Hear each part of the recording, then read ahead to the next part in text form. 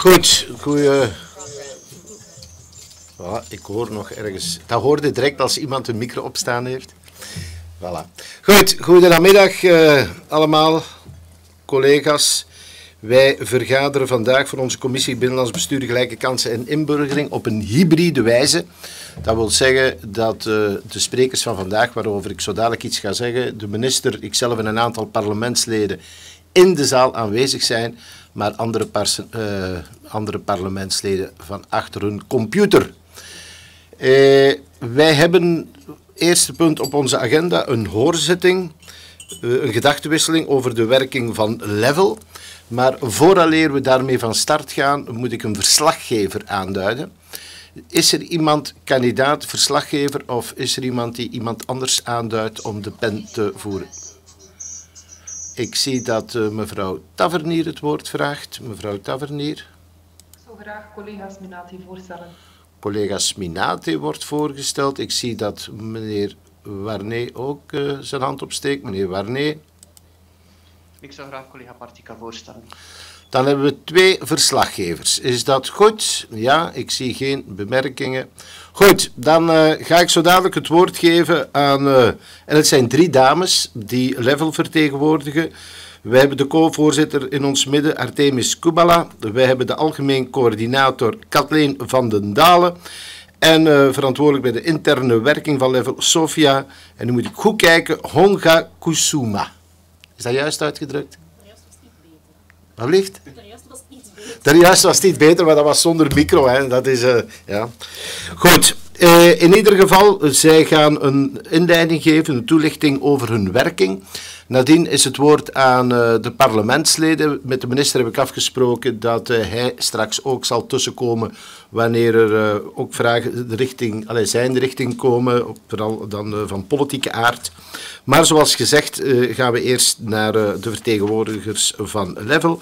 En mevrouw Artemis Kubala die gaat van wal steken. Zij heeft ook een presentatie klaargemaakt. Mevrouw Kubala, u krijgt van mij het woord, alsjeblieft.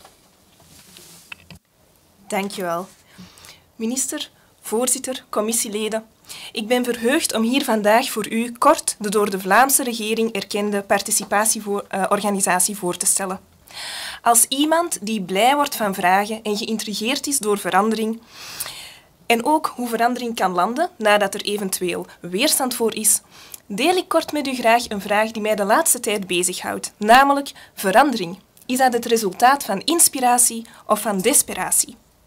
Wel, ik kan u verzekeren dat de nieuwe participatieorganisatie hier staat als gevolg van inspiratie. Tonnen inspiratie. Mijn naam is Artemis Kubala en samen met Ferki Hotti neem ik sinds juni vorig jaar het co-voorzitterschap op van deze nieuwe organisatie. Level, dat staat voor het samenbouwen aan een inclusieve samenleving waarin iedereen volwaardig participeert op alle levensdomeinen.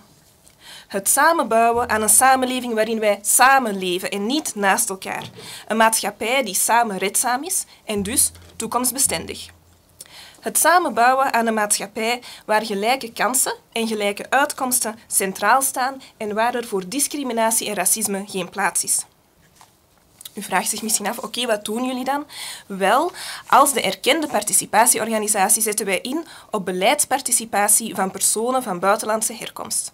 Wij bereiken hen via lokale partners op het terrein, via sleutelfiguren en brugfiguren. We spreken hen ook rechtstreeks aan. Wij zetten in op platformen van verbinding in meerstemmigheid, waar wij vanuit intersectioneel denken uitwisselen op basis van wat werkt en wat niet werkt. Wij zetten tot slot in op impactgedreven acties. Concreet mag u van Level verwachten dat wij vanuit ons netwerk, waarin ervaringsdeskundigheid is vertegenwoordigd van personen van buitenlandse herkomst, die ondernemer zijn, bestuurder, arbeider, bediende, die werken in het middenveld, in het onderwijs, in onderzoeksinstellingen, in management of in uitvoerende functies, die op zoek zijn naar werk of die studeren in Vlaanderen of in Brussel, dat wij beleidsaanbevelingen formuleren op vlak van wonen, werken, antidiscriminatie, onderwijs en genuanceerde beeldvorming. Beleidsaanbevelingen die kritisch zijn, maar steeds vanuit een constructief oogpunt en actiegericht. Beleidsaanbevelingen die gaan over oorzaken van exclusie en minder over de symptomen ervan. Onze beleidsaanbevelingen hebben daarboven een duurzame verandering op het oog. Want met een storm in een glas water zijn wij als samenleving niets. U mag van Level verwachten dat we met een ontzettend gedreven team van ongeveer 20 personen met de voeten in het werkveld staan. Dat wij de vinger aan de pols houden door middel van bevragingen, proeftuinen, co-creatie en project- en projectoverschrijdend werk. Verwacht van Level een bijdrage aan lokale verankering van het beleid met een dienstbare functie richting steden en gemeenten. En wanneer u door ons jaaractieplan gaat, zal een bepaald plan automatisch in uw gedachten zijn opgekomen. Ik refereer uiteraard aan het plan Samenleven, waarin de Vlaamse overheid vanuit zeven doelstellingen en 24 acties lokale besturen ondersteunt om van samenleven in diversiteit een succes te maken. Zou je wel kunnen zeggen dat deze nieuwe participatieorganisatie niet voortbouwt op wat reeds was? Hoezo nieuw? Wat is er anders dan? Dat zijn heerlijke vragen en heel terechte vragen ook. En sta me toe om hier even op in te gaan door terug te grijpen naar de vraag waarmee ik mijn toelichting startte. Namelijk, is verandering het resultaat van inspiratie of van desperatie? En ik wil deze vraag graag nog een beetje verfijnen. Is elke verandering wel een verbetering? Verandering is een constante. Ook voor de participatieorganisatie zoals we die tot nu toe kenden, was het tijd voor verandering. En waarom zou deze verandering een verbetering zijn? Wel, wij spreken personen met een buitenlandse herkomst niet langer aan op het feit of zij wel of niet deel uitmaken van een bepaalde community. We zijn dan ook geen koepelorganisatie, maar een netwerkorganisatie. Wij hebben nieuwe functieprofielen. Elke medewerker binnen Level is zowel actiegericht als beleidsmatig actief. Een inhoudelijke verandering waarin collega's gecoacht worden en waaraan nieuwe profielen van metafaan worden aangeworven. Level is een horizontale organisatie, niet enkel wat betreft de dynamiek tussen bestuurders en team, maar van elke medewerker intern wordt ook een hoge mate van autonomie en zelfstandigheid verwacht. En zelfsturende teams zijn innovatieve en wendbare teams die functioneren in vrijheid, in verantwoordelijkheid.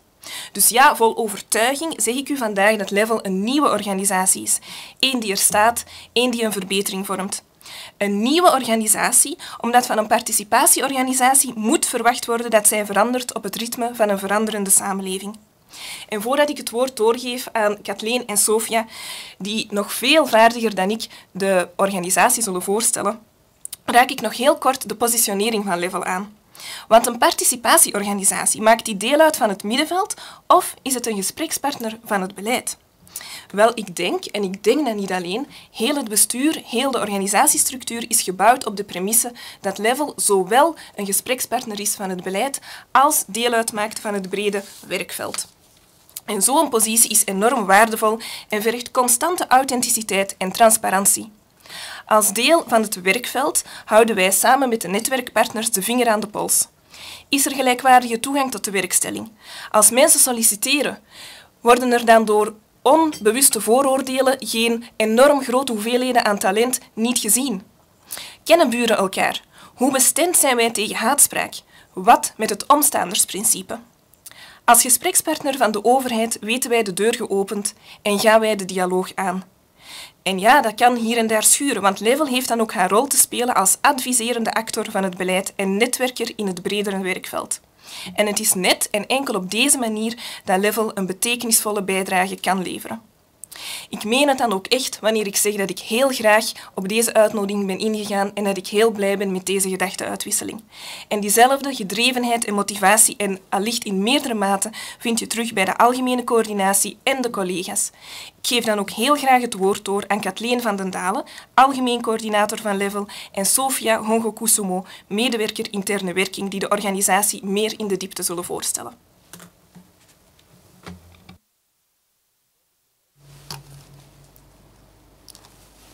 Oké, dankjewel uh, Artemis voor uh, jouw inspirerende woorden als voorzitter.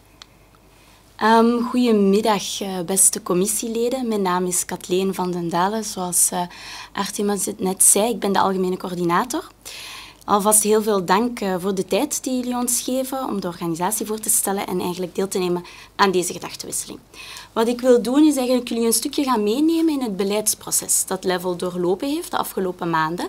En ik vertrek graag daar waar het eigenlijk allemaal begint. De basis van heel het huidige beleid in deze legislatuur, ook voor de participatieorganisatie, namelijk het Vlaams Regeerakkoord. Nu, daarin staat opgenomen dat Vlaanderen gaat voor een participatieorganisatie waarmee zijn samenwerkingsovereenkomst zal afsluiten met een duidelijk doelstellingenkader, die expertise zal bundelen met betrekking tot inclusie van personen van buitenlandse herkomst en dat deze netwerkorganisatie zal instaan voor de advisering van overheid, bedrijven en middenveld. Nu, de toelichting die we hier vandaag brengen zal hopelijk duidelijk maken dat er eigenlijk is uitvoering gegeven aan deze paragraaf uit het Vlaams regeerakkoord. Nu, Level uh, zag het daglicht als nieuwe netwerkorganisatie in juni 2021. U ziet hier achter mij of voor mij, afhankelijk of u thuis zit of op de locatie zelf, een soort van kleine uh, traject, een kleine roadmap. En ze doorliep daarbij het proces zoals dat ook beschreven staat of voorzien is in het besluit van de Vlaamse regering uit 2020. Nu, in juni gebeurde de formele indiening van de erkenningsaanvraag door Level. Op 13 juli werden we vervolgens geselecteerd als kandidaat participatieorganisatie. Eind augustus werd het vijfjarig meerjarig plan, meerjarenplan dan formeel ingediend en begin oktober werd deze goedgekeurd. Op 26 november volgde dan de formele erkenning door de voltallige Vlaamse regering van die nieuwe participatieorganisatie Level. En om dan uiteindelijk finaal op 16 december te landen met de ondertekening van de samenwerkingsovereenkomst tussen enerzijds de Vlaamse regering en anderzijds Level, de nieuwe participatieorganisatie. Natuurlijk, Level heeft als participatieorganisatie ook een afgebakend speelveld. Dat is het beleidskader. Het is binnen dat beleidskader uh, dat wij vanuit de organisatie vormgeven aan de werkingen, aan de vele acties. Nu, wat houdt dat beleidskader in? Enerzijds gaat het natuurlijk over de decretale opdrachten van belangenbehartiging, vertegenwoordiging, beleidsaanbevelingen en het sensibiliseren en ondersteunen van lokale beleidsparticipatie. Anderzijds gaat dat ook over de zeven beleidsprioriteiten. Ik verwijs daarvoor naar het ministerieel besluit van 11 oktober 2020, die jullie wellicht goed kennen. Nu, deze zeven beleidsprioriteiten die leggen elk een aantal accenten, maar die zetten wel als gezamenlijke ambitie in op het werken aan een inclusieve samenleving. Um, in december, ik gaf het daar straks al aan, uh, zijn we dus geland met een samenwerkingsovereenkomst. Nu, wat houdt dat precies in? Die overeenkomst omvat alle afspraken over de te realiseren opdrachten voor een periode van ongeveer vijf jaar, met inbegrip van een strategisch en operationeel doelenstellingenkader en ook de manier waarop die gemeten of gewaardeerd zal worden.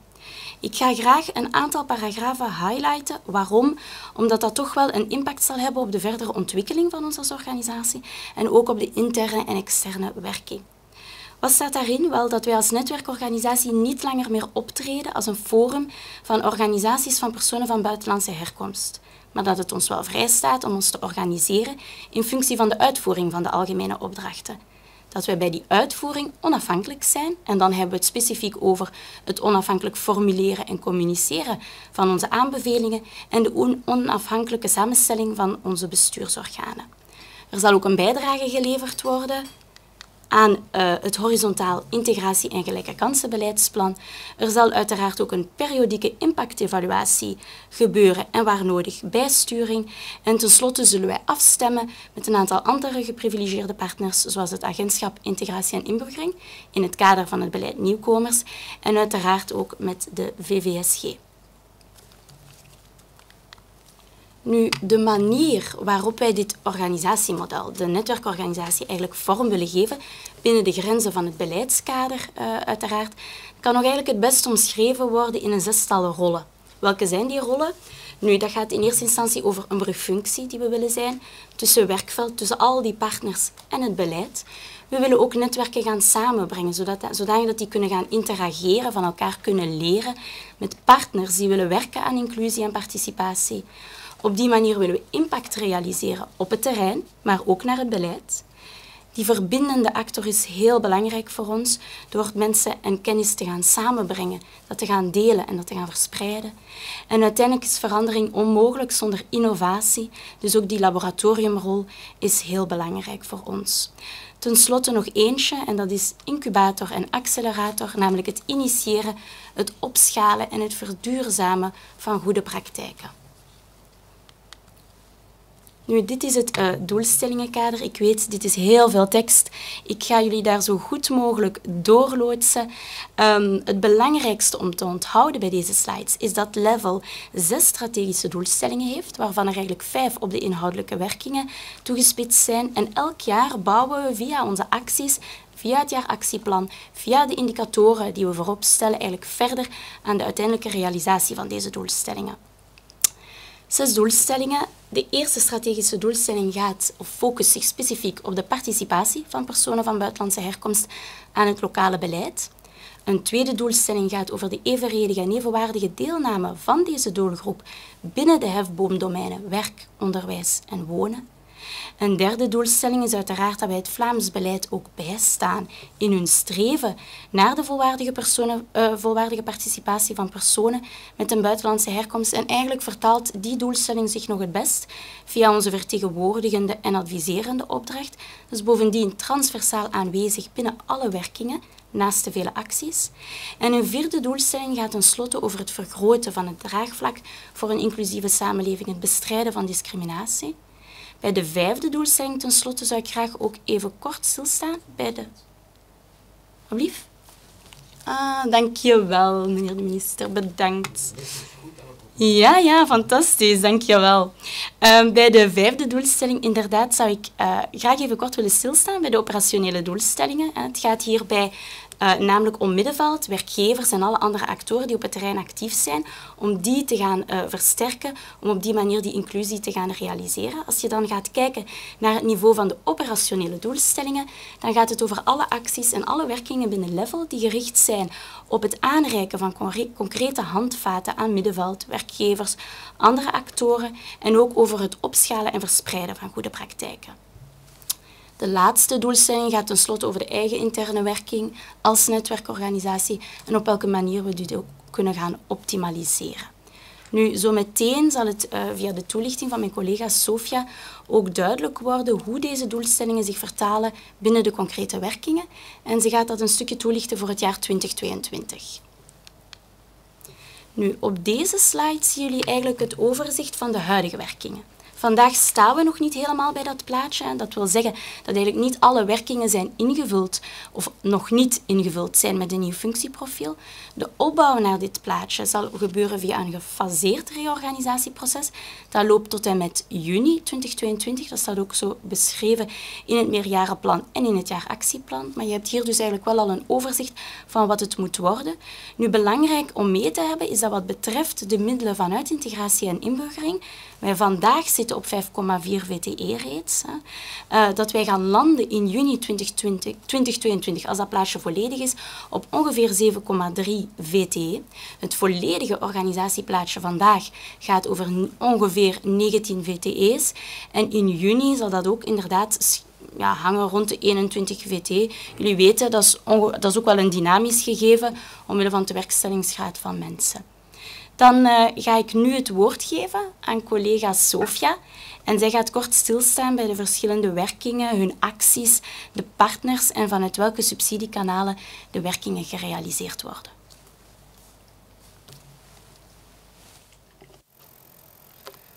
Ja, dank u wel. Kathleen, uh, we geven jullie alleszins allemaal graag een inkijk op onze concrete werkingen. Uh, werkingen die vorm hebben gekregen in partnerschap. Uh, partners die expertise hebben, partners die terreinervaring hebben, partners die zin hebben en geloven in samenwerkingen om volwaardige participatie van personen met een buitenlandse herkomst waar te maken. We zouden graag willen beginnen met beleidsparticipatie. We werken samen en stemmen verder af met het agentschap Integratie en Inburgering, de VVSG en de Wakkere Burger en waar nodig ook andere lokale actoren. Concreet betekent dit voor 2022 dat we lokale besturen ondersteunen in het kader van beleidsparticipatie. Eén uh, centrumstad wil dit zeggen en één landelijke gemeente. Verder willen we ook inzetten op een reeks van andere acties of trajecten om actief burgerschap en beleidsparticipatie te stimuleren bij personen van buitenlandse herkomst. En we zetten daar drie uh, drietal actoren, daar willen we bereiken binnen zowel centrumsteden als uh, landelijke regio's. En uiteindelijk willen we ook een reflectiemoment, een soort van leermoment uh, organiseren in zaken deze thematiek, waarbinnen we vijf centrumsteden willen bereiken en twintig andere gemeenten verspreid over Vlaanderen. Dan wat betreft wonen. Level engageert zich voor het recht op wonen.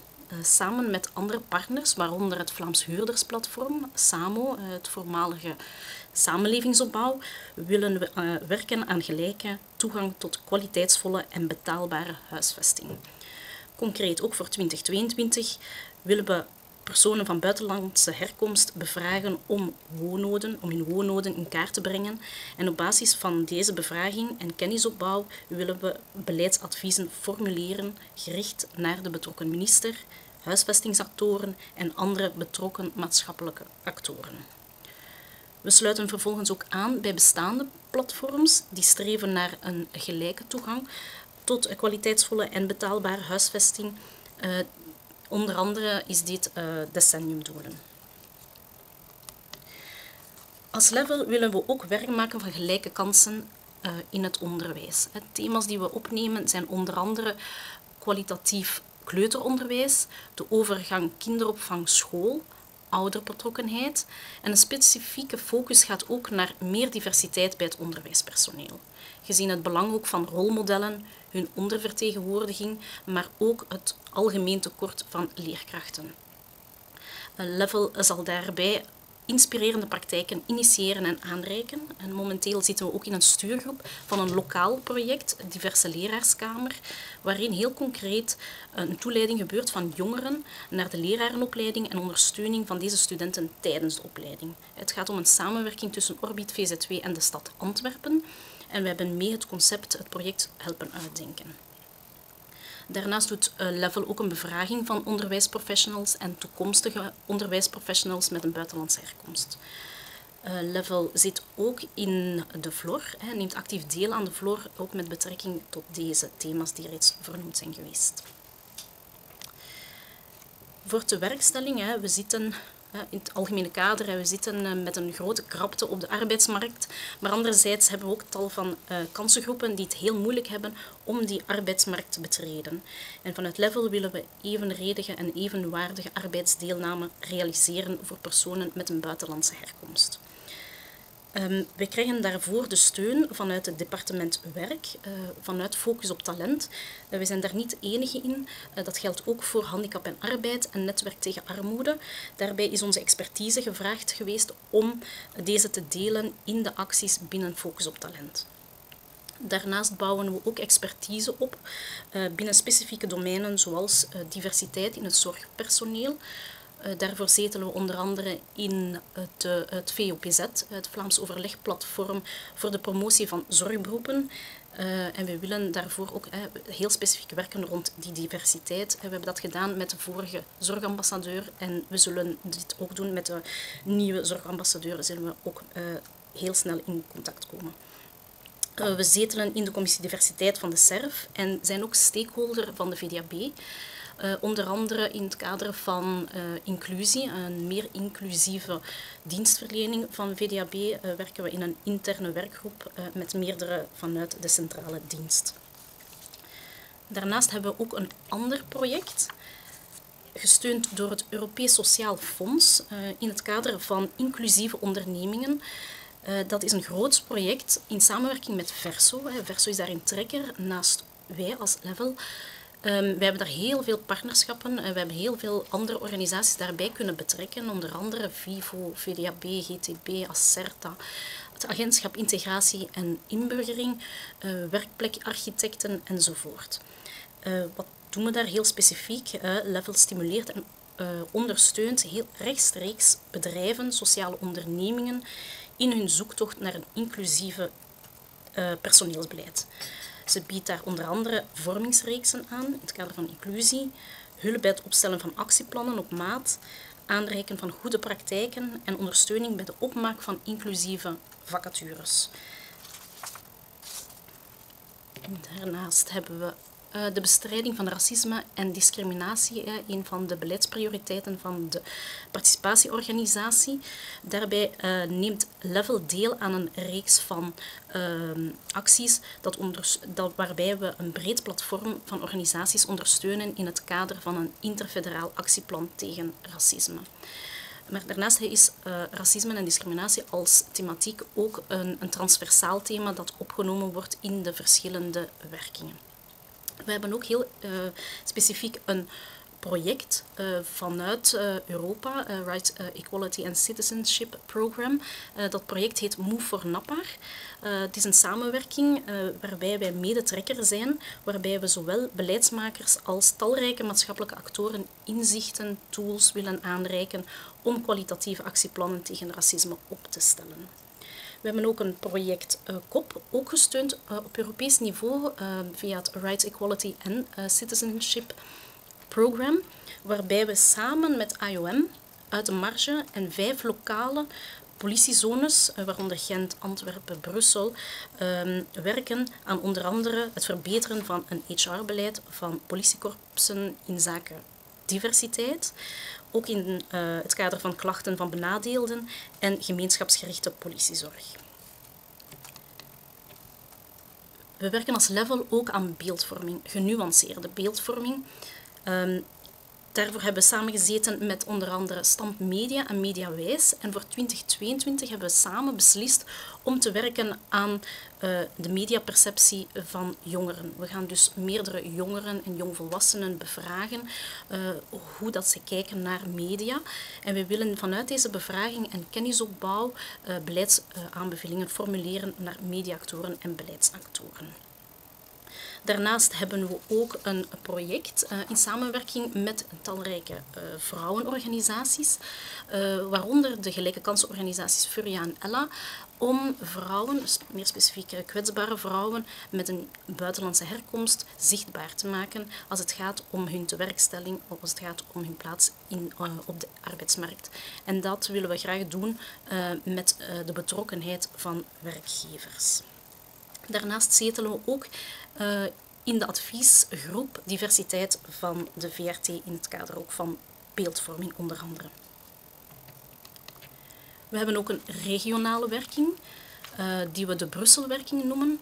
Uh, die wordt gesteund door de Vlaamse Gemeenschapscommissie. Uh, we hebben dan ook in samenspraak met de VGC twee thema's vastgelegd. En dat is onder andere diversiteit in het onderwijspersoneel, vrij gelijkaardig met wat eerder vernoemd is geweest.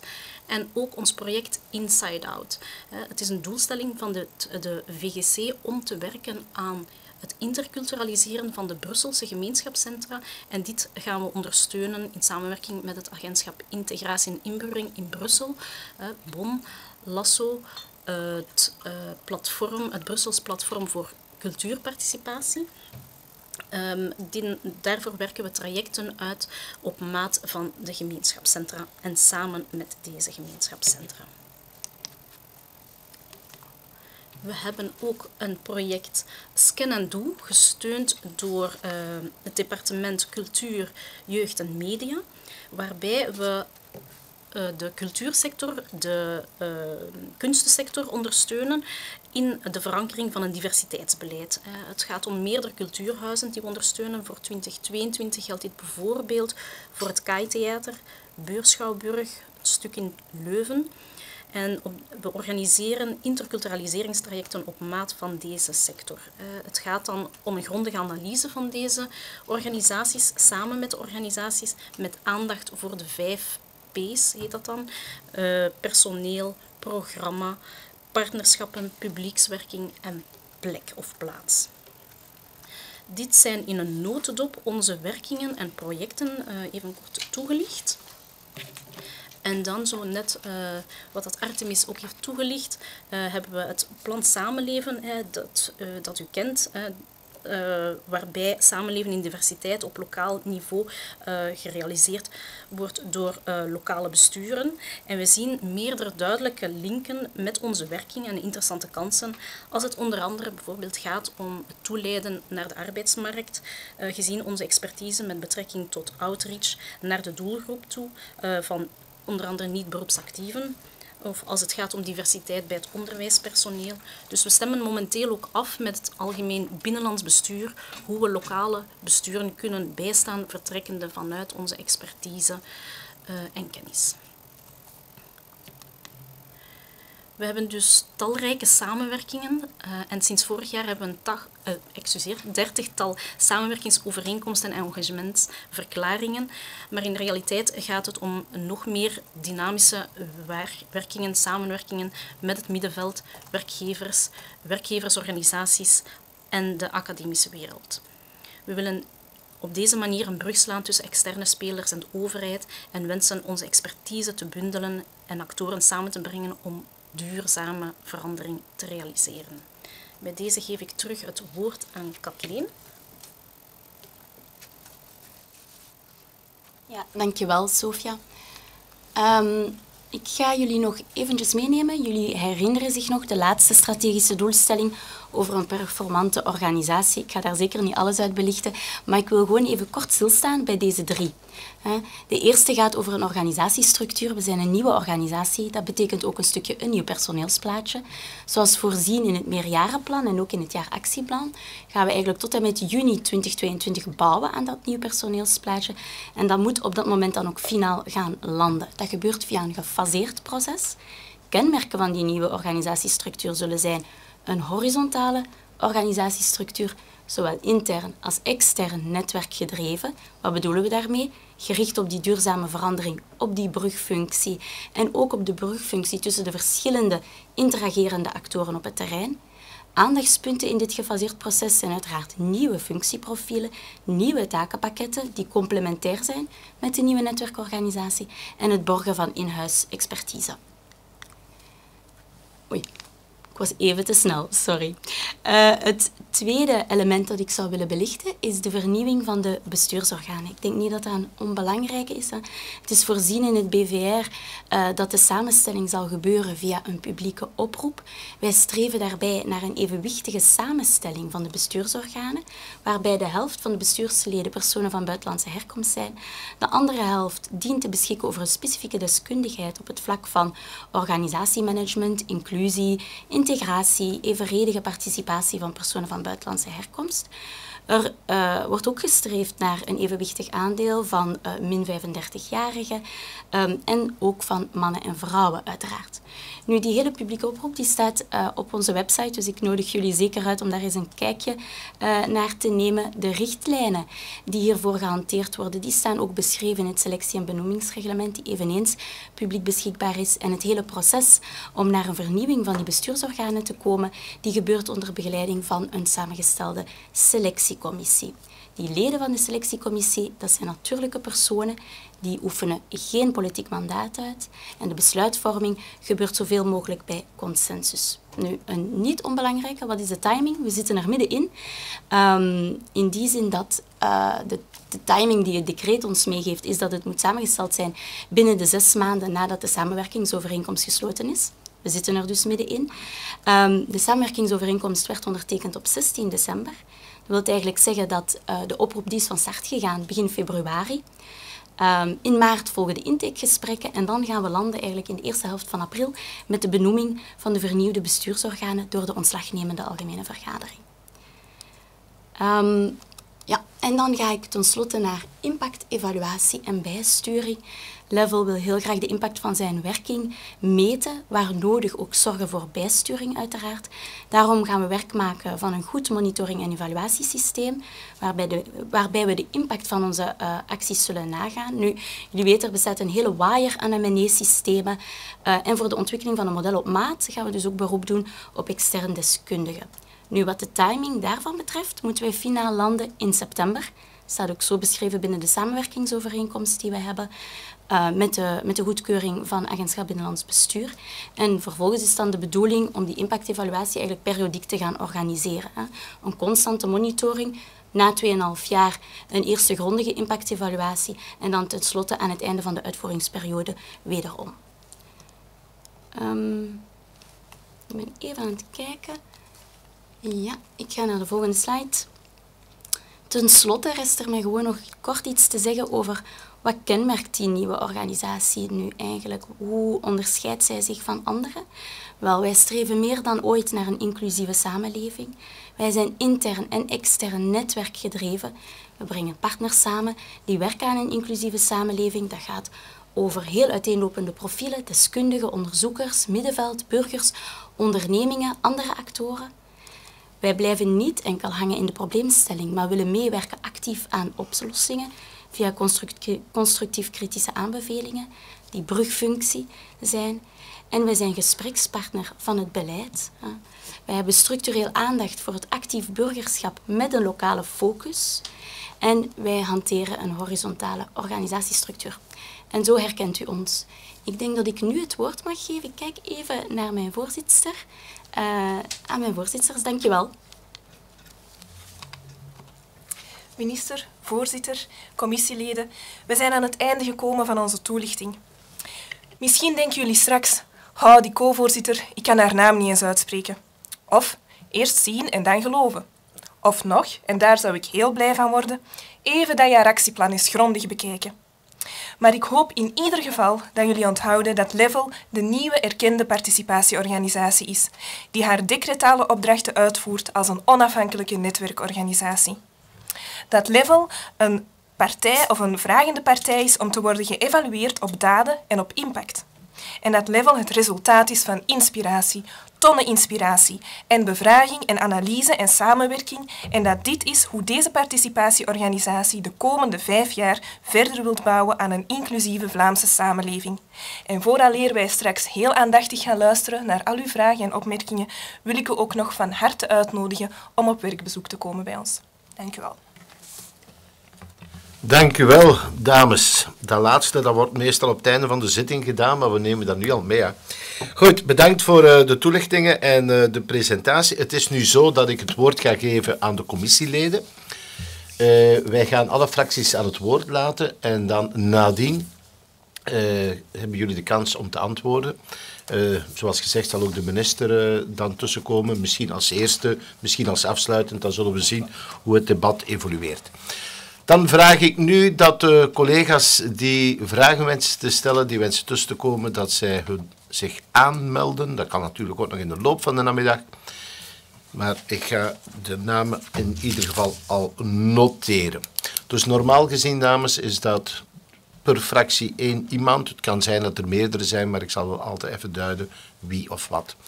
Goed, ik ga voor eerst het woord geven aan mevrouw Sminate, die namens de N-VA-fractie in deze commissie zit. Mevrouw Sminate, alsjeblieft. Dankjewel, meneer de voorzitter. Um, ik wil eerst en vooral de uh, drie sprekers bedanken voor uh, hun toelichting. Ik ben eerlijk gezegd wel blij dat uh, mijn fractie erop aangedrongen heeft om deze gedachtenwisseling te kunnen houden. Want ja, op deze manier kunnen we uiteraard kennis maken, maar kunnen we ook zien wat jullie van plan zijn met de toch wel heel belangrijke opdracht die jullie is toevertrouwd. Um, ik vind dat we het thema van vandaag, uh, dat we daarbij heel duidelijk moeten zijn en dat we moeten uh, toegeven dat het inderdaad niet goed gesteld is met de deelname van mensen met een migratieachtergrond in, in onze samenleving. Um, en dat komt ook duidelijk naar voren in de omgevingsanalyse die jullie gedaan hebben. Hè. België scoort heel slecht op vlak van werkzaamheidsgraad uh, bij deze groep. En ook uh, op vlak van armoedestatistieken uh, zijn wij zeker niet de beste leerling van de klas. Dus ik denk uh, dat het gewoon een vaststelling is als we zeggen dat de acties van jullie voorganger, het Minderhedenforum, dat die toch niet bijster veel hebben bijgedragen aan, aan het wegwerken van deze toch wel belangrijke problematieken. En wij hebben dat als partij ten zeerste betreurd, maar wij zijn uiteraard niet bij de pakken blijven zitten en wij hebben duidelijk gekozen voor een nieuwe participatieorganisatie. En um, het, is, het is duidelijk belangrijk voor deze meerderheid dat de focus wordt verlegd naar de emancipatie van die doelgroep. En ik heb jullie plannen gelezen, hè, zowel het meerjarenplan als het jaaractieplan als uh, het erkenningsdossier.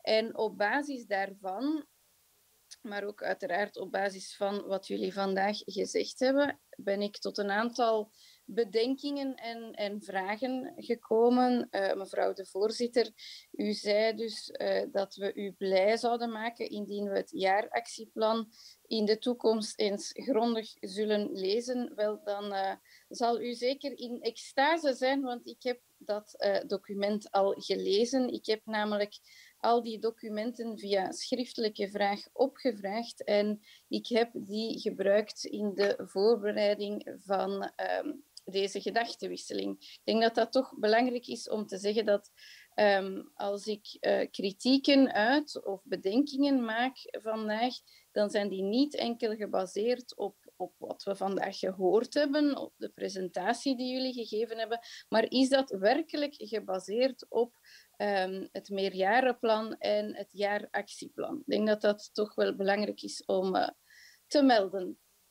Um, laat mij beginnen met een aantal positieve elementen. Um, ik zie een uitdrukkelijke wens in de verschillende teksten en ook in de presentatie van vandaag om inderdaad die brugfunctie te zijn naar de gehele maatschappij. Uh, ik denk dat het meer dan ooit belangrijk is dat mensen met een migratieachtergrond dat die op alle vlakken gaan deelnemen aan de samenleving. Uh, daar zijn we het helemaal over eens. Um, ik vind het daarom heel positief dat jullie echt wel met alle mogelijke partners willen samenwerken om dat te bereiken. Ik heb dat ook gezien in de visual die jullie daarvoor gemaakt hebben. Hè. Dat is wel duidelijk. Dus ik wil daarom ook wel mijn, mijn ondersteuning uitspreken voor um, onder andere de samenwerking met de VVSG. Want uh, ik denk niet dat, er, dat iemand het gaat ontkennen, maar het is wel duidelijk dat op het lokale niveau de, de uitdagingen zich het scherpst stellen en waar tegelijkertijd ook wel de, de beste inspanningen kunnen geleverd worden om dat sociaal weefsel, om dat te gaan versterken en mensen met een migratieachtergrond, om die werkelijk uh, te gaan opnemen in onze samenleving. Dus um, zeker goede punten uh, daarvoor. Um, aansluitend wil ik ook aangeven dat de focus op werk binnen jullie uh, plannen en binnen jullie werkzaamheden, dat dat voor mij, voor mijn fractie, dat dat ook de juiste focus is. Hè. De cijfers moeten niet herhaald worden. Er is letterlijk en figuurlijk werk aan de winkel om meer mensen aan de slag te krijgen en dus ook meer mensen met een migratieachtergrond aan de slag te krijgen. Dus mijn fractie staat heel positief tegenover elk initiatief dat um, hier een bijdrage aan kan leveren. Um, tot daar een aantal positieve elementen uit jullie plannen, maar het is natuurlijk ook mijn taak om te kijken naar de mogelijke verbeterpunten en die zijn er in mijn ogen wel degelijk. Um, ik zie eerst en vooral een gebrek aan vernieuwing, uh, hoewel jullie in de presentatie uiteraard het omgekeerde beweren. Maar het, het recycleren van oude recepten, ja, daar, daar gaan we er volgens mij niet mee komen. Um, ik zie natuurlijk wel een aantal lovenswaardige bedoelingen, hè, initiatieven zoals meer diversiteit op de schoolbanken of, of werken aan, aan een positieve beeldvorming rond diversiteit ik ga daar niks verkeerd over zeggen. Dat is allemaal lovenswaardig, maar daarmee gaan we het probleem natuurlijk niet oplossen. Um, ik ben het ook met u eens dat Vlaanderen alle kansen moet bieden, zodat iedereen, uh, ook nieuwkomers, hun talenten kunnen ontwikkelen. Maar um, wat mij een beetje stoort, dat is dat enkel die kant van het verhaal belicht wordt. Um, ik verklaar mij. Ik zie nergens wat de opdracht of de verantwoordelijkheid van het individu zelf is. Ik heb dat nergens gevonden in uw teksten. Ik zie bijvoorbeeld geen initiatieven om ouderparticipatie in het onderwijs te verbeteren. U heeft dat wel aangeraakt nu net in de, de presentatie, presentatie, maar in uw projecten die u in de teksten beschrijft, is daar geen spoor van te vinden. Um, en het is nogthans zeker in mijn regio, in Vlaamse Rand, een groot probleem en een, een, een doren in het oog van vele onderwijsverstrekkers en beleidsmakers, maar um, geen enkel project om uh, dit te gaan verbeteren. Een ander probleem dat ik zie en, en dat voor mij nog belangrijker is, dat is dat er geen enkel woord over de kennis van het Nederlands scherpt wordt. En allee, ik, ik vind dat onbegrijpelijk, want dat is nogthans het grote pijnpunt van het gebrek aan maatschappelijke integratie. Dus waarom rept u met geen woord over het belang van de kennis van het Nederlands? Misschien heeft u daar een goede reden voor, maar ik zie die op dit moment niet. En ik had, ik had toch gehoopt dat u dat in de presentatie dan toch nog zou inbrengen, maar um, ik heb daar niets over gehoord. Dus ik ben heel benieuwd wat u daar straks over te vertellen heeft. Um, maar wat mij nog het meeste, um, waar ik mij nog het meeste druk in maak, is eigenlijk het gebrek aan de focus op inburgering. We staan vandaag voor de grootste hervorming op dat vlak en het zou, denk ik, toch niet meer dan logisch zijn dat jullie hier, hierover heel wat eh, beleidsaanbevelingen te doen hebben. Maar in al die plannen, en ik heb ze allemaal doorworsteld, is amper één A4'tje terug te vinden over het inburgeringsbeleid. Eén A4'tje op toch wel ja, meer dan 100 pagina's. Uh, over zo'n zo'n belangrijk domein waar wij hier in de commissie heel veel belang aan hechten, waar de minister ook heel veel belang aan hecht. Ik, vind dat, ik vind dat vreemd dat daar uh, zo weinig focus op gelegd wordt. Dus um, ik ben benieuwd uh, wat daar de komende jaren aan zal veranderen. Dat is toch wel mijn hoop dat jullie dat inzien, dat daar uh, werk aan de winkel is. Een tweede bedenking die ik mij maakte, um, ik heb het al kort aangeraakt, maar dat is dat jullie de focus heel erg leggen op het belang van de rechten van mensen met een migratieachtergrond, maar dat jullie niet de link leggen met de oorzaken van het negatieve beeld dat vandaag vaak leeft over uh, diversiteit. Um, maar ik denk toch dat we daar niet naast kunnen kijken. Een van de belangrijkste thema's tijdens de laatste verkiezingen, dat was migratie. Ook in de studie die, die Vlaanderen zelf heeft uitgevoerd, Samenleven in diversiteit, die u ongetwijfeld kent, gaf 30% aan dat, ik citeer, vreemdelingen een bedreiging voor onze cultuur vormen. Um, de diversiteit in Vlaanderen, dat is een feit. En we kunnen, we kunnen inderdaad spreken van superdiversiteit. Maar ik denk dat um, het toch wel duidelijk is dat we kunnen stellen dat diversiteit niet alleen een positief verhaal is. Vlamingen zijn bang voor een eventuele ondergang van onze geschiedenis, van onze waarden en normen. En dat is iets dat we moeten erkennen. En diezelfde studie waar ik het net over had, die geeft trouwens aan dat veel nieuwkomers uh, hoe moet ik het zeggen, eh, op, op een andere manier aankijken tegen die waarden en normen. En um, ik vind het belangrijk dat jullie die waarden ook actief gaan uitdragen. Dat jullie tonen aan de nieuwkomers dat dat niet zomaar iets vrijblijvend is. En ik vind het jammer dat jullie hierover, hiervoor geen initiatieven nemen. Hè? Dat jullie enkel blijven steken in wat is de rol van de overheid, maar dat jullie niet gaan kijken van hoe kunnen we ervoor zorgen dat die nieuwkomers ook onze waarden en normen begrijpen en mee gaan uitdragen. Dus dat, dat lijkt mij toch uh, zeker een werkpunt naar de toekomst toe. Een um, derde punt van kritiek dat ik wil uh, aangeven is de toch wel actieve rol die Level heeft gespeeld in het verbinden van het middenveld tegen de oprichting van het Vlaamse Mensenrechteninstituut.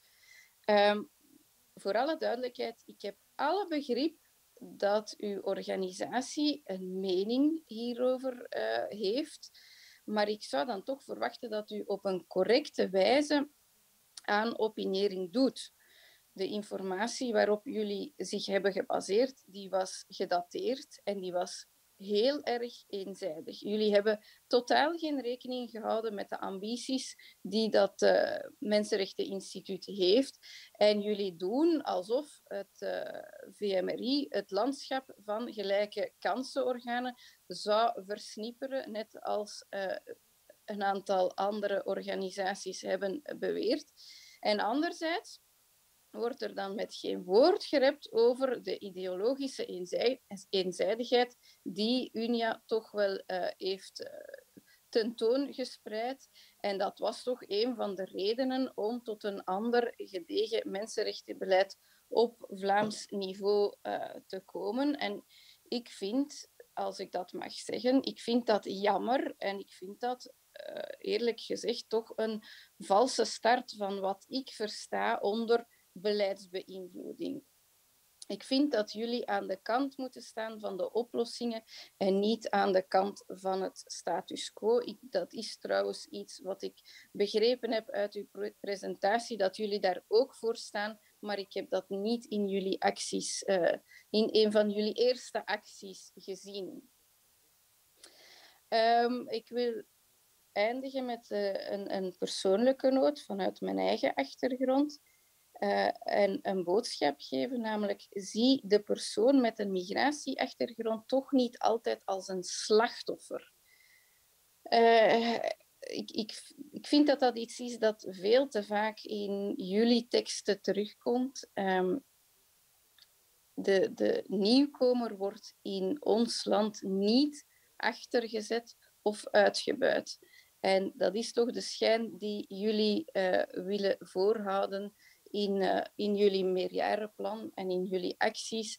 Uh, de persoon met een migratieachtergrond wordt in mijn ogen niet moedwillig tegengehouden in een divers Vlaanderen. De overheid is niet de boosdoener uh, daarin. En waarom zeg ik dat? Omdat ik veel te vaak in de teksten heb gelezen over structurele discriminatie van minder, minderheden. Jullie spreken over gelijke uitkomsten gelijke uitkomsten. Hè?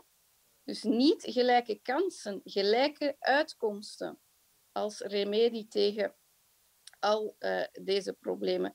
Ik zie dat helemaal anders. Um, het is niet omdat je geconfronteerd wordt met eventueel racisme, en dat bestaat, hè, maar geen structureel racisme. Het is niet omdat je daarmee geconfronteerd wordt dat alle schuld bij de overheid moet gelegd worden of dat de Vlaming racist is. Um, en dat je dan maar mag berusten en verwachten dat alles wel voor jou zal geregeld worden. Zo werkt het helaas niet en dat is ook mijn ervaring niet geweest.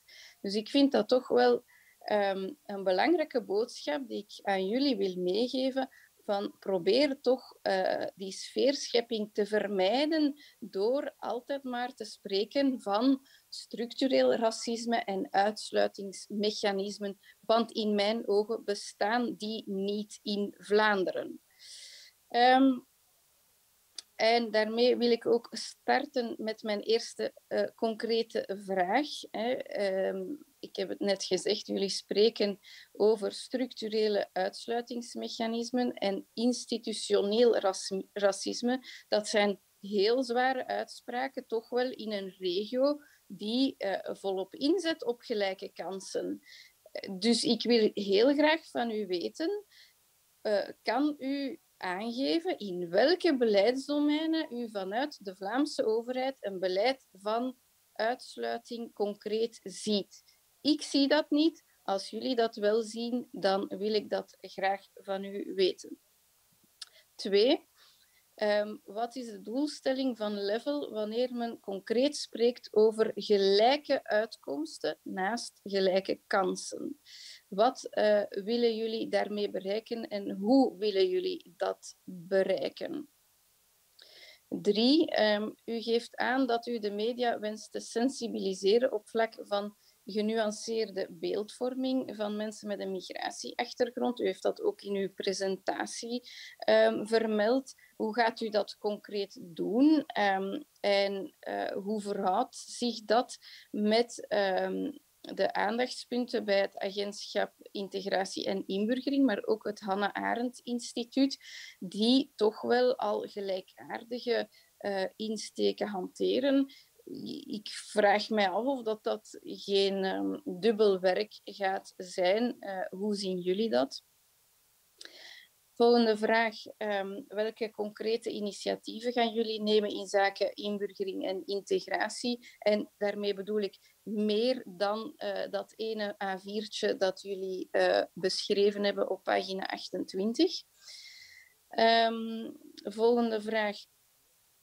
Vinden jullie dat bijkomende aandacht binnen uw werking voor de kennis van het Nederlands, vinden jullie niet dat dat noodzakelijk is om de emancipatie van mensen met een migratieachtergrond te versterken? Of denken jullie van, oh, nee, uh, dat doet hier niet ter zake, dat is onze opdracht niet, um, daar gaan wij uh, onze tijd niet in steken?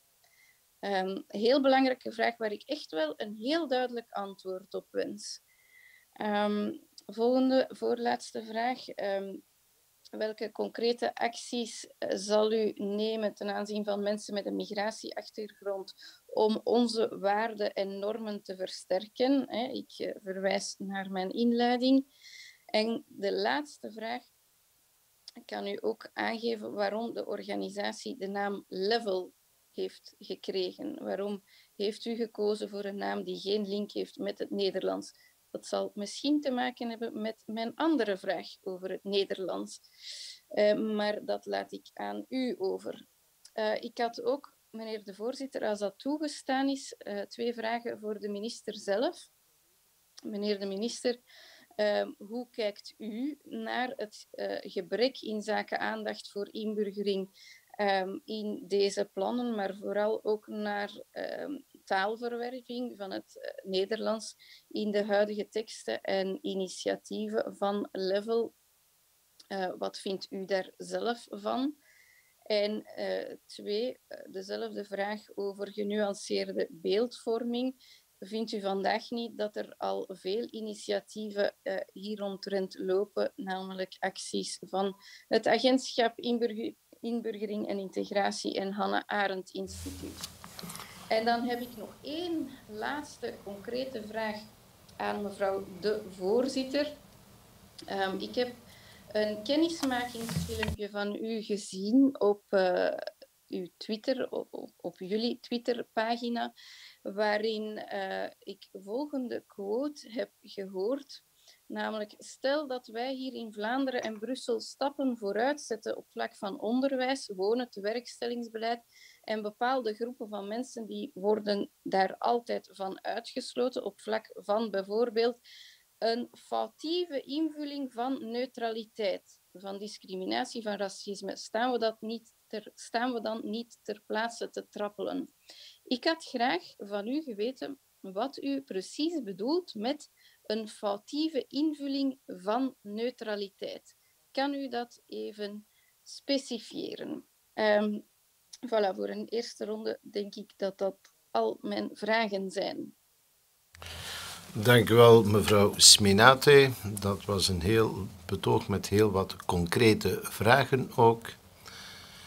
Meneer Van Rooij. Meneer Van Rooij is van de Vlaams Belang-fractie wel, uh, voorzitter. Ik moet zeggen uh, dat ik een soort uh, ja, Hannah Arendt déjà vu gevoeld krijg. Hè. Um, niet alleen na het bestuderen van wat dit nieuwe minderhedenforum, want dat is het toch, hè, laat ons daar niet flauw over doen, wat dat nieuwe minderhedenforum eigenlijk inhoudt, maar zeker ook na het gloedvolle betoog van N-VA-commissielid Nadia Sminate en haar terechte en interessante vragen, waarop ik uh, helaas denk ook het uh, antwoord al wel uh, te weten. Laten we even teruggaan hè, naar de gang van zaken, de geschiedenis, de recente geschiedenis. Hè, de Forum Dat moest uh, worden opgeheven. Dat was een soort trofee ook van de NVA in deze regering. Maar al snel, en net zoals dat met ja, eigenlijk het geval is, het feit dat Vlaanderen daaruit stapt, dat is dan ook een trofee uh, van de NVA in deze Vlaamse regering. Maar al snel wordt dan duidelijk dat we van de regen in de drup stappen, want dat daar een vervanger wordt voorzien of in het leven geroepen. Hè. Bij UNIA is dat dan het Vlaamse Mensenrechteninstituut, eigenlijk een UNIA 2.0.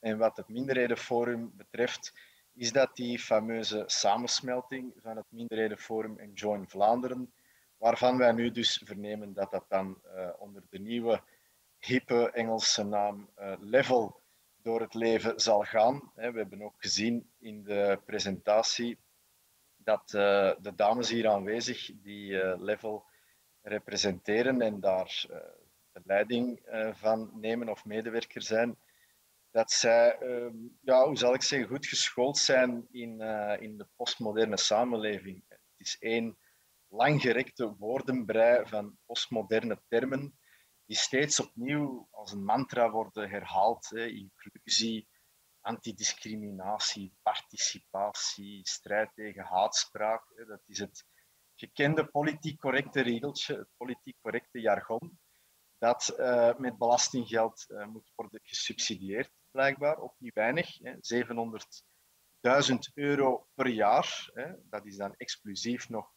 projectsubsidies. Uh, zal dit, dit feestje van buzzwords en zogenaamde antidiscriminatie gaan kosten. En als wij dan zien ja, wat de achtergrond is van de drie sprekers die hier aanwezig zijn en die leidinggevende of coördinerende of medewerkende functie hebben bij Level, ja, dan zien we ook dat, zij, dat dit gewoon het minderhedenforum onder een nieuwe naam en in een nieuwe, postmodernere misschien nog vorm is. Hè. Zij hebben alle drie een verleden bij het minderhedenforum. Zij stappen dus gewoon over van het minderhedenforum naar Level en zij hebben ook een uh, verleden als subsidieslurper bij een aantal VZW's en andere organisaties die belastinggeld slurpen van de hardwerkende Vlaming om ons al die buzzwords, inclusie, antidiscriminatie, om ons dat op te dringen. En zoals u weet, zijn wij als Vlaams Belang uh, altijd een felle tegenstander geweest van dat minderhedenforum. En ik zal daarvoor een aantal redenen geven. En dat zijn dan ook meteen mijn vragen aan drie uh, sprekers hier van uh, het nieuwe minderhedenforum Level. Um, het minderhedenforum was tegen Zwarte Piet. Vraag is, is Level ook tegen Zwarte Piet? En zo ja, waarom? Het minderhedenforum was tegen politiecontroles die zouden voortkomen uit racial of etnische profiling, profilering. De vraag is, is dit nieuwe minderhedenforum Level daar ook tegen? Het minderhedenforum was tegen elke vorm van een hoofddoekenverbod. De vraag is, is dit nieuwe minderhedenforum level ook tegen elke vorm van hoofddoekenverbod? En misschien wil ik daar toch uh, bij aanvullen dat het mij uh, niet alleen bevreemdt, maar ook uh, zeer frustreert en dat ik het ook een kaakslag vind dat hier in onze commissie iemand zit met die hoofddoek. Um, of dat men daar nu zelf voor kiest of niet, dat is een eeuwenoud symbool van de onderdrukking van de vrouw, van jonge meisjes, overal ter wereld. Daar lijden elke dag, elke dag opnieuw, lijden daar tientallen, honderden miljoenen jonge vrouwen en meisjes onder, wereldwijd, in de islamitische wereld en ook hier. Dus iemand die daar zelf, want daar ga ik dan toch vanuit, in uw geval mevrouw Kubala, iemand die daar zelf voor kiest, die dat symbool etaleert, dat is opsteken van een middelvinger naar al die mensen die daar dag in dag uit fysiek onder lijden. Um, om misschien niet mijn woorden te gebruiken, maar die van de Franse filosofe Elisabeth Badinter, die zei daarover, en ik citeer, over jonge vrouwen, vrouwen in het Westen die zelf kiezen om de hoofddoek te dragen en te etaleren, die zei daarover, ik citeer, Eigenlijk misbruikt u democratische vrijheden, en dat doet u in onze commissie, in het hart van de democratie. Eigenlijk misbruikt u democratische vrijheden door ze in stelling te brengen tegen de democratie. Of u het nu uit ondermijning doet, uit provocatie of uit onwetendheid, het echte schandaal is de klap die u uitdeelt aan al uw onderdrukte zusters die de dood riskeren om eindelijk van de vrijheid te genieten. Meneer Van Rooij, mag ik, mag ik toch erop aandringen... van de Franse filosoof ja. Elisabeth Badinter, en dat wil ik toch gezegd hebben, meneer de voorzitter, omdat dat aansluit ook op mijn vraag, die ik van levensnoodzakelijk belang vind, namelijk hoe staat dit nieuwe minderhedenforum tegen een hoofddoekenverbod op school, achter loketten, noem maar op, vanwege niet alleen de neutraliteit die wij hoog in het vaandel zouden moeten dragen, maar ook vanwege de symboliek die achter die islamitische sluier. Meneer Van Rooij, als ik u heel even mag onderbreken, u hebt het volste recht om die vraag te stellen, laat dat heel duidelijk zijn. Maar ik zou wel willen aandringen naar uh, één ieder toe. En tot op heden wordt het debat en het gesprek op een zeer serene en respectvolle wijze gevoerd om niet persoonlijk te gaan. Dat zou ik willen beklemtonen. Gaat u verder. Dank u, voorzitter. Um, dus bent u tegen of voor een hoofddoekenverbod? Of is er überhaupt een hoofddoekenverbod waar het minderhedenforum wel kan achterstaan? Hè? Bijvoorbeeld op een bepaalde plaats in onze samenleving, in de openbare ruimte, uh, voor bepaalde overheidsfuncties. Dan is dit nieuwe minderhedenforum, net zoals het oude minderhedenforum, ook tegen taalvoorwaarden bij uh, sociale huisvesting, dus voor het verkrijgen van een sociale woning. Is dit nieuwe minderhedenforum is die voorstander van de subsidiëring van de islam? Hè? En dat vind ik wellicht nog de belangrijkste om af te sluiten, want zoals iedereen weet of zou moeten weten, is de islam natuurlijk de intolerante, discriminatoire religie zo wordt het genoemd, de religie. Het is eigenlijk een ideologie bij uitstek. Dus als u het meent, zo zou ik willen afsluiten, over, uh, als u het meent over het feit dat u zo voor inclusie bent, tegen haatspraak, tegen discriminatie, ja, dan zou dit nieuwe minderhedenforum level keihard stelling moeten innemen tegen de islam en de dogma's van de islam en de leerstellingen die letterlijk staan in de Koran en de Hadith die in de talloze moskeeën en Koranscholen in deze samenleving worden gereciteerd en worden gepropageerd. Als u dat zou beamen, dan zou ik misschien dit nieuwe minderhedenforum um, serieus kunnen nemen.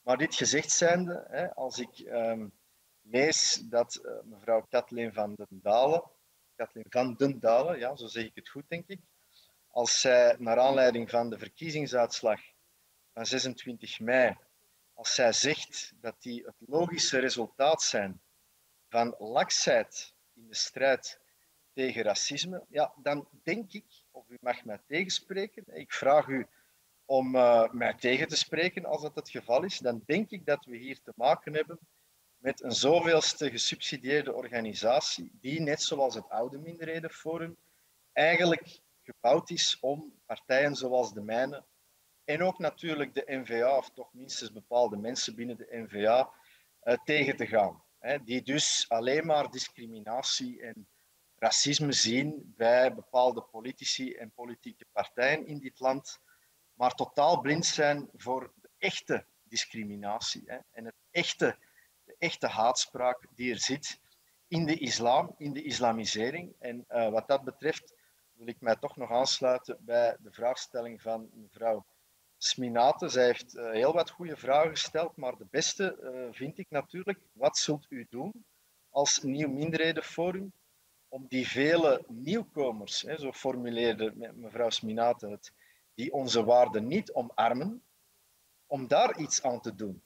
Dan mag ik u er toch op wijzen dat er ettelijke studies zijn. Ik heb ze vorige week heb ik er nog een aantal geciteerd in het Vlaams parlement in de plenaire zitting die aantonen dat er in onze samenleving tienduizenden, honderdduizenden moslims leven die consistent fundamentalistische denkbeelden hebben over de vrije meningsuiting, over gelijkwaardigheid man en vrouw, over de vrije meningsuiting, over het spotten met de profeet bijvoorbeeld. Wat zult u daaraan doen?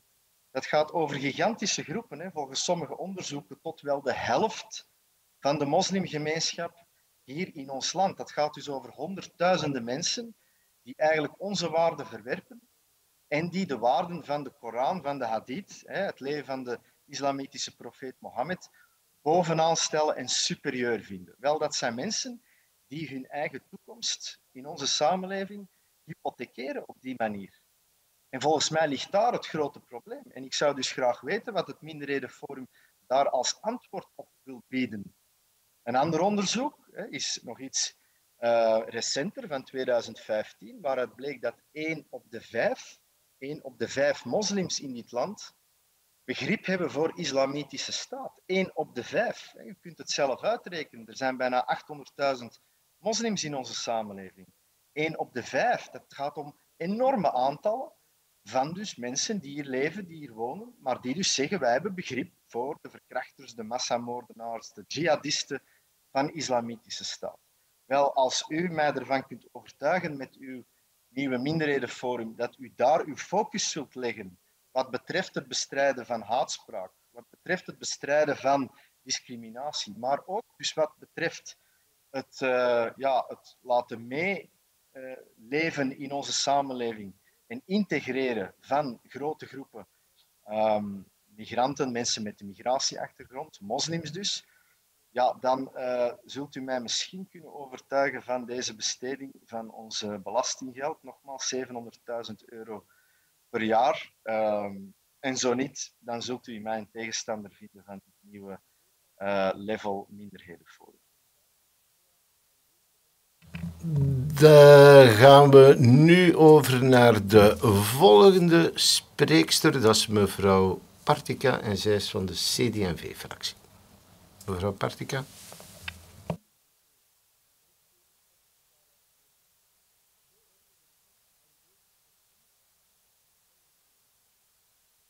Mevrouw Partica belt zich niet aan. Haar handje is opgestoken. Dan ga ik naar meneer Ongena, die hier in de zaal aanwezig is. Mevrouw Partica, ik hou uw handje natuurlijk wel omhoog, maar meneer Ongena gaat nu van start. Meneer Ongena, alsjeblieft. Dank u wel, uh, voorzitter. Uh, ook op mijn beurt dank uh, aan, aan jullie en voor jullie presentatie. Ik moet zeggen, misschien is het omdat de collega's hier niet fysiek aanwezig zijn, dat ze het niet gevoeld hebben. Maar ik heb het hier wel gevoeld, namelijk toch wel een nieuwe wind. Um, een heel duidelijk nieuwe wind. Ik heb heel veel enthousiasme waargenomen in jullie, in jullie presentatie en, en dat doet mij deugd. En um, ik moet zeggen, voordat ik verder ga, wil ik toch heel wel, ook wel iets zeggen over het feit wat mij echt wel benauwd gevoel geeft. Namelijk de manier waarop uh, sommige collega's uh, hier mensen persoonlijk proberen aan te pakken. Uh, waarbij men het heeft over uw achtergrond. Ik heb uw achtergrond eens bekeken. Waarbij men mensen aanspreekt op persoonlijke uitspraken die ze in het verleden gedaan hebben. En zij zich blijkbaar persoonlijk daarvoor moeten gaan, gaan verantwoorden. En, en ja, klap op de vuurpijl ook over hun klederdracht. Hè. Al dan niet dragen van een hoofddoek. Ik moet zeggen, anders heb je altijd de mond vol, collega Van Rooij, over vrijheid. Maar oh als je zelf beslist wat dat je aandoet, dan geldt die vrijheid niet meer. Meer nog, dan zegt u dat u vrijheid misbruikt als je dat doet. Ik moet zeggen, als, als jullie het hebben over waarden en normen die bij ons gelden in Vlaanderen, en ik dit hoor, dan maak ik me echt wel zorgen. Dan denk ik dat we op een andere manier kijken naar onze waarden en normen. En vooral over de consistentie waarmee je die waarden en normen wilt toepassen ten aanzien van anderen. Dat gezegd zijnde, ben ik dus blij dat er wel degelijk die nieuwe wind hier is het enthousiasme uh, dat jullie ook tentoonspreiden in het aanpakken van het probleem. Want voor alle duidelijkheid, we weten dat diversiteit niet alleen een, een positief verhaal is hè, en dat diversiteit natuurlijk heel veel uitdagingen met zich meebrengt. We weten ook dat uh, die uitdagingen vroeger bijna altijd enkel uitsluitend in een stedelijke context zaten, maar dat dat zich meer en meer uiteindt naar alle gemeenten in Vlaanderen. Dus ik denk dat het heel belangrijk is dat we dat, we dat ten gronde aanpakken, die problemen, die samenlevingsuitdagingen die daar zijn. En, en ik ben blij dat jullie zich daarmee in inschakelen. En ik ben ook blij, en dat is toch ook een belangrijke vernieuwing, dat jullie afgestapt zijn van het eh, klassieke concept van een, een, een organisatie die bestaat uit uh, een amalgaan van, of een samenbundeling van allerhande organisaties, maar echt gekozen hebben voor een, een leeg blad en een netwerkorganisatie te zijn. Uh, ik denk dat dat daardoor jullie blik ook direct meteen verruimt en, en je niet gevangenen bent van al de visies van al de verschillende organisaties die vroeger in het minderhedenforum zaten. En ik vind vooral een belangrijke vernieuwing is dat jullie ook hands-on gaan zijn. dat jullie niet enkel kritiek geven, en voor alle duidelijkheid, ook daar ben ik echt niet akkoord met wat sommige collega's hebben gezegd.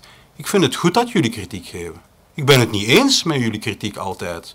En ik heb ook mijn vraag bijvoorbeeld over het advies dat jullie geven hebben over het Mensenrechteninstituut, maar het kan zijn dat, dat, dat daar misschien misverstanden zijn. Dus ik ben het niet altijd eens met jullie kritiek, maar ik aanvaard echt wel dat jullie kritiek geven. Dat is toch de essentie, anders moeten we dit toch allemaal niet doen. Als we enkel maar organisaties in het leven willen roepen die ons allemaal gelijk geven, ja, dan zijn we toch wel enorm aan het verschralen. Hè? Dus ik, ik heb daar geen probleem mee dat jullie kritiek geven. En ik denk dat dat een uitdaging is, dat wij daar dan een gefundeerd antwoord op geven. Maar jullie doen niet enkel beleidsaanbevelingen, we geven niet enkel kritiek. En dat is toch een belangrijke nieuwigheid. Jullie zijn ook hands-on. Jullie doen ook ten velde iets. Jullie gaan er ook effectief aan werken. En gaan samenwerken met de lokale besturen. En dat juich ik enorm toe. En ik heb hier een, een overzicht gekregen van tal van projecten.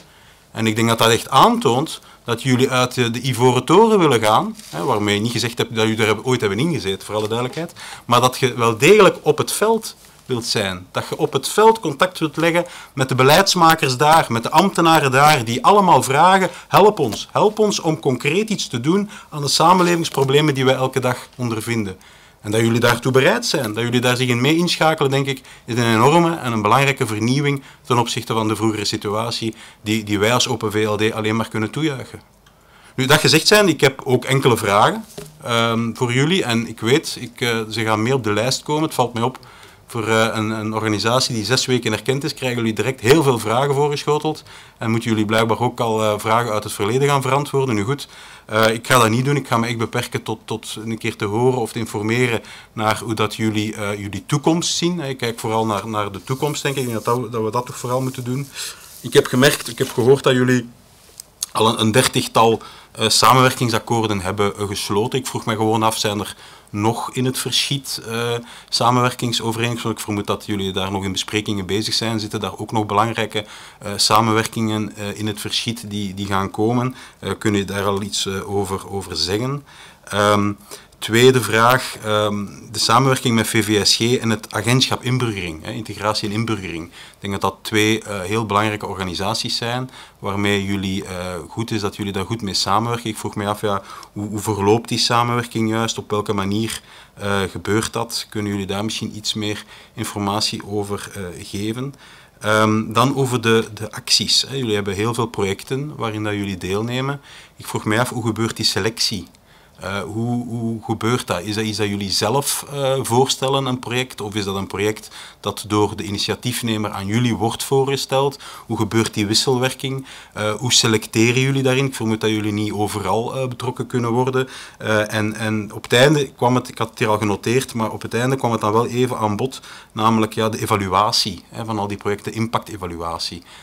Ik weet dat jullie daar dan, ik heb begrepen dat jullie daar nog verder aan het zoeken zijn, maar ik denk dat het wel belangrijk is dat, dat er op een gegeven moment tussentijds per project, ik weet niet of dat de bedoeling is dat dat een beetje per project gebeurt, die evaluatie, maar dat echt wel nagaat, ja, helpt dit nu ook? Hè? Heeft dit nu ook effectief een positieve bijdrage geleverd in het aanpakken van, van het probleem?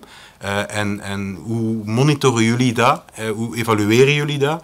En als blijkt dat het een, een, een eh, positief project was, uh, waar lessen uitgetrokken worden, ja, hoe zien jullie dan de uitrol daarvan naar andere gemeenten of naar andere eh, steden, hè, waar, uh, waar denk ik dat ook wel belangrijk is dat als er zo'n project succesvol blijkt te zijn, dat we ook wel voor zorgen dat dat een uitrol krijgt en dat ook anderen uh, daar lessen uit trekken en, en daar ook de nodige beslissingen in nemen. Dus daar vroeg ik mij gewoon af, ja, hoe zien jullie die, die uitrol? En dan ten laatste, en dat heeft te maken met het feit dat ik ook lid ben van, van de commissie Werk, en ik denk dat uh, discriminatie op de werkvloer, hè, naast wonen en onderwijs, waar jullie ook natuurlijk mee bezig zijn, uh, is op de werkvloer is natuurlijk ook wel iets dat ons uh, nauw aan het hart ligt om dat, om dat echt aan te pakken.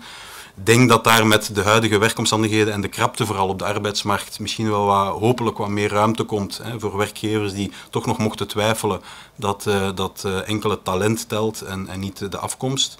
Um, maar het is goed dat jullie daar natuurlijk op werken. Nu, ik weet dat, dat we heel wat sectorconvenanten hebben afgesloten met de verschillende sectoren. En een van de nieuwigheden deze keer was uh, dat er uh, addenda zijn afgesloten rond non-discriminatie. Ik denk dat dat toch een van de belangrijke maatregelen is van deze Vlaamse regering, namelijk dat we uh, met bijvoorbeeld correspondentietests effectief nagaan uh, hoe groot het probleem is. Eén, of er een probleem is, hoe groot het probleem is, uh, om daar dan ook lessen uit te trekken. En daar is een begeleidingscommissie bij, daar is ook zelfs een, een intersectorele adviseur die daar allemaal over waakt.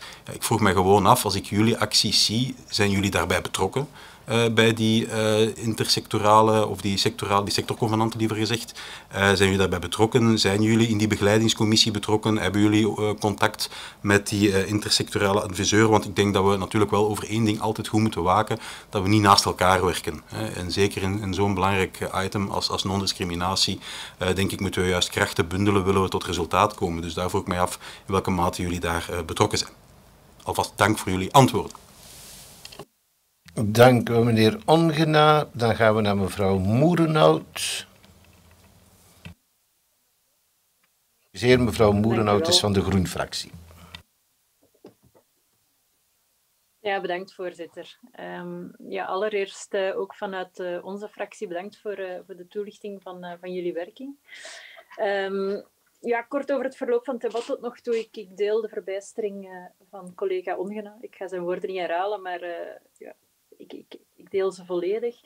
Um, ik heb ook een bevreemdend gevoel, uh, eerlijk gezegd, naar mijn collega's toe over alle uh, vragen uit het verleden en het feit dat uh, de mensen van Level zich nu daar tegenover moeten verantwoorden, omdat het natuurlijk een, een, ja, een vraag was van deze meerderheid en bij uitbreiding van de rechtse partijen om minderhedenforum te vervangen.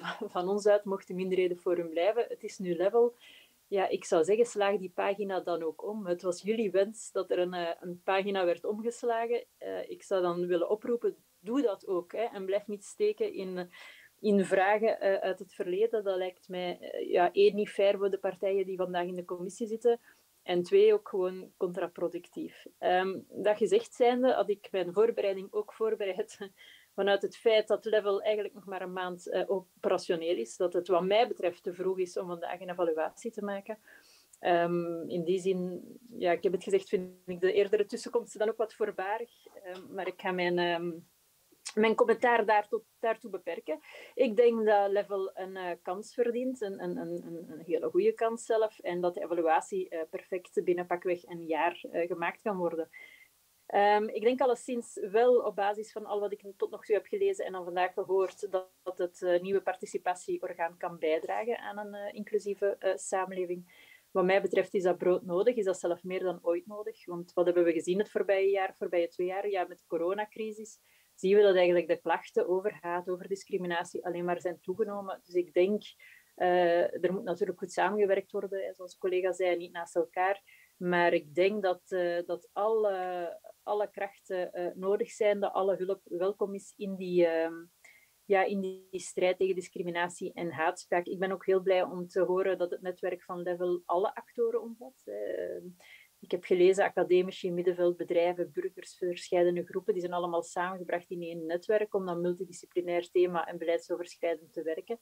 Ik denk dat dat een heel, uh, hele goede, prima manier is. Um, er is uh, één bezorgdheid die ik had en die vandaag natuurlijk ja, helaas bevestigd is. de eerste spreker ja, die sprak over level situeert zich ergens tussen het middenveld en een beleidsadviserend orgaan. Um, voor, mij, voor, mijn fractie is het heel belangrijk dat het nieuw participatieorgaan onafhankelijk kan werken en dat die onafhankelijkheid ook bewaakt wordt, zodat het orgaan voldoende kritisch kan zijn tegenover het beleid en adviezen kan aanleveren die kunnen worden vertaald naar concrete acties in het uh, werkveld. wij vinden dat belangrijk omdat wij ervan overtuigd zijn dat je op die manier ook op de beste mogelijke manier aan beleid kan doen. Het is maar door actie, reactie, door, zoals meneer Ongena daar juist zei, van ja, het is onze taak dan, hè, zij vanuit de meerderheid, om een antwoord te geven als er bezorgdheden zijn. Ja, ik ben er heilig van overtuigd dat dat de manier is van werken, omdat je ook zo aan het uh, best mogelijke beleid uh, komt. Dus ik vond het dan jammer, uh, in dat kader, mevrouw Sminati, um, ja, dat is, allee, u, heeft het recht om te zeggen, ik vind het jammer, bijvoorbeeld hè, het, het advies dat Level gaf of, of de, de mening die Level was toegedaan met, met betrekking tot de oprichting van het Mensenrechteninstituut. Uh, u mag dat jammer vinden, dat is prima, maar u, maakt dan er dan direct, ja, het was een valse, dat maakte het voor u al direct een valse start van het, van het nieuwe participatieorgaan. Um, en, en dat vind ik jammer. Zo'n um, zo'n uh, afwegingen ja, vind ik niet correct. Ik vind uh, absoluut dat dit de taak kan zijn, dat dit de taak moet zijn zelf uh, van het participatieorgaan. Dus ik hoop oprecht, um, en daar kan natuurlijk vandaag geen antwoord op gegeven worden, maar ik hoop oprecht dat, dat die onafhankelijkheid wel gevrijwaard en beschermd wordt. Ik heb daar wel een, een concrete vraag over naar de, de sprekers zelf dan. Um, jullie hebben het, uh, de domeinen opgesomd en, en uh, toegelicht van waar dat jullie onderzoek uh, naar gaan doen en zo. Um, ik had eigenlijk een, een, een vraag meer concreter daarover. Hoe gebeurt die selectie? is die onafhankelijkheid ook vervat in de keuze van de domeinen waar, waarin jullie beslissen om te werken? Of zijn er bepaalde leidraden die, die gegeven worden? Um, dat is een, uh, een vraag die ik had. Ik uh, vroeg mij ook af hoe dat jullie de onafhankelijkheid tot nog toe uh, hadden ervaren. Maar daar, daar is misschien voor en na de commissie een, een ander verhaal. Um, maar dan een laatste vraag die ik ook nog had. Um, dat gaat over hoe dat minister Somers Level had toegelicht in het hele ja, voorgaande debat over de oprichting van Level. Uh, en daar uh, is toen heel duidelijk gezegd geweest van ja, het is dus inderdaad bedoelend hè, dat het uh, blijft werken, um, maar ook een kritisch maatschappelijke rol en dergelijke. Maar er is ook altijd gezegd geweest, en daar ben ik dan wel benieuwd naar, want dat heb ik niet echt helemaal gehoord in de presentatie, tenzij dat ik het gemist heb. minister Somers heeft ook altijd gezegd, ja, het is ook de bedoeling dat de handen uit de mouwen gestoken worden en dat er op het terrein het verschil gaat gemaakt worden. en meer bepaald in heel concrete projecten in de samenleving. Um, tenzij dat ik dat altijd te praktisch heb begrepen, dat kan, uh, vroeg ik mij af, ja, is daar al zicht op uh, in het pakweg komende jaar? Op welke uh, mate, los van beleidsadviserend, los van, van concreet werkend op bepaalde domeinen in de samenleving, gaan jullie echt uh, ja, die hands-on in die samenleving aan concrete projecten werken? Dat, ja, daar ben ik nog wel nieuwsgierig naar. Dus tot zover, uh, meneer de voorzitter, mijn, uh, mijn tussenkomst. Dank u wel. En dan kunnen we nu naar mevrouw Partika gaan van de CD&V-fractie. Mevrouw Partika, alsjeblieft. Dank u wel, voorzitter. Um, ondanks dat ik laatste in de rij ben, wil ik toch nog even uh, teruggrijpen naar het uh, inspirerende begin, waarbij de co-voorzitter en de voorzitter toch uh, hun uiteenzetting begonnen en geëindigd zijn met de inspiratie en uh, de tonnen engagement. Dus uh, heel veel dank daarvoor en succes. Um, ik wil enkele uh, punctuele vragen stellen en dan één vraag die denk ik vaak teruggekomen is bij verschillende sprekers. Misschien een eerste punctuele vraag over het financieel beleid, hè, omdat men zegt dat men er naar streeft om tegen 2026 derde inkomstenbronnen aan te spreken die losstaan van de structurele financiering.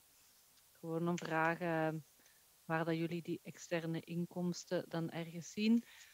En dan, uh, dat is denk ik nog gevraagd over de evenwichtige samenstelling van de bestuursorganen.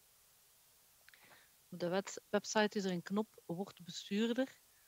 Dus een beetje de vraag, uh, dus iedereen kan zich kandidaat zijn, een beetje de vraag hoe gaat die keuze van die nieuwe bestuurders uiteindelijk gemaakt worden en ook uh, hoe loopt die campagne tot nu toe. Um, verder um, deel ik uiteraard niet uh, het negativisme van sommigen, omdat we hebben een ambitieuze minister die uitgesproken heeft geformuleerd dat hij stenen wil verleggen en dat dat niet alleen in het belang van mensen is met migratieroutes, maar in het belang van ons allemaal.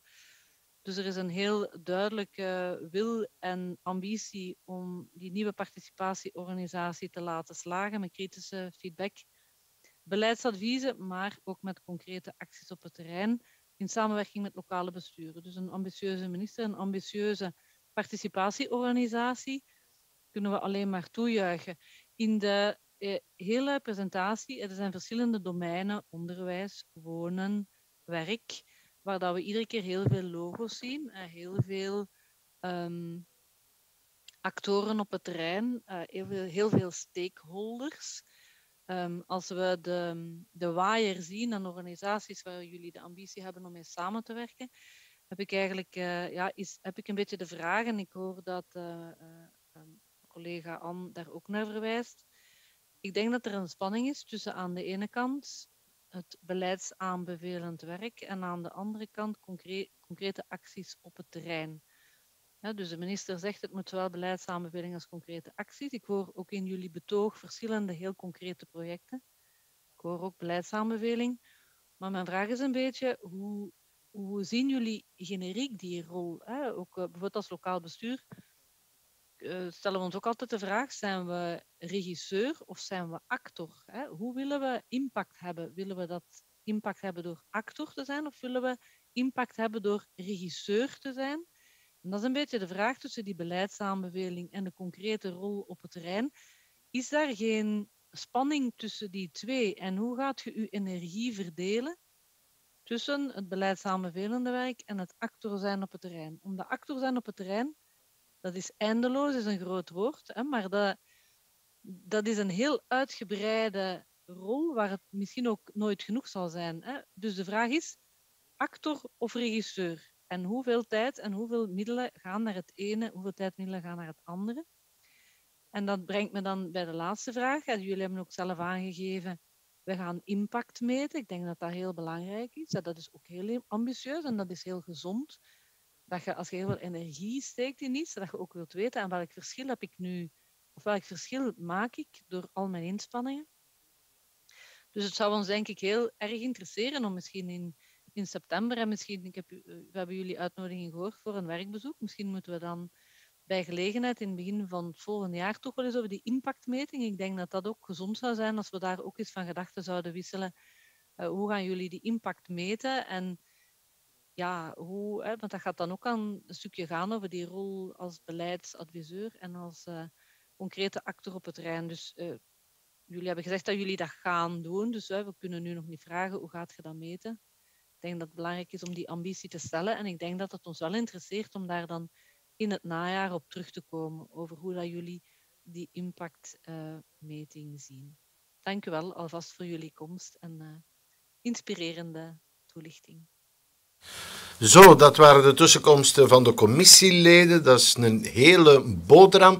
Jullie spreken zelf maar af, dames, uh, wie, wat, hoe. Uh, maar wie wil er beginnen? Mevrouw van den Dalen gaat beginnen. Alsjeblieft. Oké, okay, uh, dankjewel. Uh, in eerste instantie dankjewel voor alle boeiende vragen Um, het waren er, heel, waren er heel veel. Ze zijn uh, allemaal even waardevol, even boeiend om uit te diepen. Ik weet niet of ik genoeg tijd ga hebben om er allemaal op uh, te antwoorden, beste commissieleden. En vergeef mij dus als ik daar ook niet op, uh, op elke vraag een antwoord heb. Maar ik nodig jullie zeker uit voor de commissieleden, wiens vraag ik niet allemaal beantwoord. Wij zijn zeker bereid om na deze commissie of op een werkbezoek of op een individueel bezoek echt wel die vragen te gaan uitdiepen en kijken of we elkaar tegemoet uh, kunnen komen. Dus dank je wel daarvoor. Um, ik denk ook dat het uh, een aantal commissieleden gaven het ook aan. Hè. Het is vandaag een beetje vroeg, omdat we in een aantal zaken nog in volle ontwikkeling zijn, waaronder dat personeelsplaatje. Dus inderdaad, ik hou ook het pleidooi uh, om over één jaar terug te komen en te gaan kijken van op basis van de monitoring van de verschillende activiteiten in 2022, om daar dan ook het gesprek over aan te gaan. Ik ga al één misverstand uit de wereld helpen. Jullie zullen verschieten, maar level is geen Nederlands, uh, geen Engels Engelstalige uh, verwijzing. Het is leren van elkaar. Dus uh, dat was de initiële bedoeling. Hè. Het is eigenlijk een focus op opwaartse sociale mobiliteit, maar het gaat wel over die lerende netwerken samenbrengen, over die partners. Hoe kunnen we leren van elkaar en daarin oplossingen vinden naar een betere, ja, naar een betere toekomst? Dus dat is misschien even een, een knipoog, toch wel. En de VL van Vlaanderen natuurlijk. Um, dus dat was gewoon even wat dat betreft. Ehm, er zijn heel veel uh, vragen gesteld geweest. Ehm, wat alle inhoudelijke dossiers betreft, kan ik zeggen. Uh, je hebt natuurlijk de ambitie uh, die ook beschreven staat in het regeerakkoord. Um, maar ik kan wel zeggen over alle inhoudelijke dossiers waar wij expertise rond hebben, die binnen de scope en de opdrachten valt van de participatieorganisatie, dat wij daar zo goed mogelijk de bevoegde ministers in bijstaan. Um, er zijn een aantal dingen waar ik zelf geen weet over heb. Uh, ik denk bijvoorbeeld rond islam, is misschien een side note, uh, maar ik heb een vooropleiding in theologie. Uh, daar heb ik iets daarover gelezen, maar meer weet ik daar zelf ook niet van, helaas. Um, goed, dan wat betreft. Ehm, ik ben eens even aan het kijken naar mijn notities. Er was een vraag van hoe gebeurt, een aantal vragen, hoe gebeurt de selectie uh, van verschillende thema's, hoe gebeurt de selectie van projecten, hoe gebeurt die analyse daarvan. Nu, het kader waarin wij ons begeven is natuurlijk altijd de decretale opdrachten, die moeten wij kunnen terugvinden.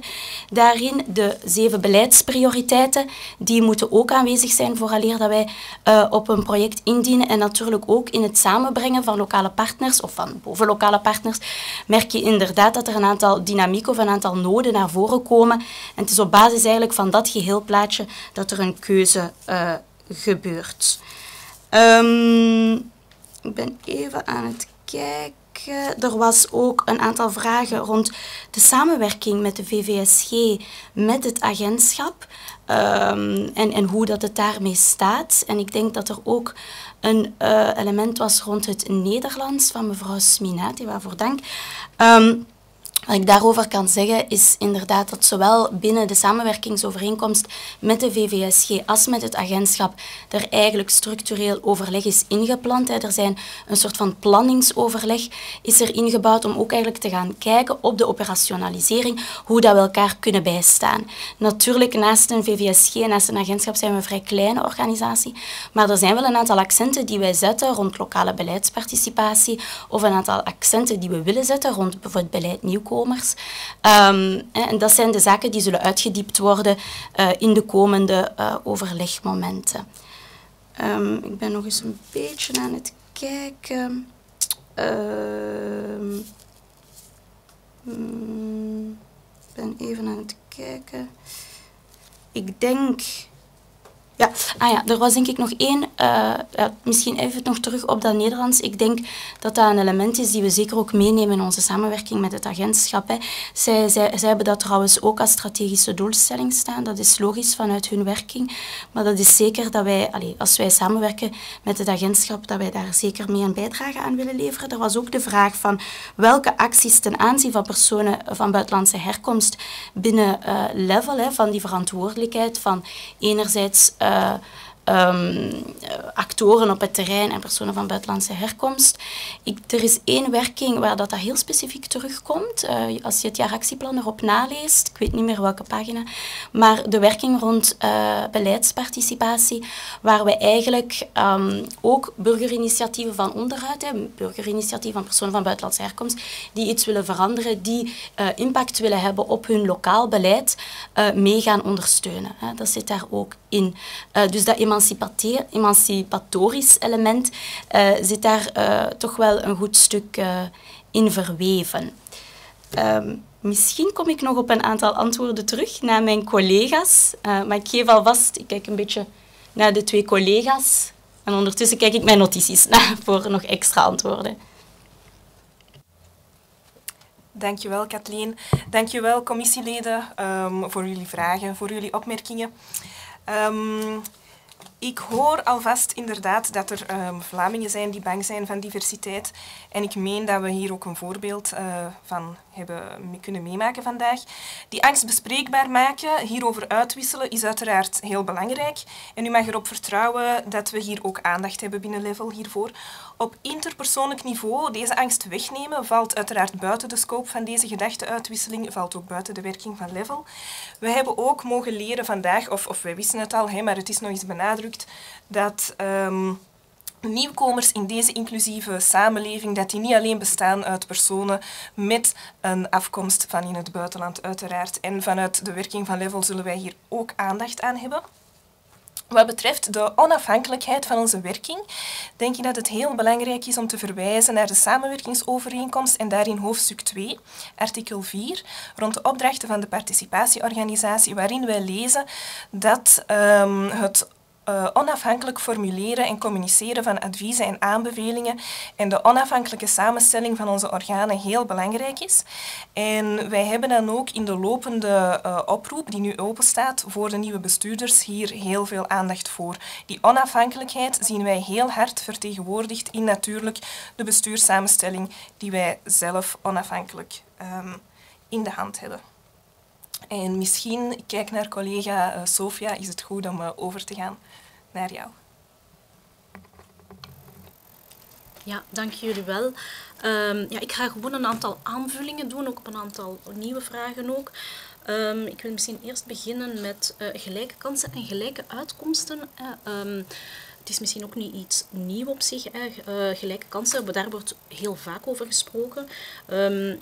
We spreken hier eigenlijk over nodige uh, bijkomende maatregelen, ondersteuning. Gezien dat um, personen van buitenlandse herkomst in een precaire situatie zitten, eh, zeer kwetsbaar zijn, eh, om bijvoorbeeld in het kader van um, financiële situatie, socio-economische situatie, uh, taalachterstand, um, als het gaat om NT2, um, beperkt sociaal netwerk enzovoort.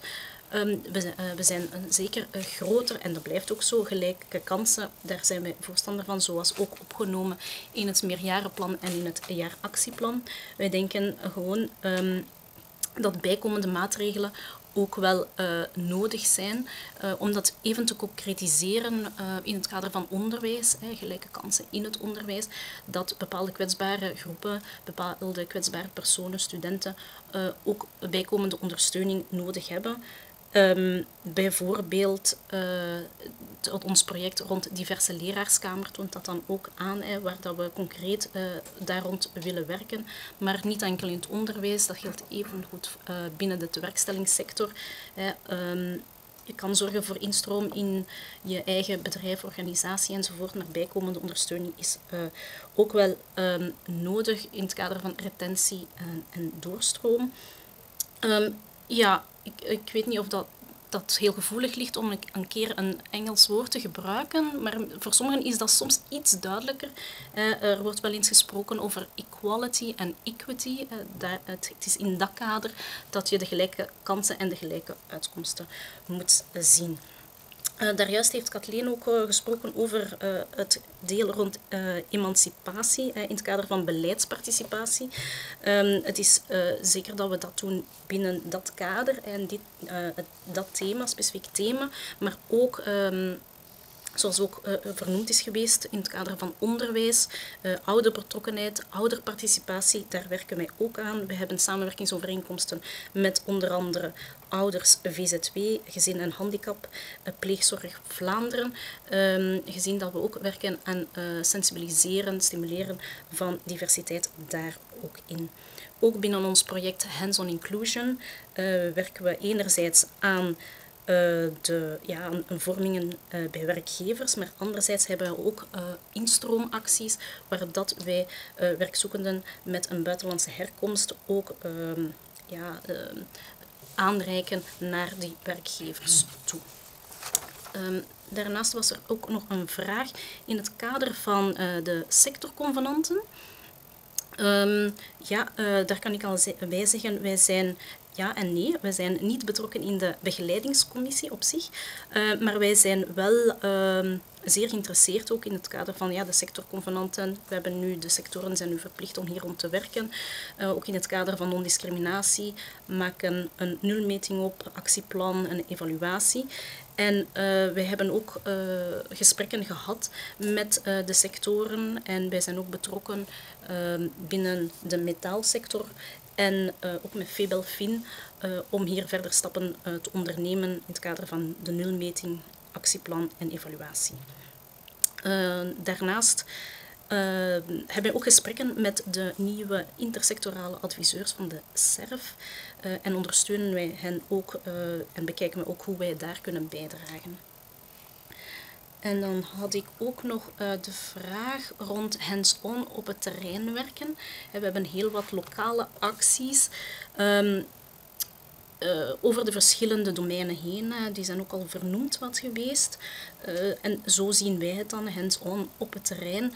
dat is bijvoorbeeld de, de samenwerking in KOP, Antwerpen, Brussel, Gent, met de lokale politiezones, de diverse, diverse leraarskamer, de samenwerking met rechtstreeks de stad Antwerpen beleidsparticipatie, de samenwerking ook daar met lokale besturen uh, om beleidsparticipatie en actief burgerschap mogelijk te maken. Maar ook het plan Samenleven, waar dat wij uh, nog in overleg zijn met het Algemeen Binnenlands Bestuur, om daar de lokale besturen in uh, te ondersteunen. Dus op dat vlak zijn wij op het terrein, maar het gaat ook zeker ook nog over andere initiatieven die wij nemen. En dat het niet gaat vanuit een, een ivoren toren dat wij werken, maar ehm, rechtstreeks en ook op lokaal niveau.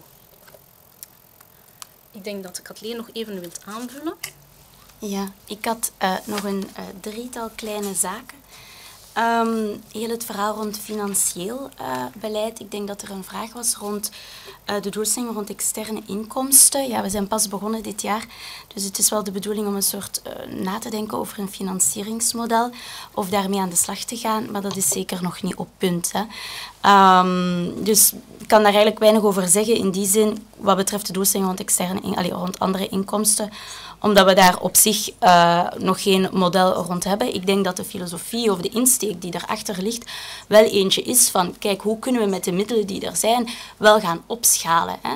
Um, wij werken met een, een bepaald uh, bedrag, we werken met een, aantal, uh, met een bepaald aantal middelen, niet alleen vanuit integratie en inburgering, maar ook vanuit andere beleidsdomeinen. Hoe kunnen we er nu voor zorgen uh, ja, dat, die, dat die impact nog eens gemaximaliseerd kan worden? Hè? Dat is terug die rol van incubator, van accelerator, dat we zelf ook proactief willen zijn, zelf actor willen zijn in die verandering.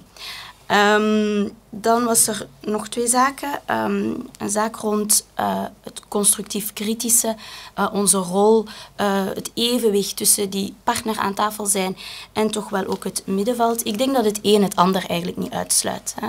Ik denk dat wij perfect een, een verbindende rol kunnen spelen en kunnen opnemen tussen al die actoren op het terrein en tegelijkertijd mee aan tafel gaan zitten om na te denken over duurzame oplossingen. Ik denk dat net omwille van die... Dat dat is net een kracht, denk ik. Hè. Um, ik denk dat het belangrijk is dat we die adviezen ook kunnen communiceren, omdat we dan gewoon allemaal samen beter beleid kunnen maken. Niet alleen voor mensen met een migratieachtergrond, maar voor iedereen hè, uh, in deze samenleving. En dan was er ook een heel uh, interessante vraag rond uh, beeldvorming en mediabeleid en hoe dat, dat um, zich afbakent naar andere actoren op het terrein. Um, ja, ik denk, uh, dat, ik denk dat het van de eerste uh, commissielid kwam, van mevrouw Sminati.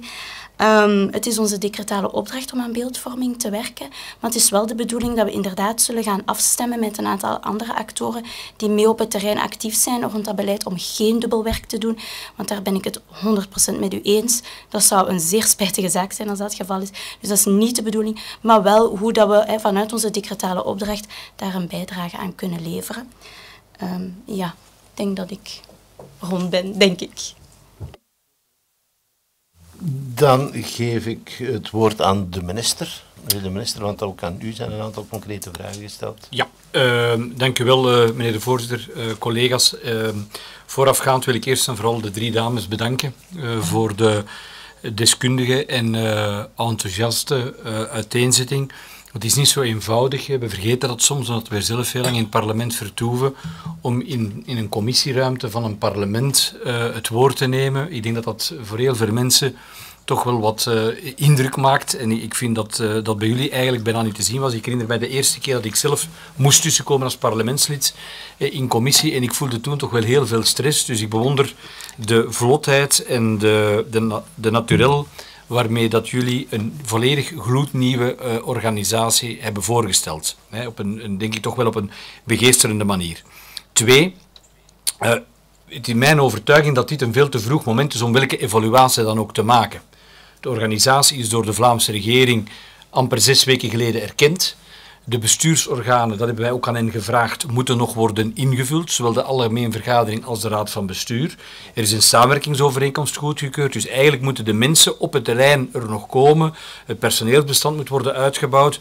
Dus eigenlijk zitten we nog maar in een begin van het verhaal. Dus nu, welke evaluatie dan ook maken, is natuurlijk erg vroeg.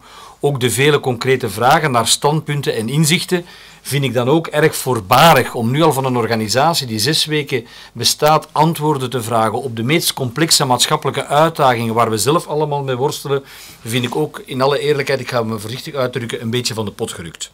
Ten tweede, er wordt hier heel vaak gesproken over waarden en normen. Uh, mijn waarden en mijn normen zijn er dat ik uh, altijd probeer hoffelijk te zijn tegen mensen en correct te zijn tegen mensen. En dat ik geen mensen die hier door ons gevraagd worden om een uiteenzetting te geven, hier frontaal en persoonlijk aanval en intimideer. Ik betreur ten zeerste dat gedrag uh, van meneer Van Rooij. Dat stoort me sterk. Uh, ik vind dat niet correct. Men kan een standpunt innemen over hoofddoek zoals men dat wenst. Maar ik vind niet dat je in commissie mensen persoonlijk ad hominem daarop aanspreekt en, en aanvalt.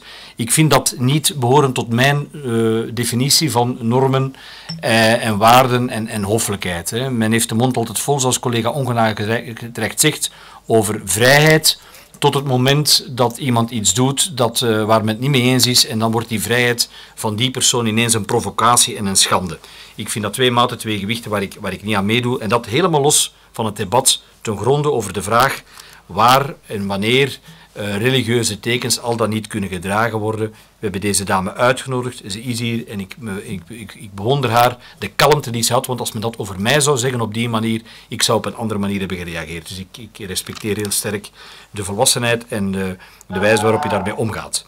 Vervolgens uh, denk ik dat er een aantal dingen ook nog wel belangrijk zijn in, in deze. Uh, Level is een organisatie ehm, mevrouw Smeat zei, ja, eh, er bestaat in, in de samenleving heel veel uh, onbehagen over, over de, de, diversiteit van Vlaanderen. En ik, ik denk dat dat, dat, dat juist is. Uh, maar ik denk dat het een verhaal is van eten en drinken. Ik denk dat er heel veel dingen zijn waar we nog heel hard moeten aan werken. Maar langs de andere kant zie je tegelijkertijd in de samenleving ook vooruitgang. En uh, ik denk dat daarin een, een, nuance moet worden aangebracht. Ik denk dat we nog heel veel werk hebben om de participatiegraad van mensen met migratieroutes op hetzelfde niveau te tillen als anderen. Maar ik ga u twee cijfers geven die toch een zekere nuance met zich meebrengen. Als op basis van het onderzoek van het Hoger Instituut voor de Arbeid, die hebben vastgesteld dat sinds tussen 2003 en 2018, dat is op 15 jaar tijd, er maar liefst uh, uh, sorry, uh, ik, ik, ik, citeer fout. Ja, op het Hoger Instituut van de Arbeid tussen 2003 en 2018. De participatie aan het hoger onderwijs van mensen met migratieroutes van 20%, 20,6% gestegen is naar 41,3%. Op amper 15 jaar tijd een verdubbeling. Dan betekent dat een spectaculaire stap vooruit. Vergelijkbaar met wat in de jaren 60 is gebeurd met de arbeidersklasse van Vlaanderen en hun weg naar het hoger onderwijs. In 2003, wanneer je iemand was met allochtone roots, dat was in uw directe omgeving, op tien vrienden, er twee die verder studeerden na het middelbaar. Vandaag zijn er dat vier. Dat zijn er nog altijd twee te weinig. We zijn dus nog niet waar we moeten zijn, maar het is een heel andere sociologische omgeving waar je als jongere opgroeit dan pakweg 15 jaar geleden. Het tweede voorbeeld, de voorbije tien jaar zijn op de arbeidsmarkt 60.000 autochtone Vlamingen minder beroepsactief. Dat heeft te maken met de vergrijzing. 60.000 minder.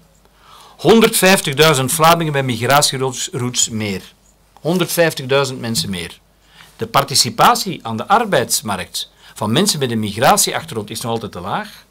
Maar het cijfer activerend, hoeveel mensen zijn actief, neemt drie keer zo snel toe bij mensen met een migratieachtergrond als bij mensen zonder migratieachtergrond. Er is daar nog een hele weg te gaan, maar ik ga niet helemaal mee met het verhaal van het is mislukt voor iedereen. Integratie, deel uitmaken van de samenleving, u emanciperen, uw plaats veroveren in de samenleving is een, is een collectief, maar ook overal een individueel verhaal. En die individuele successen moeten we zien omdat daaruit niet alleen perspectief kan gevonden worden, maar daaruit kunnen we ook leren hoe we die processen kunnen versnellen en verbeteren. En waar er nog hindernissen zijn, moeten we die uh, wegwerken. Dat is een tweede zaak. Derde zaak. Ik denk dat uh, het heel kort door de bocht zou zijn om te zeggen van kijk, we zitten nog met grote problemen. Dat is de schuld van een participatieorgaan.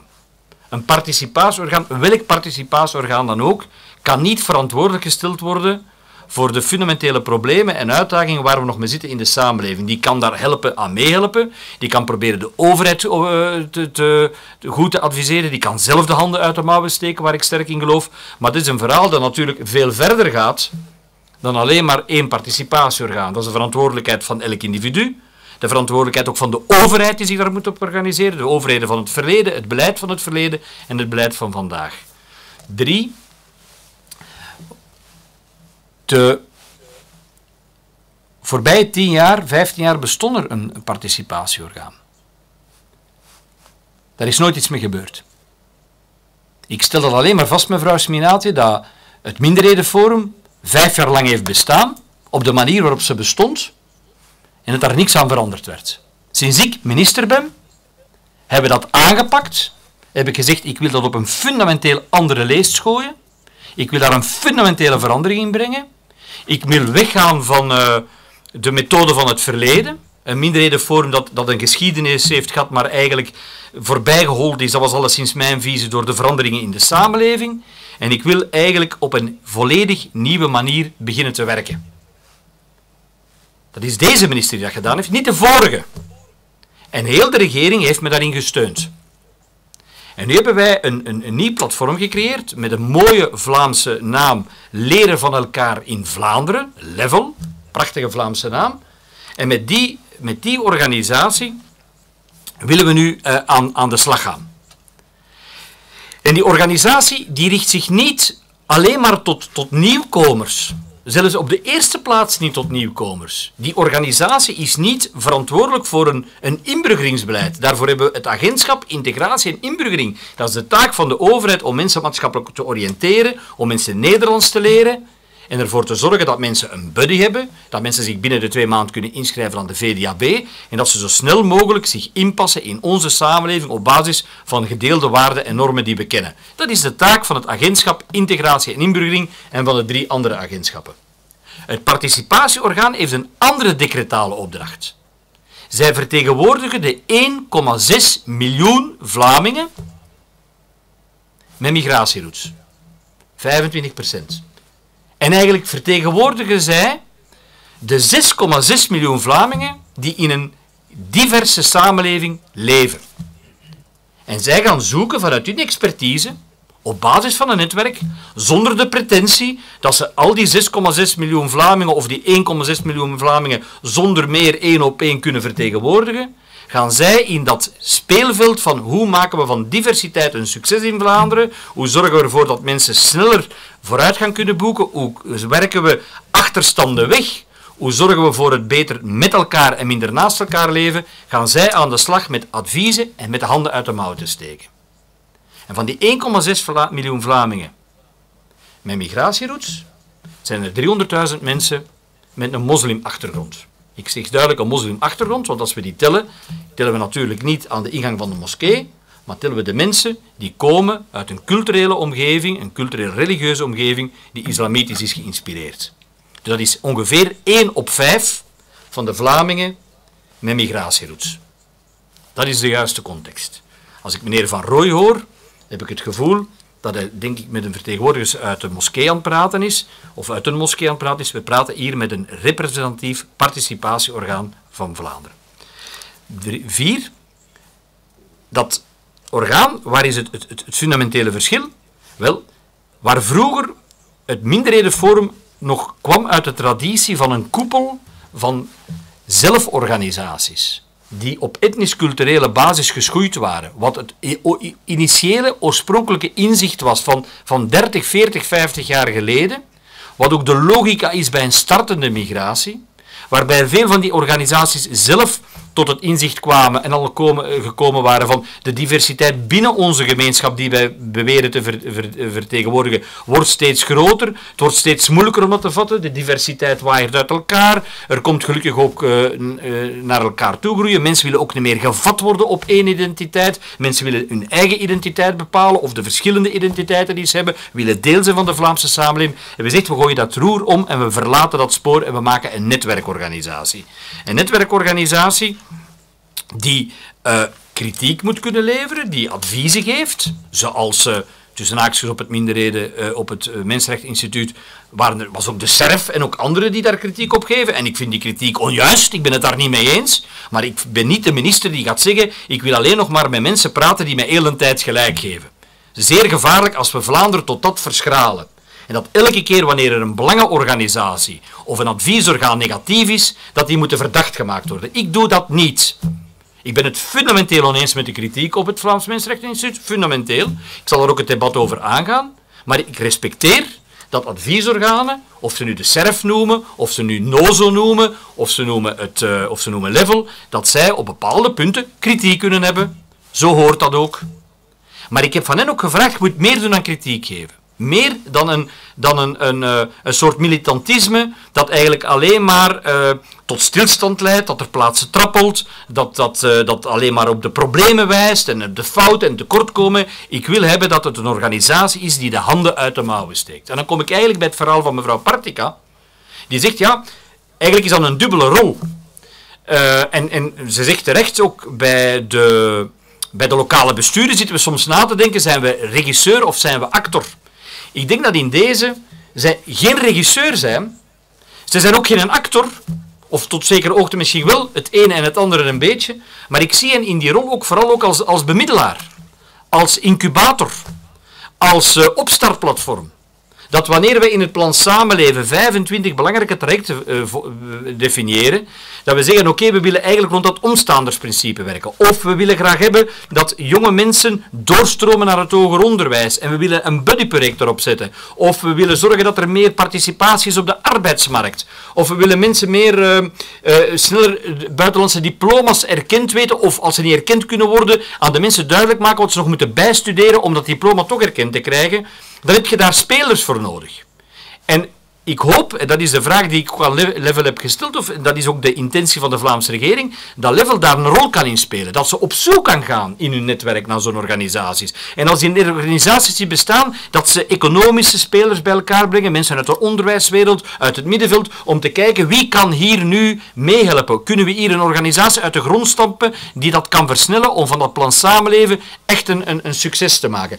Dat is eigenlijk de taak van, van, van uh, of een taak in mijn ogen van Level, of waar Level een absolute meerwaarde kan, kan, uh, kan spelen. En als je vandaag de dag kijkt, het brede netwerk waarin ze zich willen verankeren, dan is dat een indrukwekkend verhaal waarbij tal van organisaties zitten, zoals uh, onder meer uh, VOCA, de SERF, HIVA, Savaria, het Netwerk tegen Armoede, de Nederlandstalige Vrouwenraad, Katholiek Onderwijs, de VDAB, de Wakkere Burger en zo verder en zo verder en zo verder. En het is uit dat hele brede netwerk dat je daar moet proberen de, de energie te bundelen op dat plan samenleven. Want we hebben gezegd, we stoppen met honderden sporen, we concentreren ons op zeven hoofdlijnen, daar maken we 25 sterke projecten en die, daar gaan we een contract sluiten met 32 gemeenten. Een heel helder, eenvoudig, simpel plan en we roepen, en ik, ik, nodig nog maar eens level uit om daar op een actieve manier aan mee te werken. En ze hebben zich daar ook toe, toe geëngageerd. Dat is volgens mij waar zij een meerwaarde op het, op het terrein kunnen spelen.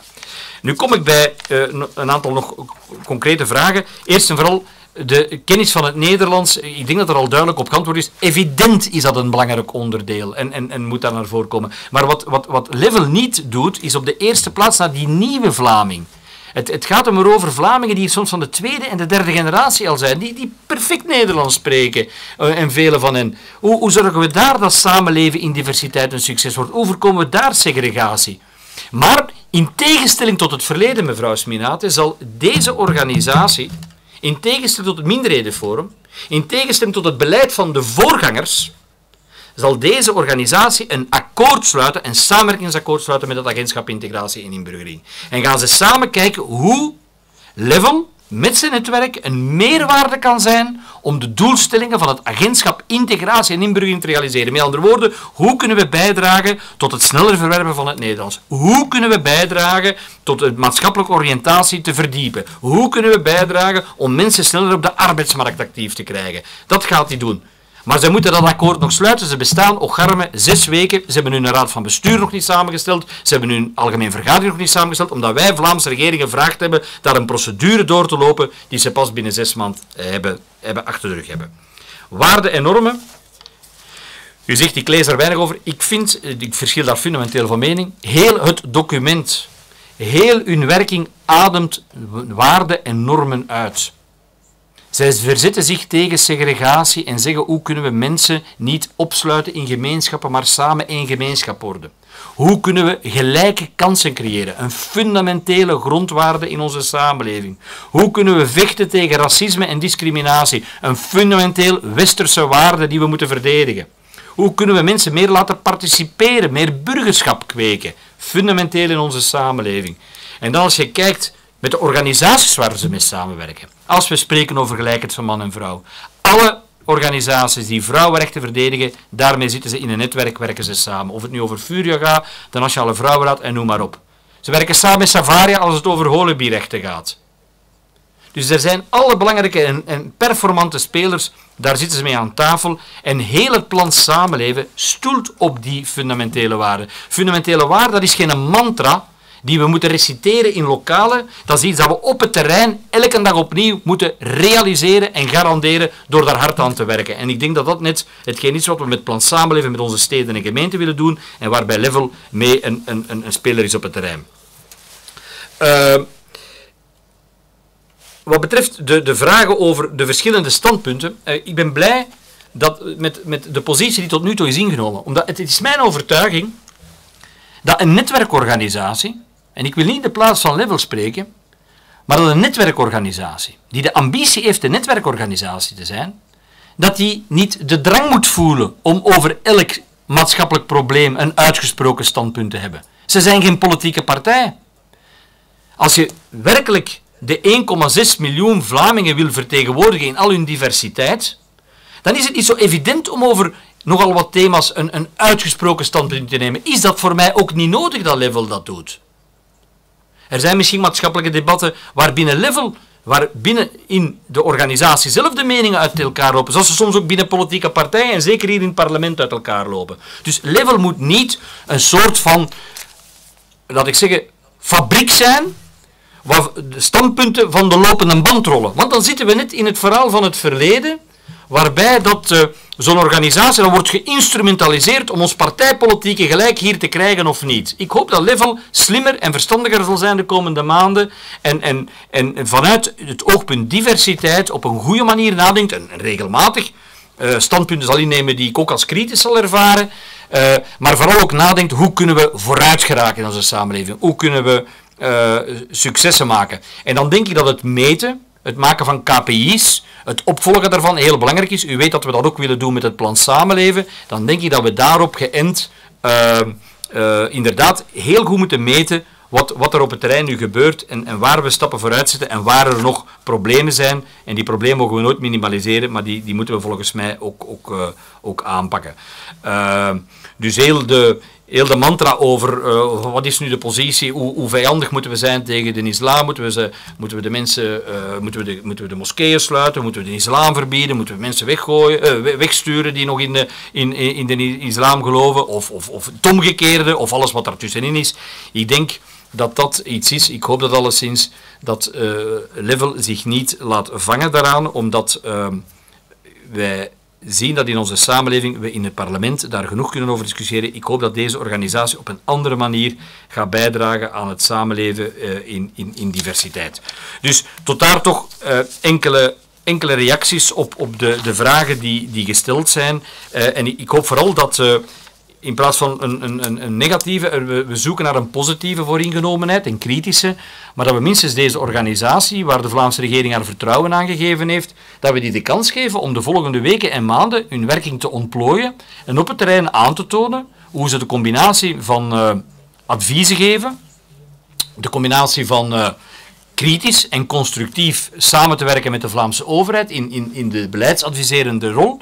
Maar ten tweede ook in het uh, handen uit de mouwen steken, het werken aan oplossingen, dat ze daar maatschappelijk een wezenlijk verschil kan, kan in maken. Uh, en ik heb zelf heb daar een stuk vertrouwen in.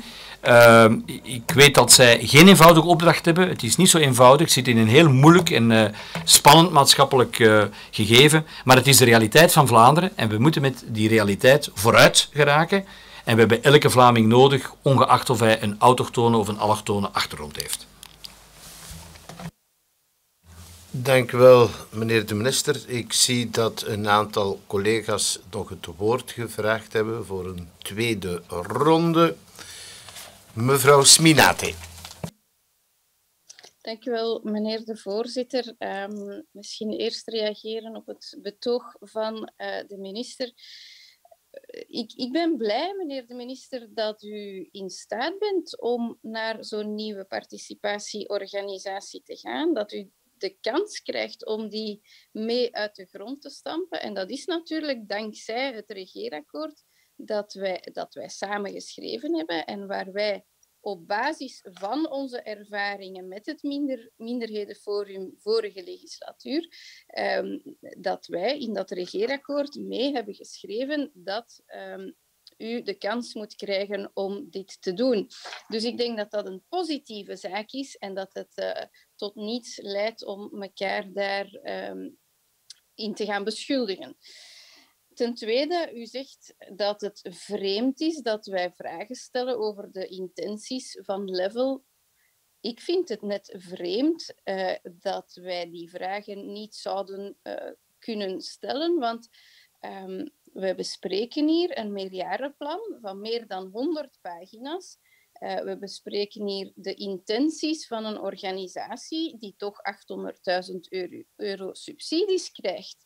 En ik heb mij de moeite getroost om dat allemaal te bestuderen, om al die plannen te gaan lezen. En dan is het toch ook logisch dat um, elementaire zaken, zoals de kennis van het Nederlands, dat dat daar moet instaan in die plannen. Um, dat, is, dat is geen evaluatie maken van de werkzaamheden, maar dat is louter een vaststelling dat er een aantal essentiële zaken mankeren. En ik stel de vraag, mijn fractie stelt de vraag om die essentiële zaken, om die toe te voegen aan uh, de plannen die worden voorgesteld. En ik vind dat allemaal wel goed en wel, dat u vindt dat er rond Nederlands moet gewerkt worden. En ik geloof u zelfs, ik weet zelfs dat wij daar op één lijn staan, maar wij bespreken hier het actieplan van Level. Wij bespreken hier niet wat u zelf vindt uh, dat er moet gebeuren. En ik zie daar helaas niets over uh, in de plannen. En dat is het punt dat ik wil maken. Um, dan um, wil ik mij richten tot uh, de, de, drie sprekers. Um, ik heb uh, jullie antwoorden goed aangehoord en ik vind het eerlijk gezegd heel jammer dat ik weinig tot geen antwoorden heb gekregen op mijn vragen. Um, jullie hebben dat misschien wel geprobeerd, maar uh, uiteindelijk, als ik vraag wat zijn jullie plannen voor de toekomst rond inburgering? Dan ze, hebben jullie één actie aangehaald. Hè. Jullie spreken over burgerinitiatieven, mensen die impact willen hebben op het beleid, hè, die jullie dan gaan steunen, zoals iemand die naar een vergadering wil gaan.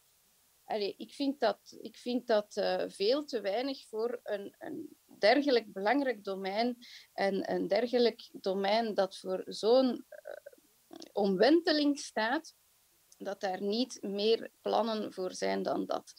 Uh, twee, heb ik gevraagd naar de verantwoordelijkheid van de nieuwkomer zelf. Ik heb hier een heel betoog gehouden over het feit uh, dat mensen toch zelf ook een bepaalde verantwoordelijkheid dragen. Hè? Dat we niet enkel moeten kijken naar de rol van de overheid zelf, maar toch ook um, iets mogen verwachten van de nieuwkomer. Uh, maar ook daar heb ik geen antwoord op gekregen, of toch geen concreet antwoord. Het enige dat, dat jullie daarop gezegd hebben, is dat we vertrouwen moeten hebben dat jullie zullen werken rond de angst die leeft uh, over diversiteit. Uh, maar het spijt mij, ik heb enkel vertrouwen in wat ik lees. wat jullie intenties zijn in die actieplannen. Ehm, ik heb jullie gezegd dat ik dat grondig gelezen heb en ook daarover um, vind ik niks terug, behalve dan het omgekeerde, enkel de verantwoordelijkheden van de overheid zelf. Um, drie, ik heb een vraag gesteld over gelijke uh, uitkomsten. En jullie antwoord daarop is dat uh, dat, er, dat er nodige maatregelen moeten getroffen worden om mensen te helpen die in precaire situaties zitten. Maar de vraag is, welke bijkomende maatregelen? Hè? Bijkomende ondersteuning voor mensen in precaire situaties, daar heb ik geen enkel probleem mee, voor alle duidelijkheid. Maar wel als je bepaalde groepen gaat voortrekken zodat zij dezelfde uitkomsten gaan, krijgen. Dat is iets helemaal anders natuurlijk. Um, dus opnieuw, wat bedoelen jullie met gelijke uitkomsten? Is het inderdaad dat laatste dat ik aanhaal? Mensen en groepen voortrekken zodat zij dezelfde uitkomsten krijgen, of is het dat niet? Um, ik heb dan tenslotte ook vragen gesteld over structureel racisme en uitsluitingsmechanismen waarom gebruiken jullie dergelijke zware termen die toch een hele samenleving gaan beschuldigen? Vinden jullie echt dat de Vlaming racistisch is? Binnen welke domeinen zien jullie die uitsluitingsmechanismen? Want als, als daar in jullie antwoorden vandaag geen geen uh, duidelijke bewijzen komen waarom uh, jullie dat kunnen schrijven, ja, dan vind ik dat jullie dat ook niet mogen zeggen en niet in jullie plannen mogen opnemen. Um, en voor alle duidelijkheid, voor de collega's die die plannen niet hebben gelezen, uh, die termen structureel racisme en uitsluitingsmechanisme, die komen heel vaak voor hè, in, in, in die teksten. Uh, dat, is, dat is niet iets dat zomaar eens ene keer per ongeluk daarin sluipt. Dus ik wil daar ook een antwoord op. Ik wil daar echt wel een duidelijk antwoord op. En tenslotte, um, heb ik ook een vraag gesteld aan um, mevrouw de voorzitter over haar filmpje op uh, Twitter. Heb ik gevraagd wat zij bedoelt met een foute invulling van neutraliteit. Ook daar heb ik uh, geen antwoord op gekregen. Dus uh, mijn conclusie is um, ja, dat ik voor deze um, gedachtenwisseling met heel veel vragen zat naar aanleiding van de teksten. En dat ik um, helaas nog altijd met heel veel vragen zit. Um, dus ik hoop, uh, het is misschien ijdele hoop, dat in een tweede ronde van antwoorden dat jullie veel duidelijker um, kunnen antwoorden en dat jullie dus nooit zeggen van oké, wij zijn dat vergeten om uh, die kennis van het Nederlands als, als een van de belangrijke pijlers op te nemen in ons meerjarenplan en in ons jaaractieplan en inburgering uh, hetzelfde. Uh, daar, daar zou ik enorm veel respect voor hebben. Dat jullie zeggen van kijk, wij gaan dat aanpassen. Want uh, het klopt dat, dat, um, dat een gebrek aan kennis van het Nederlands een van de grote pijnpunten is voor um, een bij een gebrek aan maatschappelijke integratie. Als jullie dat erkennen, en zeggen van oké, wij gaan dat in de toekomst opnemen in onze plannen, daar zou ik enorm veel uh, respect voor hebben als dat het antwoord is. Uh, maar niet uh, zo een, een, vaag antwoord als ja, kennis van het Nederlands, maar wij staan in contact met het agentschap. Het spijt mij, maar voor mij is dat ehm, onvoldoende. Tot daar, meneer de voorzitter. En dan gaan we naar meneer Van Rooij. Ja, dank u, uh, voorzitter. Ja, um, ook op mijn vragen, die nogthans uh, heel concreet waren, zijn er geen antwoorden gekomen. Het is uh, heel triestig. En dan, als we dan van de minister, die een beetje probeert te hulp te schieten natuurlijk, die enerzijds ons probeert te doen geloven dat deze nieuwe gesubsidieerde organisatie zo onafhankelijk is en zeker niet altijd het geluid zal willen laten luiden dat hij verkiest. Hè. Toch schiet hij dan de hulp als een soort uh, witte ridder hè, tegenover de drie dames hier en met name tegenover de dame met de hoofddoek. die ik uh, bekritiseer vanwege het uh, verschrikkelijke tyrannieke symbool dat zij hier komt etaleren in het hart van de democratie. Jawel, minister Somers, en ik zal dat ook blijven doen. Want wie wordt er hier eigenlijk geïntimideerd? Is dat diegene die een intimiderend symbool als de hoofddoek komt etaleren? Nee, Varo, ik zou, de, ik zou dat debat hier echt niet op die manier willen gevoerd zien. Ja, dat kan zijn, uh, meneer de voorzitter, maar ik denk dat het uh, toch wel heel fundamenteel is dat mensen die deel gaan uitmaken van een organisatie die 7, 800... Meneer Van Rooij, kom, uh, er is een vrijheid. ik denk dat ook vanuit de Vlaamse overheid er heel duidelijk lijnen getrokken worden. En allee, ik wens echt wel dat we ons hier aan de basiselementaire beleefdheid houden. Ik ben daar heel ja, formeel in. Voorzitter, ik ben het volledig met u eens. En dan kan ik mij uh, de vraag stellen die heel veel Vlamingen zich uh, wellicht zullen stellen, mochten ze dit tafereel daarnet hebben gezien. Uh, hoe beleefd het is van iemand van een nieuw gesubsidieerde organisatie die zegt, net zoals minister Somers in het verleden heeft gezegd, dat het niet alleen nieuwkomers met buitenlandse afkomst zijn die zich in deze samenleving moeten integreren, die eigenlijk een soort nieuwkomers zijn in deze samenleving, in deze diverse samenleving. Neem daar serieus aanstoot aan. Dat is beledigend, mevrouw Kubala, voor de Vlamingen. Dat is beledigend voor onze samenleving, want het zijn de mensen met de migratieachtergrond, het zijn de mensen uit het buitenland die hier moeten integreren in ons Vlaanderen, met onze waarden en normen. Vlamingen zijn geen nieuwkomers in hun eigen samenleving. Nooit niet. En dat u dat hier komt zeggen in navolging van de diversiteitsgoeroe die minister Somers is, wel, daar neem ik zeer zwaar aanstoot aan. En dat u er bovendien nog eens aan toevoegt dat Vlamingen blijkbaar angst hebben voor diversiteit. Nee, mevrouw Kubala, Vlamingen hebben geen angst voor diversiteit. Vlamingen hebben angst van de islamisering van uw prachtige religie die zich hier heeft gemanifesteerd middels aanslagen, doden, salafismen, haatmoskeeën. Dat is wat hier de Vlamingen bang maakt. En terecht, en terecht. En u en uw collega's hier hebben daar geen enkel antwoord op. Ik heb daar concrete vragen over gesteld. Niet alleen wat de islam betreft, maar ook wat betreft Zwarte Piet, een traditie van ons. Wat betreft uh, het hoofddoekenverbod, wat betreft taalvoorwaarden bij sociale huisvesting.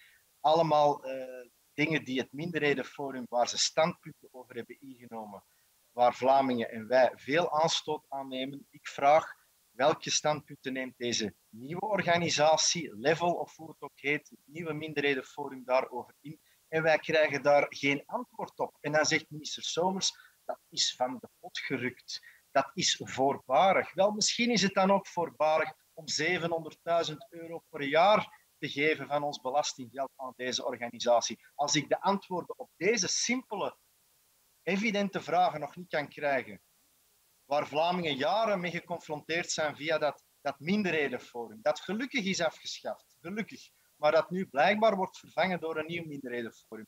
Als dat wel belastinggeld al kan krijgen van de Vlamingen, maar de Vlamingen nog niet de antwoorden kunnen geven, kan geven op deze heel logische, duidelijke vragen, waar de Vlaming ook van wakker ligt, ja, dan weet ik het ook niet meer. Dit is niet voorbarig.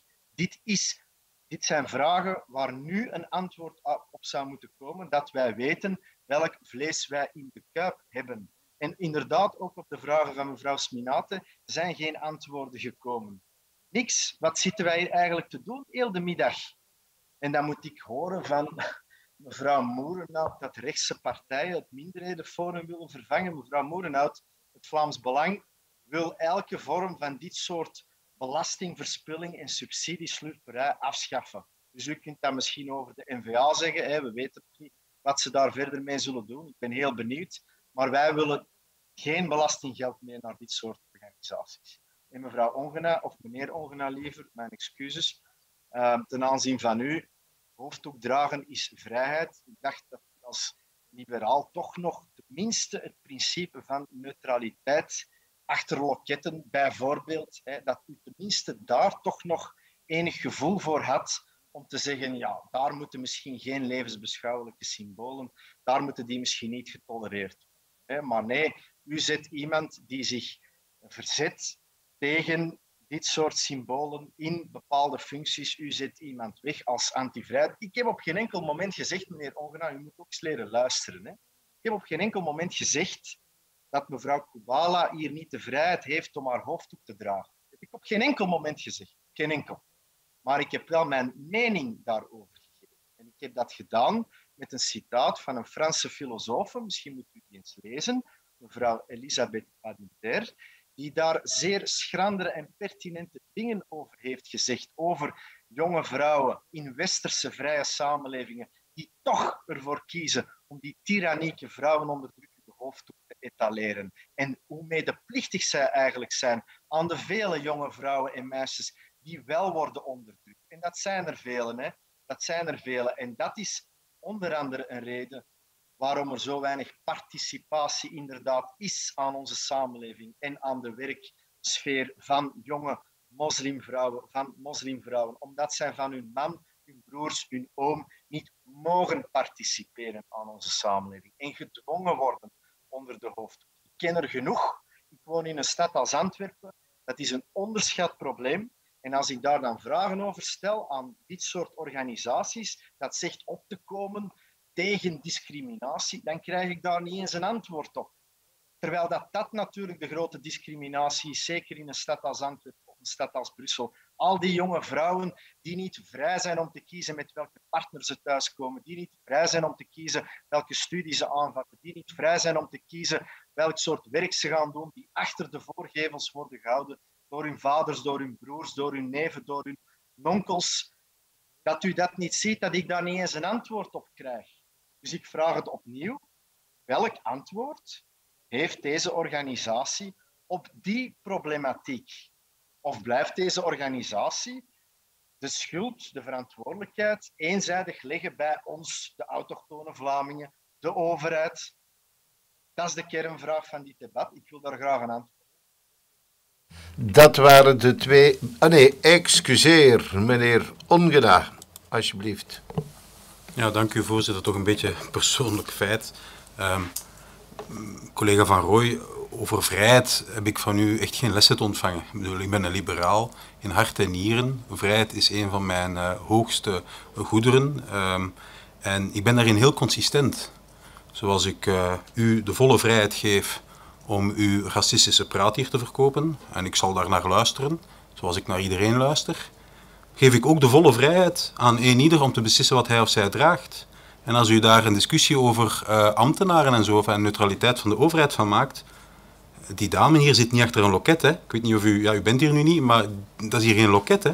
Dat is een, een vrij persoon die uh, een hoofddoek draagt en daar recht daartoe heeft. En ik vind eigenlijk niet nodig dat we daar een debat moeten over voeren. Allee, dat zou ik denken. Dat is toch een democratie, waar iedereen toch zijn vrijheid geniet om te bepalen wat hij of zij draagt. Dus uh, ik, ik vind dat, en, en ja, u heeft heel duidelijk gezegd, en, en in alles wat u zegt en alles wat u uitstraalt, is toch heel duidelijk. U heeft de mond vol over vrijheid, over waarden en normen, zolang het u in uw kraam past. Zolang u geen hoofddoek maar moet zien. Van zodra u een hoofddoek ziet, dan is er ergens een switch in uw hoofd en dan is dat een teken van onderdrukking en één ieder die dat draagt is onderdrukt. Ik ben daar totaal niet mee akkoord. Als je consistent bent, dan zeg je, kijk, dat is uw vrijheid om dat te dragen of niet. En ik hoop dat dat uw vrijheid is, dat je niet gedwongen wordt. Hè. We zullen daar natuurlijk moeten daar niet blind voor zijn. Maar dat is wel uw vrijheid om dat te dragen. En die vrijheid die koester ik.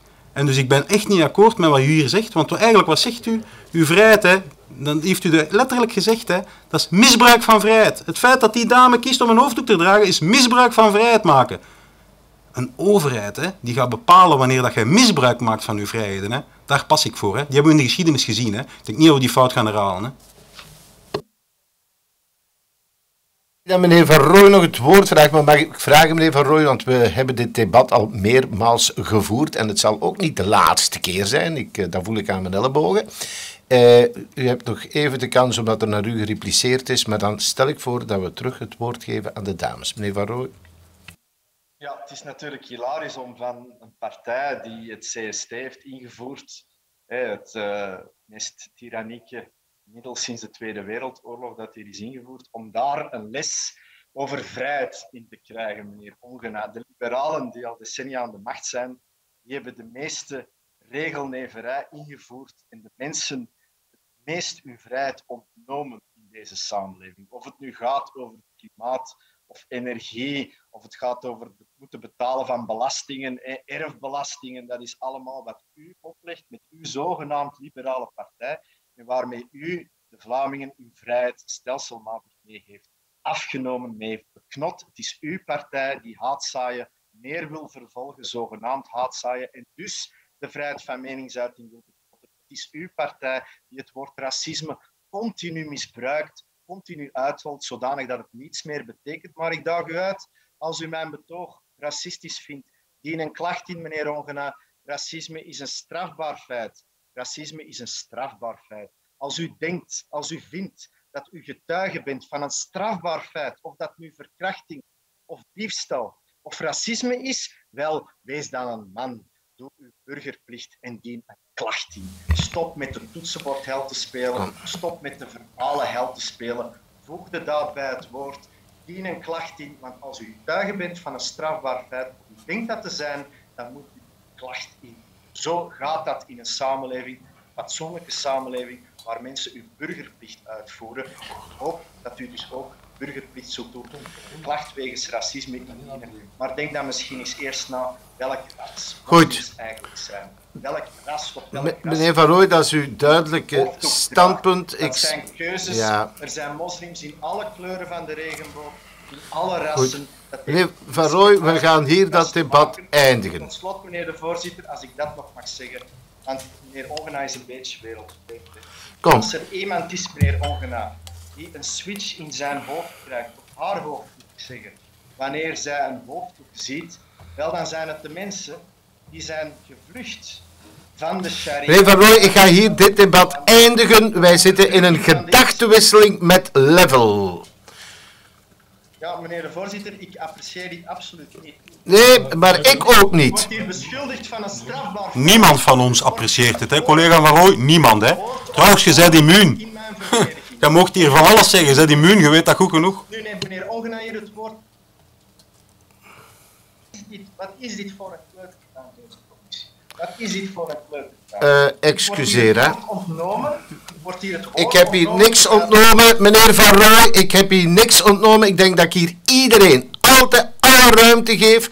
Ik heb alleen gesteld om terug te keren naar de orde van de dag, met name een gedachtenwisseling met level, en dat we moeten stoppen met elkaar verwijten te maken, alleen verwijten te discussiëren, waar op dit moment niemand, en ik onderlijn, niemand een boodschap aan heeft.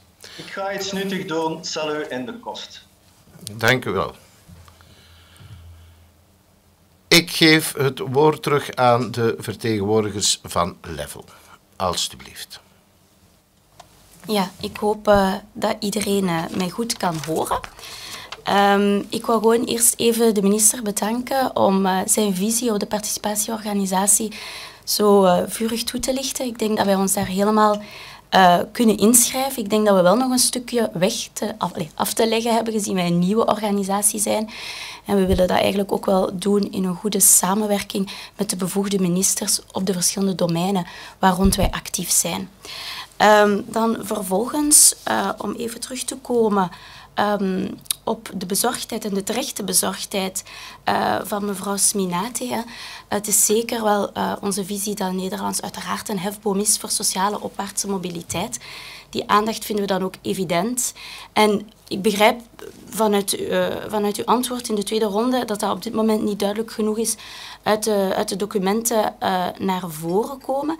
Wat ik wel uh, alvast kan meegeven is dat in het kader van taalverwerving dat we dat dan ook gaan meenemen in de uitwerking of in de verdere uitwerking. We hebben vandaag al een samenwerkingsovereenkomst met het agentschap. We gaan dat verder uitwerken op een operationeel niveau. Dus dat we daar verder aandacht gaan geven daaraan in die samenwerking en natuurlijk ook in de verschillende komende uh, jaarplannen. Uh, het is ook de bedoeling dat wij onderzoek gaan ontsluiten, onder andere over um, ja, de, de uitdagingen wat betreft participatie. Je, hebt het, u had het aangegeven aan het begin van uw betoog dat we, we inderdaad moeten vaststellen dat er een probleem is op vlak van participatie. Wel, al het onderzoek die daaromtrent gebeurt vandaag in Vlaanderen, uh, die duidt op van waar komt dit of, of welke uitsluitingsmechanismen zitten daarachter, die zullen ook ontsloten worden of we gaan dat zo goed mogelijk of zoveel mogelijk proberen te doen op onze website. En natuurlijk gaan we dit ook meenemen in onze aanbevelingen. En dan uh, wou ik graag nog een antwoord bieden in de mate van het mogelijke op de heer Van Rooij. Maar helaas, ik, denk, ik weet niet of hij er nog is. Um, het is zeker een verantwoordelijkheid van ons allemaal, hè, die inclusieve samenleving. Mevrouw, ik ga u even onderbreken. U kan zeker uw antwoord formuleren, want dat wordt opgenomen in het verslag. Oké, fantastisch. Ik wil gewoon zeggen van, het is zeker een verantwoordelijkheid van ons allemaal. Iedereen die in Vlaanderen woont vandaag heeft de verantwoordelijkheid om daar een betere samenleving van te maken voor één ieder. Um, en het antwoord dat we als organisatie op die maatschappelijke uitdagingen willen bieden is één, leer van elkaar.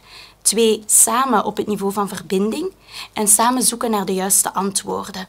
En dat is eigenlijk het verhaal dat we willen uitdragen. Meneer de minister. Oh. Misschien nog twee. Oh, sorry. Wil u nog eerst tussenkomen? Ja, ja dat jullie eerst uh, jullie discours afwerken. Ja. Ja, uh, dank u wel. Dat ik nog heel eventjes um, uh, ook hartelijk dank ook voor Kathleen voor de, uh, voor de toelichting. Ik ga daar ook nog eventjes op in op het delen rond kennis van NT2. Um, ehm, en uh, Kathleen heeft daar zeker het correcte antwoord voor ons als level uh, op gegeven. Ik wil daar gezien dat dat toch wel een vraag is die heel expliciet werd gesteld, en maar dat dat heel expliciet ook een antwoord op wordt verwacht, wil ik daar eventjes ook op verder gaan. Um, ik wil daarvoor eventjes teruggaan naar um, ja, de beleidsprioriteiten hè, vanuit het ministerieel besluit over de bepaling van de beleidsprioriteiten voor de participatieorganisatie. Um, daar werd uh, één, het stimuleren van uitbouw van netwerken, inclusie en participatie, inclusief beleidsparticipatie aan de samenleving, uh, staat daar in de eerste beleidsprioriteit. Dus we zijn ook telkens keer vertrokken vanuit die beleidsprioriteiten. Wat staat daar centraal en hoe kunnen we dat opnemen in een werking. Dus beleidsparticipatie is van daaruit een eerste uh, werking. De volgende is het zorgen voor evenredige participatie van personen van buitenlandse herkomst aan onderwijs, werken en wonen. Vandaar ook onze werkingen rond onderwijs, werken en wonen. Uh, we hebben onder andere de bestrijding van elke vorm van discriminatie en racisme als beleidsprioriteit gekregen. Vandaar ook die werking rond discriminatie en racismebestrijding. Uh, een, nog een ander voorbeeld van een beleidsprioriteit is uh, inzetten op genuanceerde beeldvorming. Vandaar ook een werking waar dat we op inzetten. Um, nu, NT2, uh, dat zit in verschillende stadia ook. Hè. Um, net zoals uh, neem, diploma-erkenning is ook een thematiek. Uh, EVC, um, eerder verworven competenties.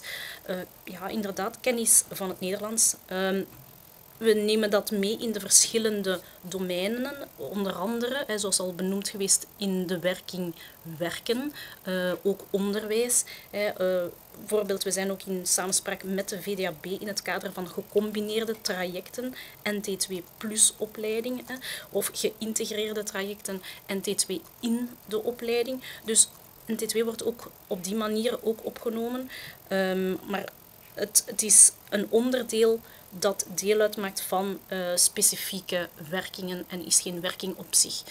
Um, dat geldt een beetje, nee, voor inburgering is dat dan een klein beetje anders. Inburgering is ook voor ons geen werking op zich, maar sluit ook, uh, ook aan bij uh, de verschillende werkingen, ook opnieuw tewerkstelling in de aansluiting van inburgering en de arbeidsmarkt. Daar zetten we ook op in. Bijvoorbeeld in het Vlaams regeerakkoord staat een verplichte inschrijving van nieuwkomers. Wij zijn ook momenteel in gesprek met VDAB hoe kunnen we dit optimaal realiseren ten voordele ook van nieuwkomers.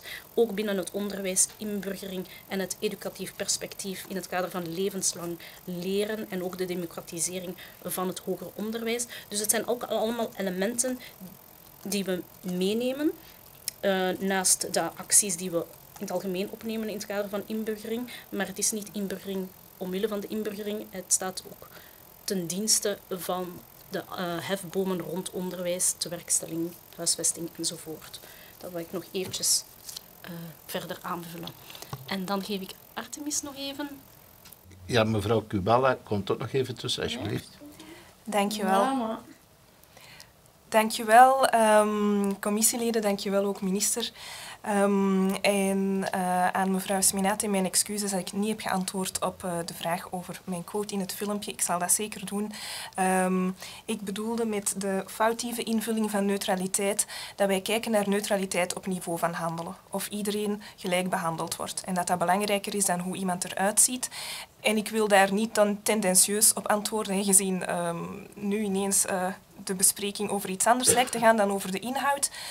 Maar dat sluit natuurlijk ook wel aan. Ik wil het hebben over de inhoud en dat is voor Level ook belangrijk en minder over de verpakking. En ik hoor in uw betoog ook een heel grote honger naar ambitie.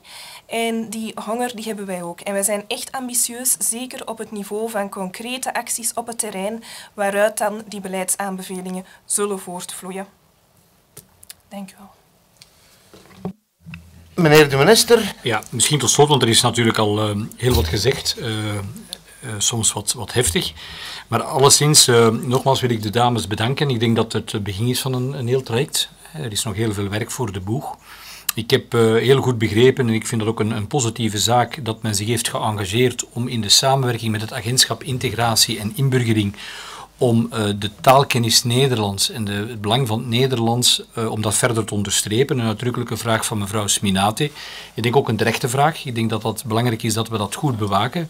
We gaan er misschien soms wat te veel van uit dat dat een evidentie is in de werking, het, ook expliciet benoemen en er dus ook uh, extra aandacht aan besteden, denk ik, is een, is een meerwaarde. Twee, de vraag van mevrouw Sminate naar um, welke rol uh, wordt er voldoende ook wordt gekeken, evident, naar discriminatie en achterstelling, heel belangrijk. Maar wordt er ook voldoende gekeken naar de eigen verantwoordelijkheid van mensen. Ikzelf, mevrouw Sminate, zie dat wel sterk aanwezig. Ik denk in de mate dat wij projecten opzetten om mensen uh, aan te moedigen en, en, er ook op te wijzen dat het behalen van een diploma een, een belangrijk iets is in, in, in, in uw leven, uh, om, om kansen te krijgen. Ik denk dat dat in het plan samenleven in heel wat trajecten zit. Uh, ik denk dat we daar verder moeten op inzetten. Ten tweede, alle trajecten die mensen eigenlijk naar de arbeidsmarkt toebeleiden en zeggen van kijk, je hebt een verantwoordelijkheid om werk te zoeken en zorgen dat je op die arbeidsmarkt aanwezig bent. Ik denk dat dat een, een heel duidelijke rode, blauwe, groene, gele, welke draad dan ook mag zijn in, in het beleid. En ik denk dat ook het, participatieorgaan daar moet op inzetten. En dan participeren, uw burgerschap op een actieve manier beleven, meedoen met de samenleving, is een andere vorm van verantwoordelijkheid opnemen die volgens mij ook, ook heel, heel sterk uh, aanwezig is. Ik denk dat dat toch wel wel heel belangrijk is. Ik denk dat niemand zegt dat Vlamingen racisten zijn. Ik zou dat ook op geen enkele manier aanvaarden. Maar dat er racisme is in Vlaanderen, dat is alleszins duidelijk. Daar hebben we nog, uh, nog, nog uh, regelmatig krijgen we daar voorbeelden van. Uh, en ik denk dat er ook discriminatie bestaat in Vlaanderen. Uh, en ik, ik, ik, zou gewoon het voorstel willen doen om, om zoveel mogelijk weg te blijven van semantische discussies daar, maar gewoon ervoor zorgen dat we contexten creëren waarbij mensen gelijke kansen krijgen. Er is geen enkele, ik geloof niet dat er beleid of wetgeving is die, die de intentie of de bedoeling heeft om discriminerend te zijn, maar, uh, of, of, of mensen achteruit te stellen omwille van hun afkomst. Maar we zien gewoon in de dagdagelijkse realiteit van onze samenleving dat mensen, uh, omwille van wie ze zijn, of ze nu vrouw zijn, of ze hebben een migratieachtergrond, of ze hebben een handicap, soms meer moeten knokken om, om, om, om, om, er om uh, een, eenzelfde plaats te krijgen. En dat proces moeten we natuurlijk zoveel mogelijk proberen te corrigeren en, en tegen te gaan. Dus ik denk dat, dat dat wel belangrijk is. Het neutraal handelen, ik vind dat een heel uh, legitieme uh, definitie. Dat uh, wanneer we een handeling stellen als overheid of als, als persoon, dat we moeten vermijden te kijken naar de, naar de achtergrond van de mensen, de huidskleur van de mensen, de afkomst van de mensen, het geslacht van de mensen, de seksuele geaardheid van mensen. Maar dat je mensen daar neutraal moet in bejegenen, vind ik een, een heel correcte benadering. Is een heel ander debat dan de vraag in hoe de neutraliteit van de overheid zich vertaalt in het al dan niet aanvaarden van religieuze tekens. Ik denk dat dat een heel andere discussie is dan, dan neutraal handelen. En dan tot slot, uh, drie zaken die, die ik toch absoluut ook wens gezegd te hebben. ook als antwoord op de tirade van meneer Van Rooij. Eerst en vooral, mensen met migratieachtergrond zijn eerste klasse Vlamingen, zoals alle andere Vlamingen. We spreken, als we spreken over mensen met een migratieachtergrond, spreken we ook over mensen die niet meer moeten geïntegreerd zijn. Het overgrote deel van die 1,6 miljoen Vlamingen zit niet meer in een inburgeringsbeleid. Het zijn vaak mensen die geboren en getogen zijn in Vlaanderen, waarvoor Vlaanderen hun thuis is. En die evident trots zijn op de wortels, op de afkomst eh, die ze hebben, maar vandaag een volwaardig deel zijn van de Vlaamse samenleving. Voor mij zijn er geen eerste en tweede klasse Vlamingen. En mensen met een migratieroutes die moeten zich voor mij niet extra bewijzen om Vlaming te zijn. Dat is iets dat, wij, dat is voor mij een fundamentele overtuiging. Je kunt maar een samenleving bouwen als we mensen op een gelijke manier behandelen. Die 1,6, 1 vierde van de Vlamingen zijn 100% Vlamingen voor mij. Evident, de mensen Nederlands leren als bij de ging, maar spreken ook over de tweede, de derde, soms de vierde generatie. De dames die hier aanwezig zijn, ook al hebben ze een kleurtje, zijn 100% Vlamingen. En die hoeven zich niet elke dag opnieuw te legitimeren als Vlaming. En het indelen van eerste en tweede klasse Vlamingen stoot mij tegen de borst en is voor mij een vorm van racisme. Twee, uh, intimiderend gedrag. Ik betreur dat ten zeerste. Ik betreur dat parlementsleden zich wagen aan intimiderend gedrag tegen dames die wij gevraagd hebben om hier aanwezig te zijn. En dan eigenlijk een, een, een, een, een matrakage van intimidaties die, uh, die veel, zeggen, veel meer zeggen over degene die ze uitspreekt dan degene naar wie ze gericht zijn. En ten derde, uh, wat mij opvalt, is wanneer meneer Van Rooij uh, geen gelijk krijgt, zijn tirade niet kan afsteken, tegengesproken wordt, dat hij dan, nadat hij een hele reeks beledigingen heeft geuit, de zaal verlaat, gaat weglopen, onvolwassen gedrag maar zegt ook heel veel over een antiparlementaire houding. Als hij dan daarbij nog zegt, ik heb wel nuttiger dingen te doen dan hier als parlementslid mijn job te doen. Ik vind dat eh, aanstootgevend, maar ik laat dat voor zijn rekening. Dank u wel, meneer de minister. Ik zie niemand die nog zijn hand opsteekt. Sta me toe als uh, voorzitter van deze commissie, die niet voor niks ook in haar titel draagt Binnenlands Bestuur Gelijke Kansen en Inburgering de drie dames toch wel te bedanken. Ik wil ook onderlijnen dat wanneer de vraag gekomen is, ik denk initieel vanuit de NVA-fractie, ook toevallig mijn fractie, maar ik zit hier met een neutraler petje, dat het ook niet echt de bedoeling was om een evaluatie, maar wel degelijk, jullie staan aan een startmoment. Jullie hebben jullie plannen uitgeschreven en dat het denk ik echt wel goed is en was om daarover van gedachten te wisselen. Zodanig dat wij jullie intenties goed kennen. We hebben jullie nu ook uh, leren kennen. Maar dat jullie ook uh, toch een aanvoel hebben van wat de gevoeligheden zijn die in deze commissie leven. En uh, ik deel toch ook wel de mening van wat de minister gesteld heeft. En dat toch ook wel de tonaliteit van de meerderheid hier is. Eigenlijk gebruik ik de term mensen van allochtone afkomst niet zo graag. Jullie zijn inderdaad allemaal Vlamingen.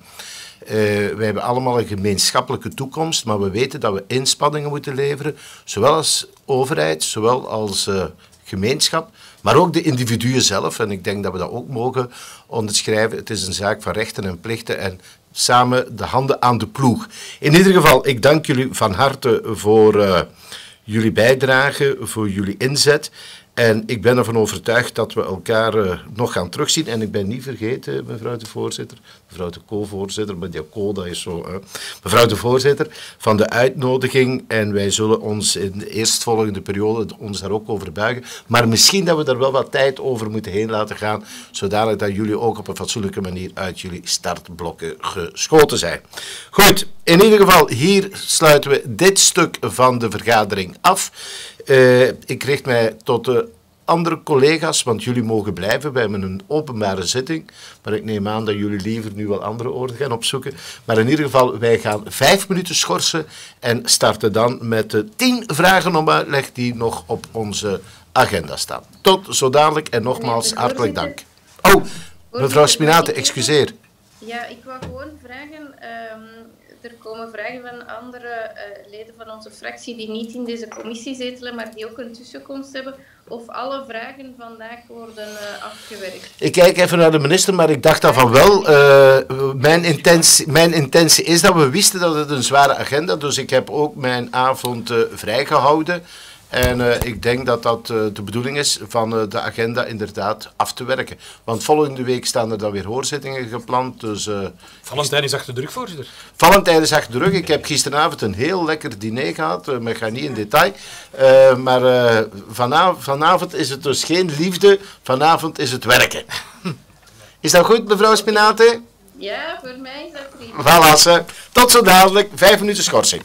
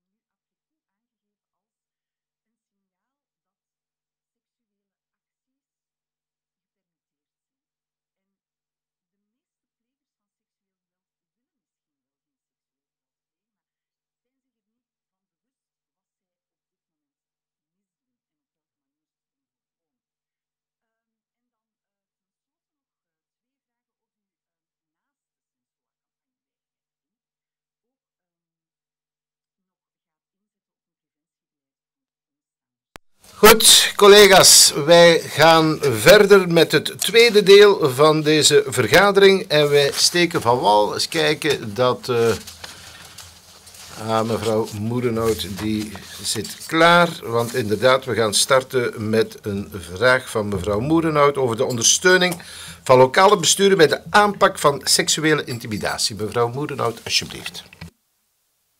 Dank u wel, voorzitter.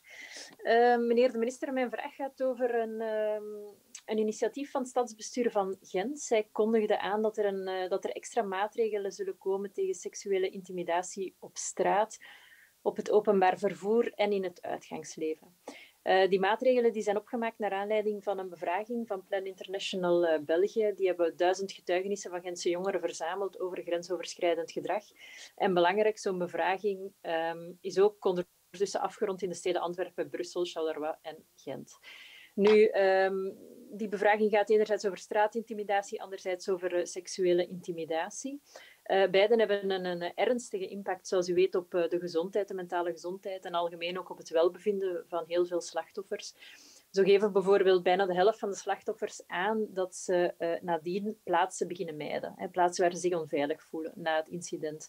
Ze durven het openbaar vervoer niet meer nemen, ze durven s'avonds niet meer op straat wandelen alleen. Um, allemaal ten gevolge van, uh, van de incidenten, de bijkomende angst. Uit de bevraging blijkt dat het overgrote deel 56% van de gemelde incidenten op straat gebeuren, 11% op openbaar vervoer, 9% in een bar, restaurant of concertgebouw en meer dan 12% gebeurde op school. Nu, uh, wat heeft Gent gedaan? Gent heeft een, uh, een taskforce opgericht, een speciale taskforce, om die seksuele intimidatie in de stad aan te pakken. En daarbij zal ook met de bevraagde jongeren en Plan International samengewerkt worden. Ze gaan allemaal samen inzetten op omstaanderscampagne, omdat uh, omstaanders nog steeds te weinig tussenkomen volgens de bevraging. Nu, uh, we hebben het er al uh, eerder over gehad in commissie, maar dat was eigenlijk in het kader van, van andere vragen. Ik heb er u ook al een aantal schriftelijke vragen over gesteld. En in die eerdere schriftelijke vragen gaf u aan dat lokale besturen vanaf begin dit jaar kunnen intekenen op een gepast ondersteuningsaanbod. En daar, uh, u gaf ook aan dat het, uh, al aan dat via plan, plan Samenleven u omstaanderstrainingen voor personeel van bepaalde sectoren wil aanbieden om seksuele intimidatie aan te pakken. Um, maar goed, plan samenleven is, allee, mogen de lokale besturen zelf kiezen. Maar uh, daarom uh, dus de volgende vragen voor u, meneer de minister. Ten eerste, kan u meer informatie geven over wat dit gepast ondersteuningsaanbod voor lokale besturen specifiek inhoudt? Welke concrete acties worden er in dit aanbod voorzien? Twee, heeft u zicht ondertussen op hoeveel steden hebben gekozen voor de omstaanderstrainingen in het kader van dat plan Samenleven? En zijn deze projecten reeds van start gegaan of als nog niet, wanneer zouden ze van start gaan? Drie, op welke manier zal u extra inspanningen leveren om de steden van Plan Samenleven te overtuigen van het maatschappelijk en noodzakelijk belang van deze trainingen, zodat elke stad kiest voor deze trainingen en er door de vrijwilligheid geen verschil tussen de ons steden ontstaat? Vier, um, welke initiatieven neemt u om extra inspanningen te leveren om seksuele intimidatie op straat aan te pakken voor alle steden en alle gemeenten? En dus niet enkel die 28 steden uit plan samenleven. Met andere woorden, zal u die omstaanderstrainingen voorzien voor alle lokale besturen in Vlaanderen? Uh, mijn voorlaatste vraag. Zal u naar het voorbeeld van de Gent lokale besturen aansporen om ook zo'n taskforce op te richten om seksuele intimidatie in de openbare ruimte aan te pakken en te vermijden? Uh, aangezien dit een, ja, een groot maatschappelijk probleem is. En uh, de voorbije maanden andermaal heeft aangetoond dat het ook groter en groter wordt, of dat het uh, meer naar de oppervlakte komt. En mijn laatste vraag, de omstaanderstrategie uit Plan Samenleven is gericht op personeel specifiek van bepaalde sectoren, zoals sportleerkrachten, horecapersoneel, leraren, jeugdwerkers enzovoort. Maar op welke manier gaat de minister de volledige Vlaamse bevolking proberen te sensibiliseren en bewust maken dat je als omstaander kan ingrijpen. Um, er zijn initiatieven, zoals bijvoorbeeld Wij grijpen in van Sensoa, die zouden nog breder bekendgemaakt kunnen worden bij, uh, bij de Vlamingen. Is, de minister, um, is dat een piste, piste die de minister genegen is? Alvast bedankt voor uw antwoorden, meneer de minister.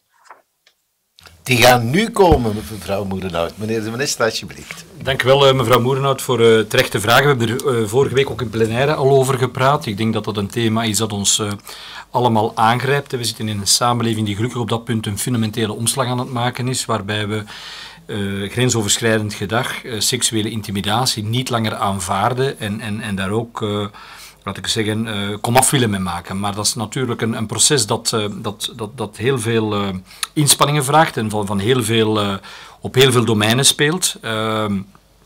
En de, de stad Gent met haar aanpak toont voor mij ook aan, en dat is ook mijn overtuiging, dat het lokale niveau daar een doorslaggevende en decisieve rol in kan spelen.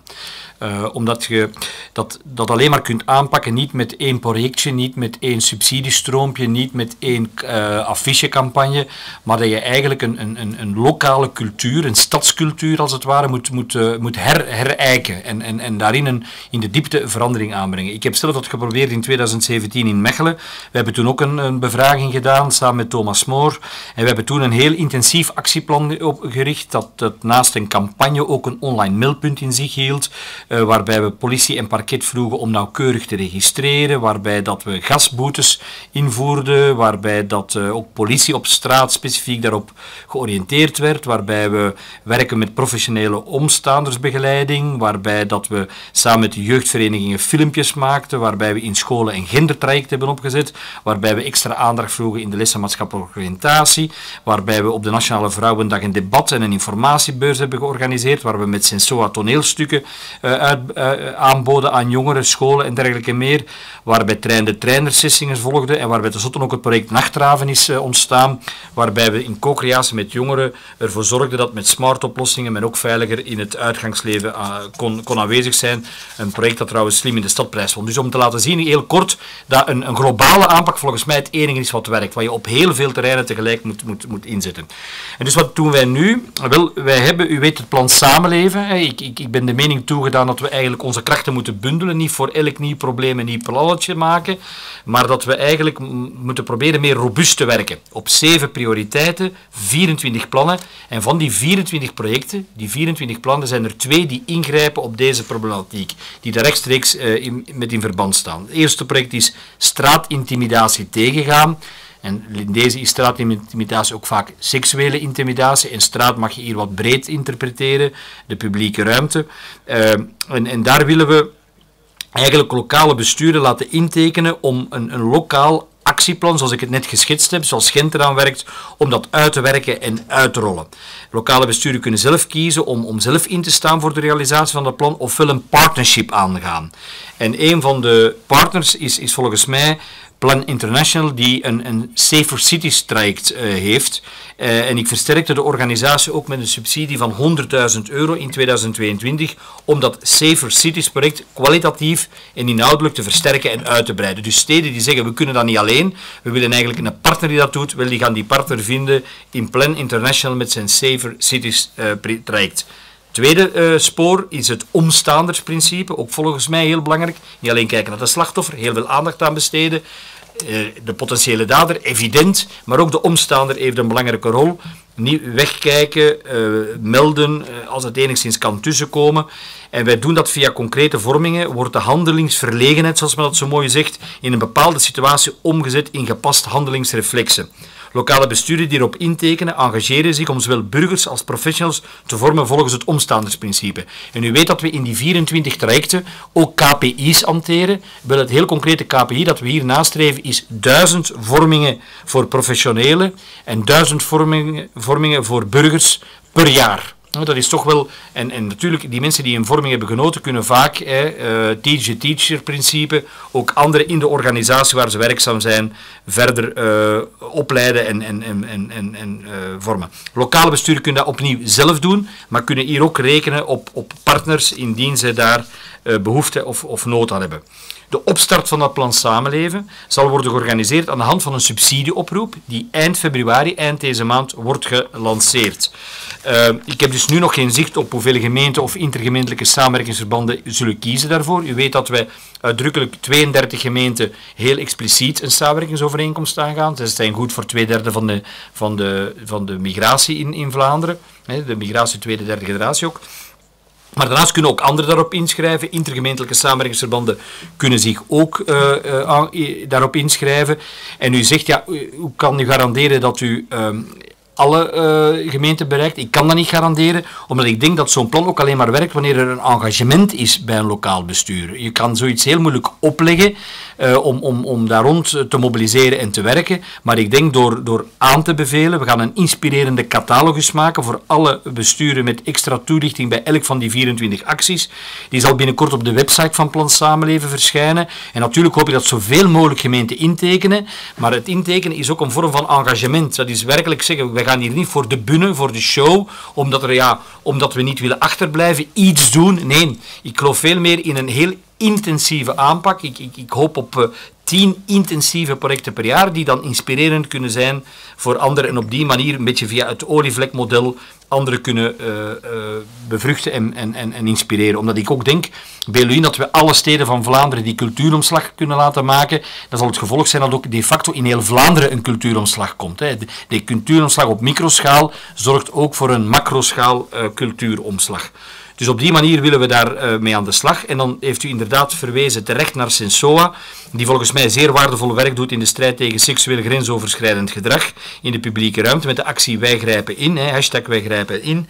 Ik heb begrepen dat ze momenteel werken aan een kadermethodiek rond het omstaander voor lokale besturen. Dus dat is een potentiële partner voor die lokale besturen. En ik zal de campagne alvast opnemen in de volgende gelijke kansennieuwsbrief, gericht aan de lokale besturen met een oproep deze campagne algemeen bekend te maken bij de burgers. Ik hoop dat ik daarmee, mevrouw Moerenhout, een aantal concrete antwoorden heb gegeven op uw terechte uh, vragen. Mevrouw, Moer, oh. mevrouw Moerenhout, alsjeblieft. Dank u, voorzitter, uh, en dank u, meneer de minister. Um, ja, nee, sorry minister, uh, ik, ben, ik ben een beetje teleurgesteld toch in uw antwoord. Um, ja, ik ken natuurlijk Plan Samenleven en op zich, uh, ik wil mijn kritiek op Plan Samenleven loskoppelen van, van uh, de bezorgdheid die ik hier op uh, de kaart wil zetten of op uw agenda. Maar um, ik, ik vind dat gewoon niet voldoende. Uh, als je ziet de omvang van de problematiek van, van straatintimidatie, seksuele intimidatie en ook de omvang van al wat er moet gebeuren om die problematiek aan te pakken, dat is, dat is ook immens. U heeft zelf heel terecht um, alles opgesomd wat er in Mechelen is gebeurd. Hè. Dat is redelijk analoog aan wat er dan in Gent aan het gebeuren is. Ja, dat is heel wat. En als u dan zegt, ja, ik wil het niet opleggen, ik wil het aanbieden.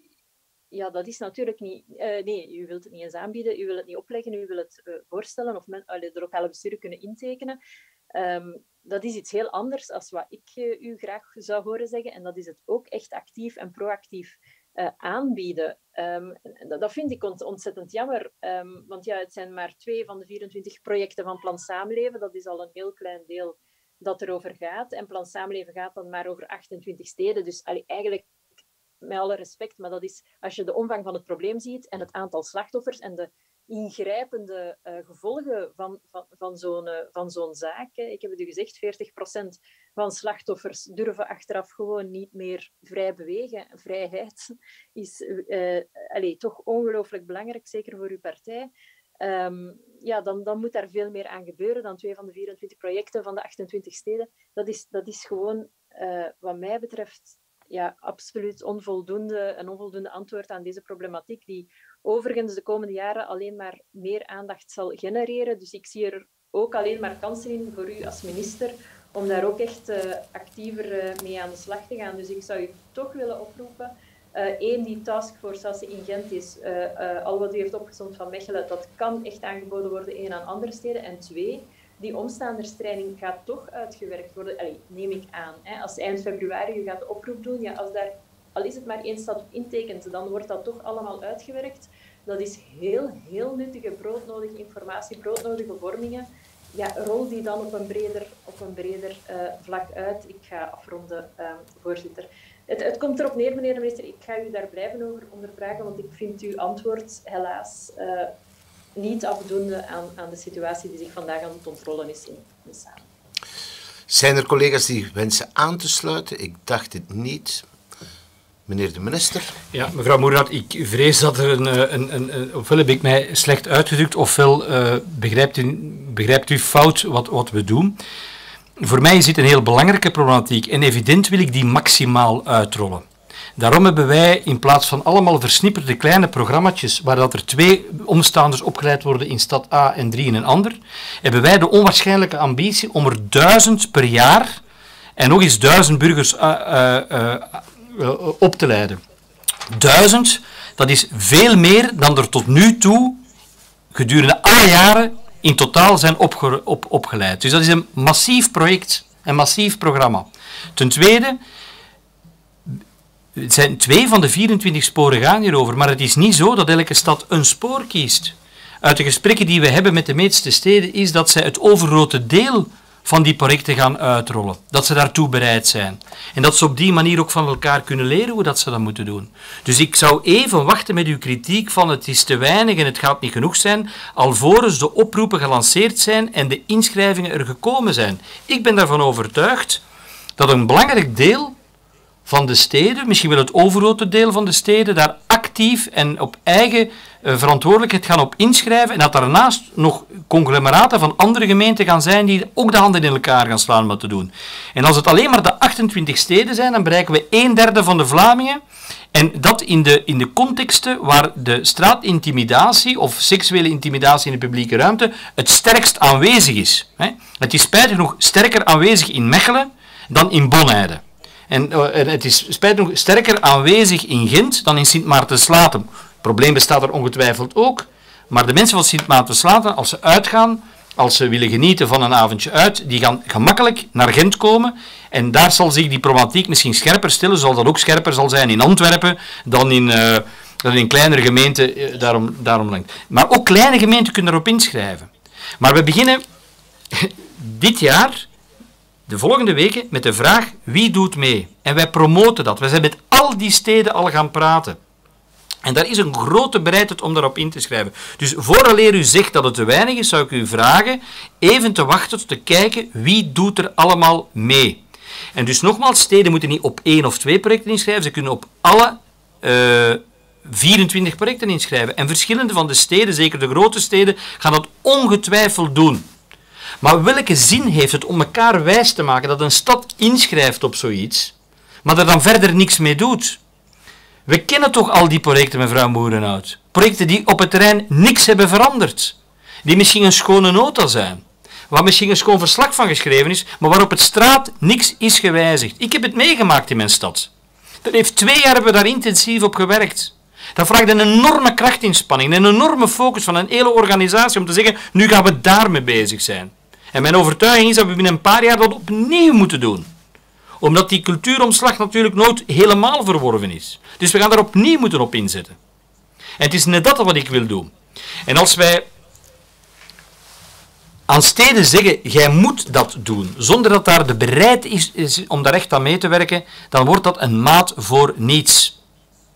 Het is net de voorbeelden die Gent die Mechelen heeft op die punt, en ongetwijfeld zijn er nog goede voorbeelden in Vlaanderen te vinden, die we moeten uitrollen en opschalen. Dat is de kern van het idee van het plan samenleven. Dat is goede projecten op het terrein uitwerken en die dan uitrollen over de rest van Vlaanderen. En dus ik ben het met u niet eens dat dit uh, te weinig is. Ik denk dat dit heel ambitieus is, veel meer dan we in het verleden doen. En dan natuurlijk, elke gemeente dat wil, kan erop inschrijven. Ze moet zich organiseren. We hebben vandaag regio's, ze kunnen dat met een hele regio samen doen. En dan kunnen zij evenzeer van dat project genieten. Trouwens, niks houdt een gemeente of een stad tegen om dat vandaag de dag te doen. Alleen zorgen wij er nu voor dat er professionele organisaties zijn die wij extra hebben gesubsidieerd om klaar te staan om die steden en gemeenten te helpen die zich willen inschrijven in dat plan. Dus ik, ik neem, mocht me dat niet kwalijk nemen, ik, vind, ik, vind, ik, nee, ik ben niet akkoord met uw kritiek. Ik vind ze alleszins voorbarig. En ik denk dat we beter moeten wachten tot het moment dat we weten wie er heeft ingeschreven. Dat gaan we binnen een aantal weken, binnen een maand, uh, binnen een anderhalve maand gaan we dat weten. En ik denk dat we dan nog met elkaar nog eens moeten praten om te kijken hoe ver we staan. En als u daartegen een vraag om uitleg indient, mevrouw Moerenhout, dan zal ik ze ontvankelijk verklaren. Want de minister heeft, heeft zelf de NVT uit, uh, uitgestuurd. Hè. U krijgt het slotwoord, mevrouw Moerenhout. Dat zal ik zeker doen, meneer de voorzitter. Uh, bedankt, meneer de minister, voor uw antwoorden. Nog drie dingen. Eén, uh, ja, u zegt het is meer dan in het verleden. Ja, dat klopt. Dat ga ik uiteraard niet betwisten. Het is meer dan in het verleden. Maar u moet het mij vergeven, uh, u bent uw legislatuur begonnen als minister van Samenleven. Um, dus ik verwacht heel veel van u. En ik vermoed heel veel achter mij, heel veel met mij. Um, dus in die zin dat mijn vraag en mijn vragen ook zijn opgesteld. Uh, voor mij is de lat voor u als minister, als minister van Samenleven, um, hoog. Hè? En, en dus meer dan, uh, het is meer, dan en meer dan alleen beter doen dan het verleden. Twee, um, wat u zegt van de omstaandersvormingen voor duizend professionelen en duizend burgers, daar heeft u absoluut gelijk. Dat is een massief project. En daar wil ik zeker geen, uh, geen um, waarde aan teniet doen. Dat is heel erg waardevol. Mijn bezorgdheid, kritiek, uh, eventueel voorbarig, gaat inderdaad, omdat u terecht zegt, uh, dus dat is een heel waardevol project, maar de, het knooppunt, de hefboom, zit bij die lokale besturen en daar ga ik mee akkoord. als er zoiets moet gebeuren op ontzettend veel domeinen in de samenleving, een, een soort verandering, een omslag, een bewustwording, ja, dan, dan, um, dan zijn die lokale besturen de place to be. Maar om um, positief af te sluiten, uh, u heeft me wel hoop gegeven. Uh, als ik u hoor zeggen dat er een aantal steden zijn die inschrijven op die 24, alle 24 projecten, dan is dat uh, wat mij betreft boven verwachting. Dus, um, dus ik volg u. Ik zal u het voordeel van de twijfel geven en het plan Samenleven ook het voordeel van de twijfel. En dan pakken we dit debat binnen een aantal weken of maanden opnieuw op.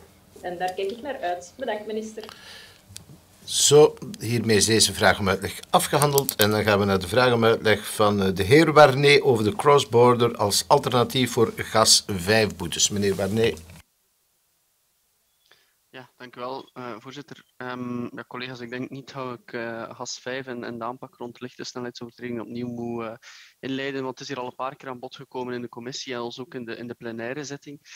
Um, maar de reden waarom dat we het nu, um, ik er nu opnieuw een vraag over stel, is naar aanleiding van een aantal uitspraken van minister van Quickenborne in um, de federale, het federaal parlement in de Kamer. Minister van Quickenborne of we hebben in deze commissie uh, crossborder ter sprake gebracht. Um, en um, dat is een doorsortscenario die een alternatief uh, is voor de aanpak van snelheidsovertredingen via gasboetes. Het is een mogelijkheid um, om inkomsten van gewone boetes te laten doorvloeien naar de gemeente waarbij dat aanpak, al dus volgens uh, de presentatie die minister, of namens de minister van Quickenborn is gegeven aan de VVSG, binnen het strafrecht zou blijven. Nu, um, op 25 januari um, hebt u, minister uh, Somers, dan in deze commissie uh, op een vraag van collega Partica um, gezegd dat het federale crossborder systeem een systeem is om gasboetes te verwerken, dus geen alternatief. Maar u zei letterlijk, crossborder is niet in vraag stellen van gas 5, het is methode van verwerking van gasboetes. Nu, um, federaal collega Jeff van den Berg heeft uh, minister van Quickenborn hierover in de federale commissie Justitie ondervraagd twee weken geleden, op 2 februari. En die gaf een iets wat tegenstrijdig antwoord over de werking van crossborder. En die verklaarde dat het het doorstortscenario een alternatief is dat we moeten zien naast gas 5. Dus geen methode van verwerking van gasboetes, zoals dus in deze commissie uh, werd aangegeven. Minister van Quickenborn heeft ook gezegd um, dat het crossborder systeem volgens hem completer is. Uh, in die zin dat ook recidieve herhaling uh, aangepakt wordt, als ook de buitenlandse overtreders, wat toch ook niet onbelangrijk is. Nu, um, ik was wel wat verrast uh, dat minister van Quickenborne zei dat hij het crossborder systeem binnen een maand kan uitrollen in een gemeente. Ik vind dat zeer snel, wat natuurlijk goed is. Maar, er is altijd een maar bij zo'n zaken, um, dat de Vlaamse regering hierover eerst moet beslissen. En uh, minister van Quickenborne stelde, en ik citeer uh, opnieuw als volgt, op het ogenblik dat een gemeente uh, kiest voor een doorstortscenario en men de criteria van het scenario bepaalt, kunnen wij alles op één maand tijd operationeel maken. Het kan dus heel snel gaan, maar de beslissing moet genomen worden door de Vlaamse regering. Ja, het is voor ons um, ja, voor onze lokale besturen uh, uiteraard cruciaal, minister, als ook voor de verkeersveiligheid in onze steden en gemeenten, dat die lokale besturen niet in het ongewisse zijn en dat ze nu ook wel een keer echt duidelijkheid krijgen um, over de mogelijkheden uh, die er zijn om via trajectcontroles de verkeersveiligheid te waarborgen, via HAS 5, via een crossborder systeem die een alternatief is, of via een crossborder systeem die misschien een verwerkingssysteem is, Um, het zal op zijn minst één van die twee zijn. Dus vandaar de volgende vragen, minister. Hoe, hoe beoordeelt u uw eigen uitspraak dat het doorstortscenario slechts een methode is om de gasboetes te verwerken, in het licht van de antwoorden van minister Van Quickenborne? Hoe beoordeelt u de uitspraak van uw federale collega um, dat het doorstortscenario um, een pak completer is? Zal u het aanbod van uh, de federale minister uh, aannemen om naast GAS 5 ook het doorstortscenario via crossborder, dat dan binnen het strafrecht blijft, mogelijk te maken? Waarom wel of niet? En welke timing acht u daar haalbaar? In het algemeen, hoe verloopt dat overleg samen met minister Peters uiteraard, maar ook um, de federale collega van Quickenborne? Dank u. Meneer de minister. Ja, uh, meneer Warnee, bedankt voor de vraagstelling, omdat het mij toelaat uh, een en ander een stukje te verduidelijken. Crossborder is een systeem om inbreuken binnen het strafrechtssysteem op een centrale en geautomatiseerde manier te verwerken. Wat nu door de federale collega's op tafel wordt gelegd, is effectief een alternatief voor GAS 5, namelijk de activatie van een doorstortscenario via dat cross-border systeem. GAS 5 kan dus ook in een doorstortscenario blijven bestaan. Het gaat, in de, het gaat erom dat in een doorstortscenario dezelfde inbreuken verwerkt kunnen worden als degene die binnen het toepassingsgebied van GAS 5 vallen. De inbreuken die dan binnen dit toepassingsgebied vallen, kunnen dan rechtstreeks worden doorgestort naar de steden en gemeenten. Ze blijven dan inderdaad binnen het strafrecht en worden dus niet gedepenaliseerd zoals nu het geval is binnen GAS 5. Ik hoop dat dat een verduidelijking is of een, een, een, een, een fijner stelling is van het, van het antwoord, hoe de twee systemen zich tot elkaar verhouden. Doorheen de discussies van de voorbije weken over gas 5 in dit parlement was er consensus, denk ik, over één zaak dat verkeersveiligheid cruciaal is. Sensibilisering is belangrijk, vinden we allemaal, maar iedereen begrijpt dat het staat of valt bij handhaving. En we stellen vast dat vandaag er amper handhaving is op wegen waar een maximumsnelheid van 30 of 50 km per uur geldt. En dat gaat vaak ook nog eens om, om schoolomgevingen. Een trekcontrole is daarboven een heel eerlijke manier om snelheidsovertredingen op te sporen. Er is geen willekeur. Iedereen die uh, in de fout gaat, wordt op dezelfde manier geverbaliseerd. Ik evalueer gas 5 dus positief. Het blijft voor mij immers fundamenteel dat lokale besturen de kans krijgen om actief te werken aan het lokale veiligheidsbeleid. Dat is voor mij het uitgangspunt. Dat kader hebben we door middel van de invoering van gas 5 ook gecreëerd en de lokale besturen die er nu al gebruik van maken, tonen aan dat dit ook werkt. Minister Peters heeft op 10 februari 2022 in de Commissie Mobiliteit de resultaten van de evaluatie van gas 5 toegelicht. Ik ga dat hier niet herhalen, ik verwijs naar de vraag om uitleg in, in die commissie. Ik kan u wel meedelen dat van de 153 lokale besturen die de bevraging hebben ingevuld, er 99 zijn van de 153 die aangeven dat ze in de loop van 22 of 23 willen starten met gas 5. Dat is positief. Er zijn lokale besturen die nog wachten tot er een hersteldecreet in voegen is getreden dat voor een remediëring van een aantal problemen in de huidige regelgeving zal zorgen. Ik verwacht dat mijn collega Peters, uh, Lydia, daar snel mee zal komen en dat we daar rond snel een tijdspad zullen kunnen meegeven. Dat ligt een beetje, de bal ligt een beetje in het kamp van, van mijn goede collega Lydia Peters. Vanuit de federale overheid wordt nu inderdaad een andere optie op tafel gelegd. Een alternatief voor gas 5, namelijk de activatie van een doorstortscenario via het cross-border systeem. U vraagt nu of ik dit aanbod zal aanvaarden. Ik vind dat er aan beide systemen voor- en nadelen zijn. Er zijn een aantal voordelen aan het cross-border systeem. Het zorgt bijvoorbeeld voor de geautomatiseerde opvolging van de betalingen en biedt kansen op een recidivebeleid. Anderzijds wensen we meer garanties rond de verwerkingscapaciteit van de gewestelijke verwerkingscentra van de federale wegpolitie. Het zou spijtig zijn dat die verwerkingscapaciteit eh, onvoldoende is, waardoor slechts een bescheiden of, of een, beperkt deel van de, uh, van de overtredingen eh, daadwerkelijk wordt geverbaliseerd. Het voordeel aan gas 5 is dan weer de totale lokale autonomie. Het feit dat de besturen de bijkomende verwerkingscapaciteit zelf kunnen genereren en de rechtstreekse return on investment op de investeringen in lokale snelheidscamera's, uh, waardoor lokale besturen kunnen investeren in verkeersveiligheid zonder afhankelijk te zijn van de andere overheidsniveaus. Dat is voor mij het fundamentele verschil. Bij gas 5 is het volledig uw eigen verantwoordelijkheid uh, om de capaciteit op te bouwen. Als je afhangt van cross-border, hangt je af van anderen en af van de, de mogelijkheden die de anderen uh, in stelling brengen om, om alle boetes te verwerken. Het is onze minister van Mobiliteit, Lydia Peters, die daarvan een goede analyse moet maken. Zoals zij vorige week in de commissie Mobiliteit al heeft aangegeven, wordt dit systeem verder geanalyseerd. De impact op de Vlaamse begroting moet ook eerst goed in kaart worden gebracht. Met de invoering van gas 5 geven we lokale besturen de kans om actief en autonoom te werken aan het lokale verkeersveiligheidsbeleid. Als er ooit een doorstortscenario zou komen, dan moet dat doel en die ambitie ten allen tijde behouden blijven. Dat is voor mij fundamenteel. En het kan dus zeker nooit de bedoeling zijn, en dat wil ik hier toch wel heel duidelijk stellen, dat de federale overheid deze bijkomende ontvangsten uit boetes zou aangrijpen om de lokale besturen meer te laten bijdragen aan bijvoorbeeld de algemene financiering van de politiezones. Bijvoorbeeld in het kader van loononderhandelingen. Dat is een bezorgdheid die ik heb ter zake.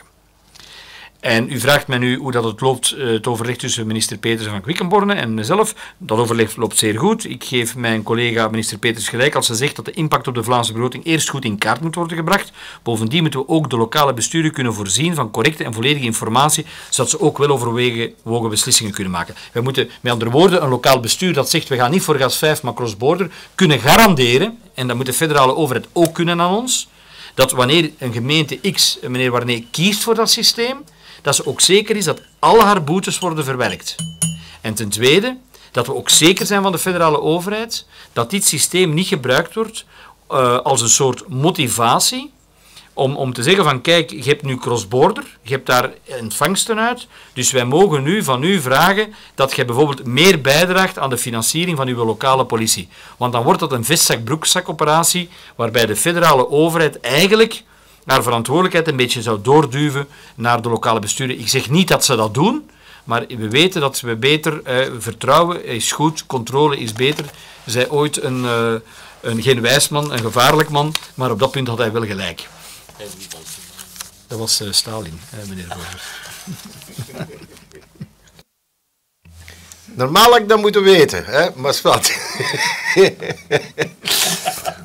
Goed, ja, maar dat is hier een, uh, een inside joke, want ik heb daar straks een ander citaat aan de minister gegeven dat vroeg of laat wel eens van pas kan komen, maar niet vandaag.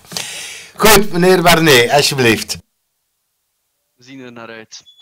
Um, ja, minister, ik denk dat we allemaal believers zijn van trajectcontrole, zeer dan de traditionele flitspalen, dat we daar um, eigenlijk zo snel mogelijk werk van willen maken. Het is nu goed dat, er, dat het duidelijk is voor iedereen, ofwel kiest de gemeente voor gas 5, ofwel kiest hij voor scenario via crossborder.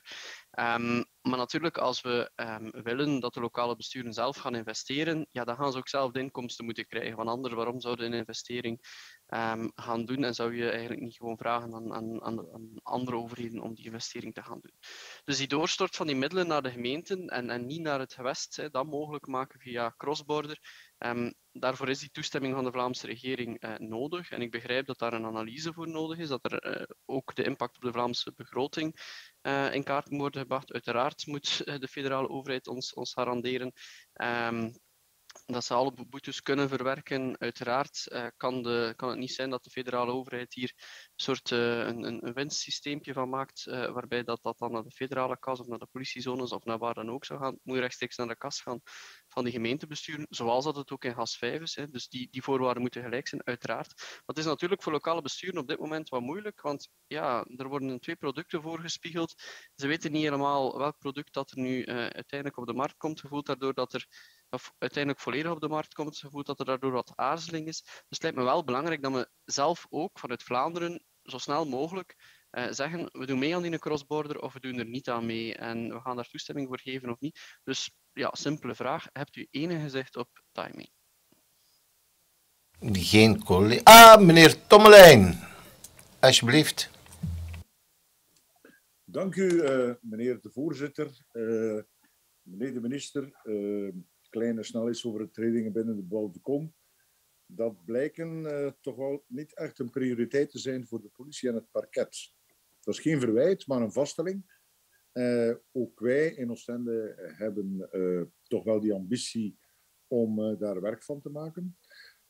maar het is goed dus dat de minister hiervoor een oplossing heeft gezocht. vergeet niet, voor ons als lokale besturen is dit een belangrijk deel van het lokale verkeersveiligheidsbeleid. En we vinden het positief dat lokale besturen, door zelf te kunnen sanctioneren, alle handvaten in handen hebben om hun verkeersveiligheidsbeleid volledig te voeren. En ik onderschrijf ook het standpunt van de minister. We zijn het er allemaal over eens. Verkeersveiligheid is belangrijk. En collega van Quickenborne legt nu een alternatieve opgave op tafel voor gas 5. in de hoop om een aantal drempels weg te werken.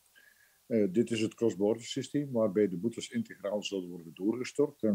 u geeft aan dat dit scenario nog verder moet worden onderzocht en ik geef u daar goed gelijk in. Ik wou u vragen naar het aantal lokale besturen die geïnteresseerd zijn om te starten met gas 5, maar dat hebt u al beantwoord. En ik kan dus concluderen dat één op drie er toch snel werk wil van maken. En ik ben er ook tevreden dat eh, minister Peters gas 5 geëvalueerd heeft en nu met een hersteldecreet komt. Het is een goede zaak dat de Vlaamse regering het voorstel eh, van minister van Quickenborne onderzoekt. En ik hoop dan ook dat er snel duidelijkheid komt, want uh, tenslotte, uh, over alle partijgrenzen heen, denk ik, dat wij vooral een verkeersveilig Vlaanderen willen. Dank u wel. Meneer de minister.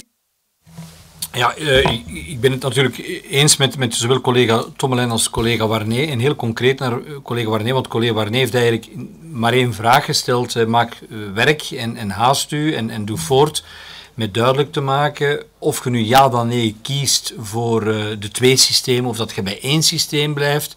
En als je de keuze hebt gemaakt, informeer onmiddellijk heel helder en accuraat de gemeente dat ze weten waar ze aan toe zijn.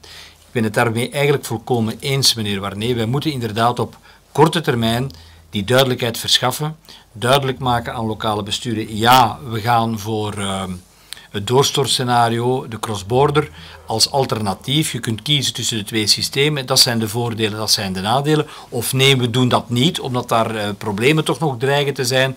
En we, we, we, werken verder op het eerste spoor, namelijk alleen de de gas 5 en, en we, repareren dat. En uw vraag is, maak daar snel werk van, laat het niet langer in het ongewisse.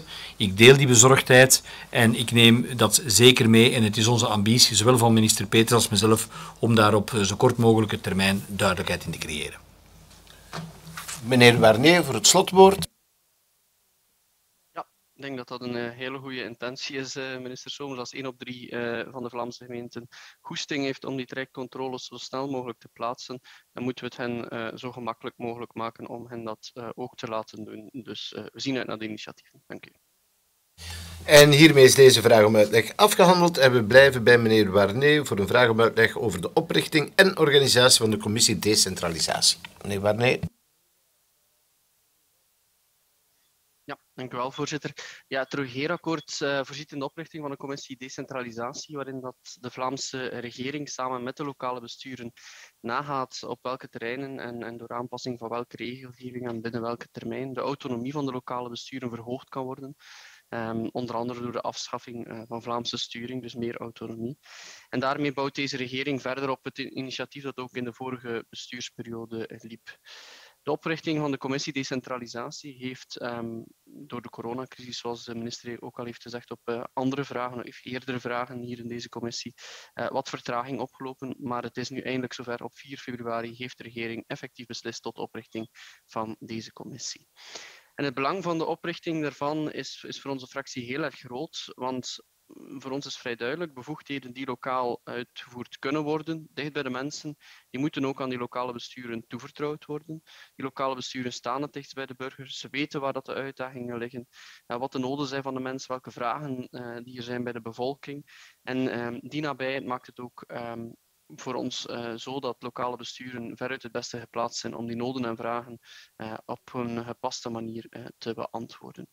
Vanuit dat oogpunt en met de bedoeling um, om de dienstverlening naar de burger maximaal op het lokale niveau te brengen. De volgende vragen. Kan de minister uh, de verdere werking en de timing van de werkzaamheden van de commissie verduidelijken? Is het de vaste intentie van de minister om de resultaten van, van deze commissie ook deze bestuursperiode nog in regelgevend werk te kunnen omzetten? Hoe zal het inhoudelijke debat binnen de commissie aangevat worden? Op basis van welke criteria werden de onderwerpen waarover de commissie zich zal buigen bepaald? Zo ja, uh, op basis van welke criteria werden deze afgebakend? Kwamen deze onderwerpen tot stand in overleg met de vertegenwoordigers van de lokale besturen? In welke mate kunnen er tijdens de werkzaamheden nieuwe onderwerpen ook op de agenda worden geplaatst en besproken? Um, en vier, uh, hoe zullen de uh, werkgroepen concreet samengesteld worden? Hoe zal de verdeling zijn tussen de vertegenwoordigers van de uh, Vlaamse overheid en de vertegenwoordigers van de lokale besturen? Is er in de werkgroepen ook ruimte voor inbreng van externe, externe deskundigen, bijvoorbeeld academici? Um, en hoe ziet men de betrokkenheid van de provincies in de werkgroepen waar de bespreking van de decentralisatiemogelijkheden van de grondgebonden bevoegdheden op de agenda staan? Dank u. Meneer de minister. Ja, meneer Warnier, op 4 eh, februari heeft uh, de Vlaamse regering conform het regeerakkoord de opstart van de commissie decentralisatie goedgekeurd. Het is de bedoeling om binnen deze commissie samen met de lokale besturen te komen tot voorstellen tot decentralisatie naar de lokale besturen, bovenop de afspraken die reeds in het regeerakkoord gemaakt werden. Het is een extra pakket dat we nastreven van decentralisatie. Ten laatste, tegen het najaar van dit jaar zal de commissie aangeven op welke wijze invulling zal gegeven worden aan deze decentralisatieambities. Dat gebeurt door middel van een programma waarin concreet wordt aangegeven welke regelgeving, administratieve praktijken en of interbestuurlijke processen deze regeerperiode zullen worden aangepakt. Daarnaast wordt van de commissie verwacht dat ze in haar programma ook onmiddellijk voorstellen doet voor de vervolgfase, namelijk de implementatiefase, inclusief de timing van de voorstellen en de opvolging ervan.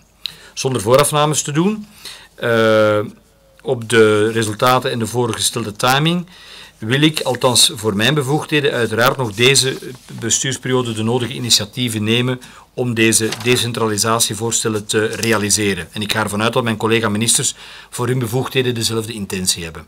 Anderzijds moeten we realistisch zijn. Mogelijk zullen niet alle regelgevende initiatieven nog volledig kunnen worden afgerond. Op uw tweede en derde vraag. Op de startvergadering van dinsdag 15 maart zal de commissie de decentralisatieagenda vastleggen. De focus ligt op domeinen waarbinnen substantiële resultaten kunnen geboekt worden en meer specifiek op voorstellen die gaan over de decentralisatie van taken en opdrachten.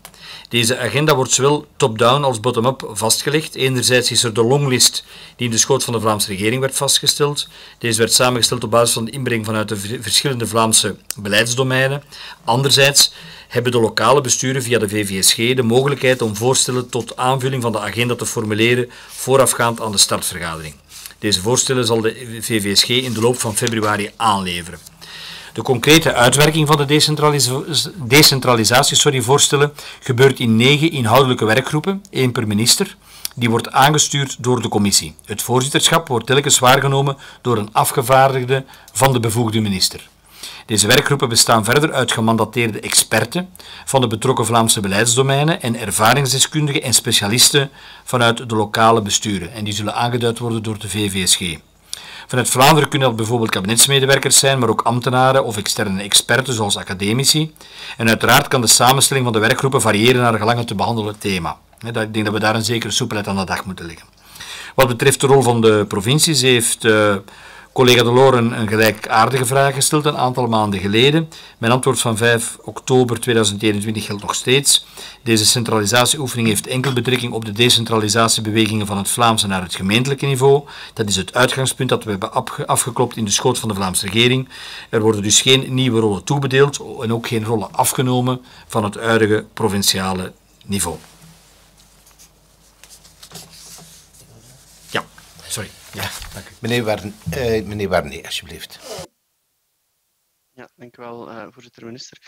Um, ja, het is natuurlijk, allee, u begrijpt dat wel, minister, voor onze fractie, dat het wel jammer is dat die provincies toch niet, als het dan gaat over bevoegdheden waar dat zij bij betrokken zijn, hè, want dat gaat, soms is een bevoegdheid, um, laten we zeggen, uh, toch in, in, een partnerschap met de provincie, dat die dan toch niet um, aan tafel kunnen zitten als een externe deskundige dat kan. Waarom zou de provincie dat dan niet als, als deskundige over die bevoegdheid kunnen? Maar goed, um, um, hopelijk, hopelijk is dat toch nog uh, via die manier uh, enige mogelijkheid uh, om, als het, als het echt belangrijk is, om hen daar aan tafel te krijgen. daarmee gepaardgaand, en, en het was misschien toevallig of niet toevallig, is op, op 4 februari ook de regiovorming beslecht. En um, dat is iets anders dan, um, dat, is, dat, is, nieuw ten aanzien van de vorige legislatuur. Um, kan u misschien nog wat verduidelijken? is dat ook een, specifiek aspect dat door die commissie zal uh, meegenomen worden? Is dat iets dat, dat de uitbouw van die regiovorming zal dat ook zijn impact hebben op, op antwoorden die daar gegeven worden, of zal dat ook mee in rekening worden genomen als het gaat over misschien nog meer bevoegdheden naar onze gemeenten brengen. Dank u. Meneer Ongena. Dank u wel, voorzitter. Dank u wel, collega uh, Warnee, voor de vraag. In het verleden heb ik ook al vragen gesteld gehad over die decentralisatie, die, die onze fractie wel belangrijk vindt. Uit alle internationale vergelijkingen blijkt dat onze steden en gemeenten relatief weinig bevoegdheden hebben. Um, en ik denk dat we daar dus echt wel ambitieus moeten in zijn. We geloven allemaal in die lokale besturen. Het zit ook in het beleid van deze Vlaamse regering om die te versterken. De regiovorming, het aanmoedigen van fusies. Ik denk dat de volgende stap dan ook is dat we die veel meer bevoegdheden geven. Dus ik kan alleen maar vragen dat men ambitieus is in die commissie. Dat men ook wel wat leert uit de lessen van de vorige commissie decentralisatie, die toch te veel is blijven steken. Die heeft nuttig werk geleverd, maar toch ook uh, te weinig heeft kunnen uh, deliveren. Ik denk dat we daar toch lessen moeten uit leren. Dus ik zou toch willen vragen dat men die ambitie heeft, dat men zich ook niet direct laat inperken door ja, wat kunnen we nu nog snel, snel deze legislatuur doen, maar dat men ook wel wat durft verder te kijken en dat men echt een, een grondig debat voert over hoe kunnen we de bevoegdheden van onze lokale besturen echt gevoelig, substantieel uh, vergroten. Nee, uh, meneer De Loor, goedemiddag. Goedemiddag, voorzitter en collega's. Wel, ik wens mij toch aan te sluiten bij de vraag van, uh, van collega Warnee, omdat het toch een, uh, een heel belangrijke oefening is. We hebben hier in het verleden in, uh, in deze commissie ook al op, um, op gewezen en ook in de vorige legislatuur met de commissie decentralisatie. en het is zoals dat collega Ongena zegt, is het toch wat hier en daar is het toch wel gestopt, de, de oefening. En um, mocht er toch meer van verwacht worden. Meneer de minister, um, ik vind het jammer dat uh, naast de lokale besturen, steden en gemeenten, dat de provincies ook niet uitgenodigd worden om uh, deel te nemen aan, uh, aan um, die oefening. Want zoals dat er decentralisatie kan gebeuren van bevoegdheden naar die lokale bestuur, naar die steden en gemeenten, kan dat perfect, als dat goed aansluit bij de bevoegdheden van de provincies, kan dat ook perfect bij, bij hen gebeuren. Ik denk dat dit een belangrijke oefening is. Uh, u hebt erop gewezen, de collega's hebben erop gewezen. Dus het zou goed zijn mocht dit, deze met een uh, open vizier aangegaan worden, zodanig dat we streven naar elk op zijn of haar niveau naar meer bestuurskrachtige ehm, besturen, lokale, maar ook provinciale besturen. Dat wil ik toch nog toevoegen aan het debat van de vooruitfractie, voorzitter. Dank u wel voor de toevoeging, meneer Deloor. Meneer de minister. Ik begrijp uh, de vraag van meneer Warnee, meneer Deloor, als een, uh, een, een, opening om, om eens te kijken wat we van het provinciale niveau nog naar het uh, gemeentelijke niveau kunnen, kunnen overhellen. Of, of ben ik niet helemaal mee met de, de grondstroom van, van de vraagstelling. Nee, alle gekheid op een stokje. Ik denk, we moeten daar niet flauw over doen. We weten dat politieke partijen fundamenteel verschillen over de toekomst van de provincies. Maar uh, als ik daar meneer Warnee en meneer Loor toch kan geruststellen en enigszins tegemoet kan komen, als in die decentralisatiecommissie er voorstellen op tafel komen om bepaalde zaken te decentraliseren richting lokale besturen, in beleidsdomeinen waar ook de provincies vandaag nog altijd een belangrijke rol spelen, dan lijkt het mij de evidentie zelf. We moeten daar niet, uh, moet ik zeggen, krampachtig over doen, dat op zo'n moment ook de provincies worden aangesproken en uitgenodigd. Ik wil daar een volwassen, ontspannen relatie mee, maar ze per definitie vanaf het eerste moment mee aan tafel brengen. Ik denk dat dat een omgekeerd verwachtingspatroon zou realiseren. En daar moet je het evenwicht van uh, het, het regeerakkoord ook goed begrijpen en respecteren. Ik probeer dat ook op een correcte manier te doen. Maar evident, als we heel dicht komen bij bevoegdheden waar de provincies vandaag een rol spelen, ja, dan is het de evidentie zelf om die mensen ook te horen. Hè. Laat daar, geen, daar mag geen kramp uh, bestaan. Twee, de regio's, ja, ik, ik hoop dat die mee een inspiratiebron zijn. Hè. Ik denk dat de, de regiovorming als dusdanig staat daar niet op de agenda. Hè. We hebben de referentieregio's die een platform zijn dat dat toelaat om misschien ook aan kleinere besturen uh, uh, om, om kleinere besturen ook aan te moedigen uh, of misschien te overtuigen om, om wat verder te durven gaan in, in die decentralisatiebeweging, omdat men daar kan samenwerken op dat niveau. Hè. Ik denk dat dat het, uh, het, een, een, voordeel is van die regiovorming, dat je een, een sterker platform kunt hebben waar eh, gemeenten de krachten bundelen om, om inderdaad wat durven door te pakken op vlak van die decentralisering. Zelf ben ik heel sterk vragende partij om daar heel ver te durven in gaan. Ik volg daar collega Ongena, collega Warnee, collega Deloor om, om te durven doorpakken, daar niet te bescheiden in zijn. Langs andere kant ben ik ook realistisch. Ik, ik, zit te lang in de wedstrijd om, om, om niet te beseffen dat als er over sommige fundamentele dingen geen duidelijke afspraken gemaakt zijn bij het begin van de legislatuur, dat het niet altijd eenvoudig is om daar nog grote doorbraken te krijgen. Maar u weet dat ik mezelf een beetje zie in bijbelse termen als Johannes de Doper, die de, de, de, de echt grote hervorming uh, voorbereidt, uh, met regiovorming, met fusies aan te moedigen. Ja, dat is onthoofd. Nee, maar die heeft wel de, de heiland uh, mogen aankondigen. Hè. Dus ik denk dat, dat eigenlijk we heel veel in stelling brengen om, om volgende regering nog een veel dra drastischer doorbraak te krijgen naar meer lokale autonomie. En elke stap die we kunnen zetten, is voor mij een stap gewonnen. Dus ik hoop dat we er veel kunnen zetten in die commissie decentralisering. Maar aan de andere kant ben ik ook enigszins realistisch dat, uh, dat, dat het niet 100% zeker is, en dat weten we allemaal hier rond tafel, dat dat ook echt kan lukken. Maar als het van mij afhangt, hoe verder we gaan, hoe beter. Dank u wel, meneer de minister. Meneer Warnee, ik was de volgende vraag al aan het voorbereiden. Meneer Warnee, alsjeblieft. Nee, van voorzitter. Um, ja, ik denk dat we inderdaad zonder premisses gewoon aan die oefening moeten beginnen met open gedachten en zonder die krampachtige ideeën um, van de provincies zijn overboden of ze moeten sterker worden. Ik denk dat dat inderdaad niet de opdracht is van de uh, commissie decentralisatie, maar ik begrijp minister, hè, stel er is een werkgroep decentralisatie, dat gaat over Vlaamse toerismebevoegdheden, dat je dan ook kunt de, de provincies uitnodigen om daar als externe eh, deskundige aanwezig te zijn. Ik denk dat dat een, een, eh, goede ingesteldheid is om daaraan te werken. En um, wat Johannes de Doper betreft, dat was ook een provincialist, want die bleef binnen zijn provincie Judea. Maar dat is het grote verschil van, met u, denk ik dan, minister Somers. Dank u. Toch enige historische reflectie. Die provincies die zijn pas ontstaan in de periode van Napoleon. Hè. En dat was na Johannes de Doper. Goed, eh, dat was het slotwoord, denk ik. Hè? Goed, hiermee is deze vraag om uitleg afgehandeld. En dan komen we bij uh, collega Deloor over de hogere energieprijzen en de impact ervan op de gemeentefinanciën. Meneer Deloor, alsjeblieft. Ja, dank u wel, voorzitter. Uh, voorzitter, ik ga misschien ook starten met een uh, korte historische reflectie. Um, de uitspraak vertrouwen is goed, controle is beter, is niet van stalen, maar van lenen. Ik zeg altijd, schoenmaker, blijf bij je leest, inderdaad. Collega's, meneer de minister. Um, ehm, VVSG stelde recent dat ook uh, lokale besturen met een uh, bang hart naar de toekomst kijken. En ook met uh, de recente federale energiemaatregelen zal de factuur in steden en gemeenten stijgen.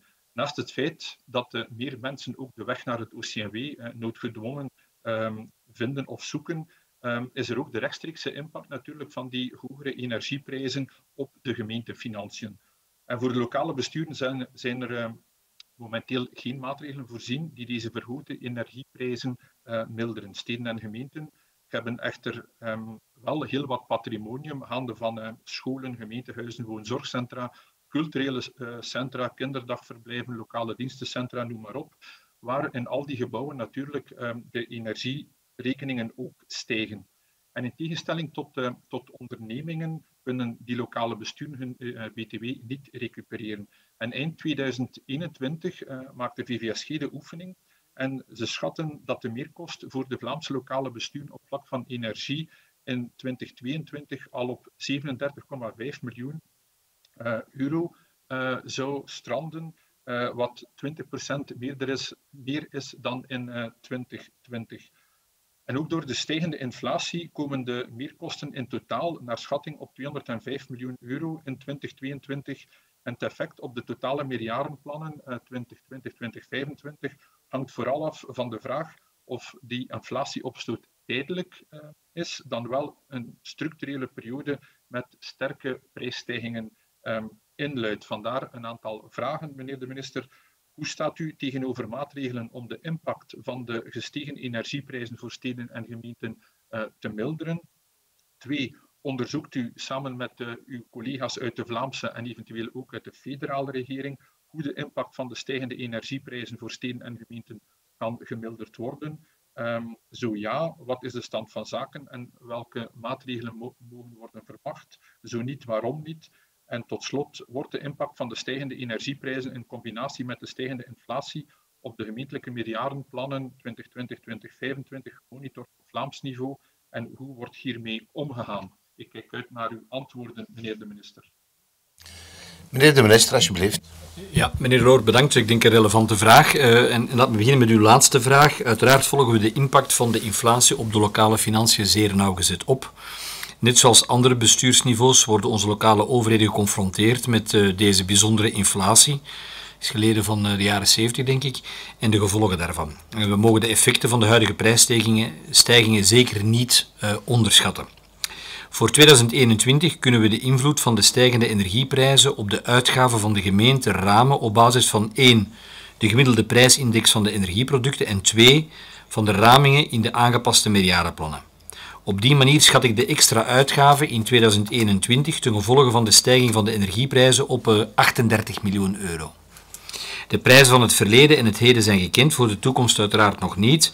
Hiervoor is een inschatting van de energiekosten voor 2022 en de volgende jaren moeilijk te berekenen. We hebben daar geen kristallenbol voor, dat is niet zo eenvoudig. We zien wel nog een verdere stijging van de prijsindex voor de energieproducten in januari 2022, maar voor de verder verloop is het momenteel koffiedik kijken. De inschattingen van de totale energiekosten gebeuren dan ook best door de lokale besturen zelf. Zij kennen hun verbruik en hun, contacten, hun contracten sorry, zelf het best. We kunnen een inzicht in deze cijfers bekomen door de laatst aangepaste meerjarenplannen te vergelijken met de plannen die eind 2020 werden goedgekeurd, uiteraard in de wetenschap dat de wijzigingen van de ramingen meerdere oorzaken kunnen hebben. Voor 22 ramen de gemeenten hun uitgaven voor goederen en diensten 220 miljoen euro hoger in ten opzichte van hun ramingen van een jaar geleden. Dat is een stijging van 8,5%. Specifiek voor de energiekosten gaat het over 18 miljoen euro aan hogere ramingen, een stijging van 7,5%. De totale uitgaven voor energiekosten worden in de laatst aangepaste meerjarenplannen bijgevolg geraamd op 256 miljoen euro. Dat is een substantieel bedrag, 256 miljoen, maar nog steeds minder dan 2% van alle geraamde exploitatieuitgaven voor 22. Het zijn belangrijke bedragen, maar ze brengen de financiën van de lokale besturen voorlopig, voorlopig niet uit evenwicht. De analyse van de recentste aanpassing aan de meerjarenplannen toont aan dat 1. de lokale besturen de verhoogde energiekost en de overige impact van de inflatie al voor een deel hebben ingecalculeerd. 2 dat dat niet gezorgd heeft voor structurele onevenwichten. En drie, dat de totale autofinancieringsmarge, de AFM, daalt. Toch laat geen enkel bestuur in 2025 een negatieve AFM optekenen. Ze mogen dat niet, maar ze doen het ook niet. Hoe staat u tegenover maatregelen om de impact te milderen en onderzoek ik uh, hoe dat, dat kan gemilderd worden? Wat, de, wat deze vragen betreft, de totale kosten voor energie zijn afhankelijk van de prijs en het verbruik. Wat betreft het verbruik zijn er al verschillende maatregelen genomen. Het is trouwens ook af te leiden uit de reële uitgaven voor energie in de periode 2014-2020. Deze uitgaven vertonen een dalende trend in de jaarrekeningen van die periode. Dus de gemeenten nemen daarin hun verantwoordelijkheid om energiebesparend te werken. De meerderheid van de gemeenten, de overdonderende meerderheid van de gemeenten, bijna alle gemeenten, hebben zich ook ingeschreven in het lokaal energie- en klimaatplan. Onder meer door de verleiding van de openbare verlichtingsnet plannen de gemeenten een jaarlijkse energiebesparing te realiseren. De inspanningen die de gemeenten leveren voor een rationeler energiegebruik zullen sowieso een milderend effect hebben op de gemeentelijke uitgaven voor energie. Daarnaast doen we deze legislatuur vanuit Vlaanderen al heel wat financiële inspanningen. We gaan van 15 miljard algemene financiering in vorige legislatuur naar 20 miljard deze legislatuur en we handhaven de jaarlijkse evolutiepercentage van het gemeentefonds van 3,5 procent. Bovendien stijgen naast de uitgaven ook de ontvangsten van de lokale besturen omwille van diezelfde inflatie. Bijgevolg is het niet evident om op dit moment een nieuwe, het zij tijdelijke financieringstroom richting lokale besturen in het leven te roepen. Het is dus afwachten in welke mate deze zaken de impact van de huidige opstoot in de energieprijzen en het niet van toepassing zijn van de federale steunmaatregelen voor de gemeente kunnen opvangen. Want gemeenten kunnen inderdaad niet genieten van de tijdelijke btw-verlaging. En de OCW's krijgen van de federale overheid wel 16 miljoen euro extra middelen toegeschoven om mensen te helpen die door de stijgende energieprijzen in de problemen komen. Maar de vrees leeft dat dat niet genoeg zal zijn omdat meer mensen een beroep zullen moeten doen op het OCW om hun jaarafrekening voor energie te kunnen betalen. De jaarrekeningen 2021 en de verschillende kwartaalrapporteringen zullen hieromtrent meer duidelijkheid verschaffen. Samenvattend, Voorlopig dringen bijkomende maatregelen zich nog niet op, maar ik zal zowel de stijgende uitgaven als ontvangsten van nabij blijven opvolgen. Niet enkel op het vlak van energie, Maar ook met betrekking tot de oplopende personeelskosten. Dat is een ander effect hè, dat de inflatie heeft. We moeten daarin waakzaam zijn. De meest recente aanpassingen van die meerjarenplannen tonen aan dat de lokale besturen niet van plan zijn om minder te investeren, wel in tegendeel, maar we moeten deze prijsstijgingen en de realisatiegraad goed blijven opvolgen, opdat, omdat deze lokale investeringen een belangrijke motor zijn van onze economie. Ik hoop dat ik daarmee, meneer Deloor, u een antwoord heb gegeven op uw terechte vragen. Meneer Deloor. Ja, dank u wel, uh, meneer de minister, voor uw, uh, voor uw antwoorden. En ik denk, collega's, dat we ons moeten van, uh, van bewust zijn dat, um, ja, dat het een wereldwijde problematiek betreft. Hè, de stijgende energieprijzen, elektriciteitsprijzen, gasprijzen. Um, en dat dat door geen enkele maatregel, het zij Vlaamse federale maatregel, kan, kan opgelost worden. Meneer de minister, u hebt ook verwezen naar de stijgende vraag die er is bij OCMW's van um, mensen die hun, hun rekeningen elektriciteits- en gasrekening niet meer kunnen betalen. momenteel is er nog geen echte stormloop. Natuurlijk valt misschien ook nog te wachten tot als ze ook hun eindafrekening krijgen, um, vooraleer dat ze definitief de stap zetten naar, um, naar het um, OCMW. er zijn naast dat punt, waar u terecht zegt dat de federale overheid, dat de federale regering 16 miljoen euro ter beschikking stelt van de Belgische OCMW's om dat te, niet te doen, zijn er natuurlijk nog een aantal andere uitgangspunten, um, aandachtspunten, zoals bijvoorbeeld het uh, verbruik van de energie ook. Dus het is niet enkel uh, de prijsstijging bij een normaal verbruik, hè. zijn er prijsstijgingen, maar ook om de verdere verspreiding van het virus. En laat ons hopen dat dit echt wel de goede richting uitgaat bij de verdere verspreiding van het coronavirus, dat er ook moet geventileerd worden, um, waardoor dat natuurlijk die, die, die gebouwen die in het bezit zijn van van de steden en gemeenten, dat die ook op extra kosten zullen gejaagd worden door een groter um, verbruik. meneer de minister, er is de oefening gebeurd, de analyse gebeurd in, um, in Limburg door de lokale besturen, naar aanleiding van de gecoördineerde aankoop die ze daar doen. En daaruit blijkt dat de Limburgse gemeenten tot 80% meer zullen betalen voor elektriciteit en voor 145%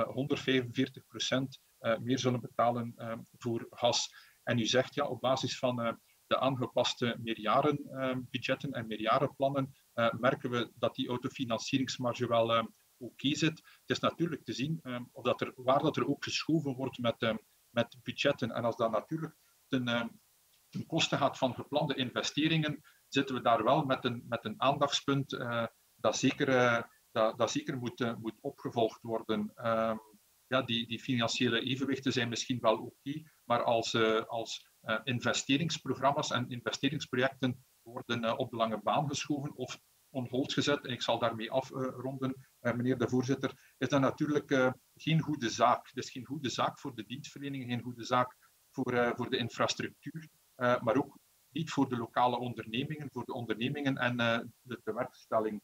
Vandaar dat mijn bekommernis, meneer de minister, om zeker die lokale financiën verder goed te monitoren. Dank u wel. Meneer Warnay. Dank u wel, voorzitter en, collega De Loor voor de vraag. Ja, de gemeentelijke financiën um, die hebben ook al wat zorgen gebaard.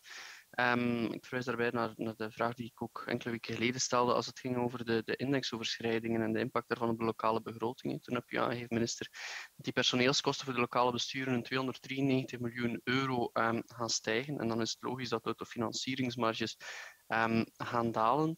Um, maar blijkbaar is het nog niet al alarmerend als we naar de meerjarenplannen kijken. Anderzijds, die meerjarenplannen zijn natuurlijk wel in december vastgesteld. Hè. Dus um, er zal nog heel wat eh, van die stijgingen niet opgenomen zijn in die meerjarenplannen. Dus dat betekent dat er wijzigingen aankomen, wat dat goed bestuur is, wat dat logisch is. En dat de gemeenten die vandaag net voldoende hebben op een AFM, op een autofinancieringsmarge, ja, dat om die positief te laten houden in 2025, dat daar toch wel besparingen zullen moeten zijn. Hè. Um, in, in, het kader van uh, vele kleintjes maken in groot. Um, ik weet niet welke historicus dat, dat gezegd heeft, of dat een historicus is, durf ik niks meer zeggen. Um, met, ik ging zeggen een voorzitter als historicus, maar dat durf ik ook al niet meer zeggen, want dat heb ik ook niet gecontroleerd of de voorzitter historicus is. maar als, al die, als we al die dingen gaan optellen, de energiekosten, uh, de, de stijging van de lonen, dan gaan er gemeenten zijn die vandaag nipt voldoende hebben op een autofinancieringsmarge en die straks gaan besparen. Vandaar de vraag, hebt u eigenlijk gezegd, het kan zijn dat, dat, dat, u dat niet hebt, of, zeker niet van buiten, maar hebt u gezegd hoeveel gemeenten er net boven um, ja, die grens zitten um, in, in, een soort oranje uh, zone verkeren, um, in, eventueel in het kader van besparing? Meneer Van den Neuvel? Ja, ik wil uh, mijn vraag even aansluiten. Uh, ik denk inderdaad dat dit uh, voor de lokale besturen een, een, een uitdaging is. ik vind wel um, dat we moeten opletten om niet altijd naar de Vlaamse en de federale overheid te, te, kijken. Hè. Dus, want ehm, zij hebben natuurlijk ook die uitdagingen. En, en ik vind dat in eerste instantie de Vlaamse en de federale overheid middelen zouden moeten inzetten om de energiefactuur van de mensen te, te, te, verminderen. Hè. Dus dat is al een hele uitdaging. Uh, en lokale besturen, denk ik, uh, ja, voor de ene zal het al wat moeilijker zijn dan het andere. Uh, maar in deze vind ik dat de federale en de Vlaamse overheid in eerste instantie de energiefactuur van de mensen moet naar beneden krijgen. en dat de lokale besturen op die manier ook de Vlaming kan helpen door de energiefactuur voor zichzelf uh, op een goede manier uh, te benaderen en zoeken hoe dat, dat kan opgelost worden, zodat de Vlaamse en de federale overheid de zinnen en de Vlaming kan ondersteunen in een verlaging van de energiefactuur. Dank u wel. Ik zou nog heel even naar meneer Van den Heuvel zelf even willen tussenkomen en ik ga zelf mijn klokje opzetten om correct te zijn naar mezelf. Kijk, collega's, meneer de minister, ik denk dat uh, dit een zeer terechte vraag is en een vraag uh, waar ik me ook enorm veel zorgen over maak. Uh, want er zijn verschillende elementen. Dit is natuurlijk de algemene financiën van niet alleen onze lokale overheden, maar van al onze overheden. En anderzijds het stijgen van de energieprijzen. Uh, waar, en dat heeft meneer Deloor ook aangehaald, dat dat niet alleen een zaak is uh, van allee, hier bij ons en van de overheden. De, uh, u haalt ook meneer Deloor aan, een mondiaal gegeven. Ik denk dat het ook heel belangrijk is en toch zeker hoe dat we zien hoe de wereldpolitiek aan het evolueren is, dat het heel belangrijk is om op termijn ook een zekere zelfredzaamheid te hebben wat onze energievoorzieningen betreft. En ik denk dat dat een enorme uitdaging is die... Nu ga je zeggen, hij begint weer met te kijken naar de andere kant. Maar de beslissingen die men daar moet nemen, toch zeker rond onze elektriciteitsproductie, ik denk dat dat heel belangrijk is. Een tweede element dat mij mateloos stoort, uh, en dat hebben wij ook niet aan, uh, in de hand, dat is de, de manier waarop eigenlijk onze elektriciteitsprijs bepaald wordt.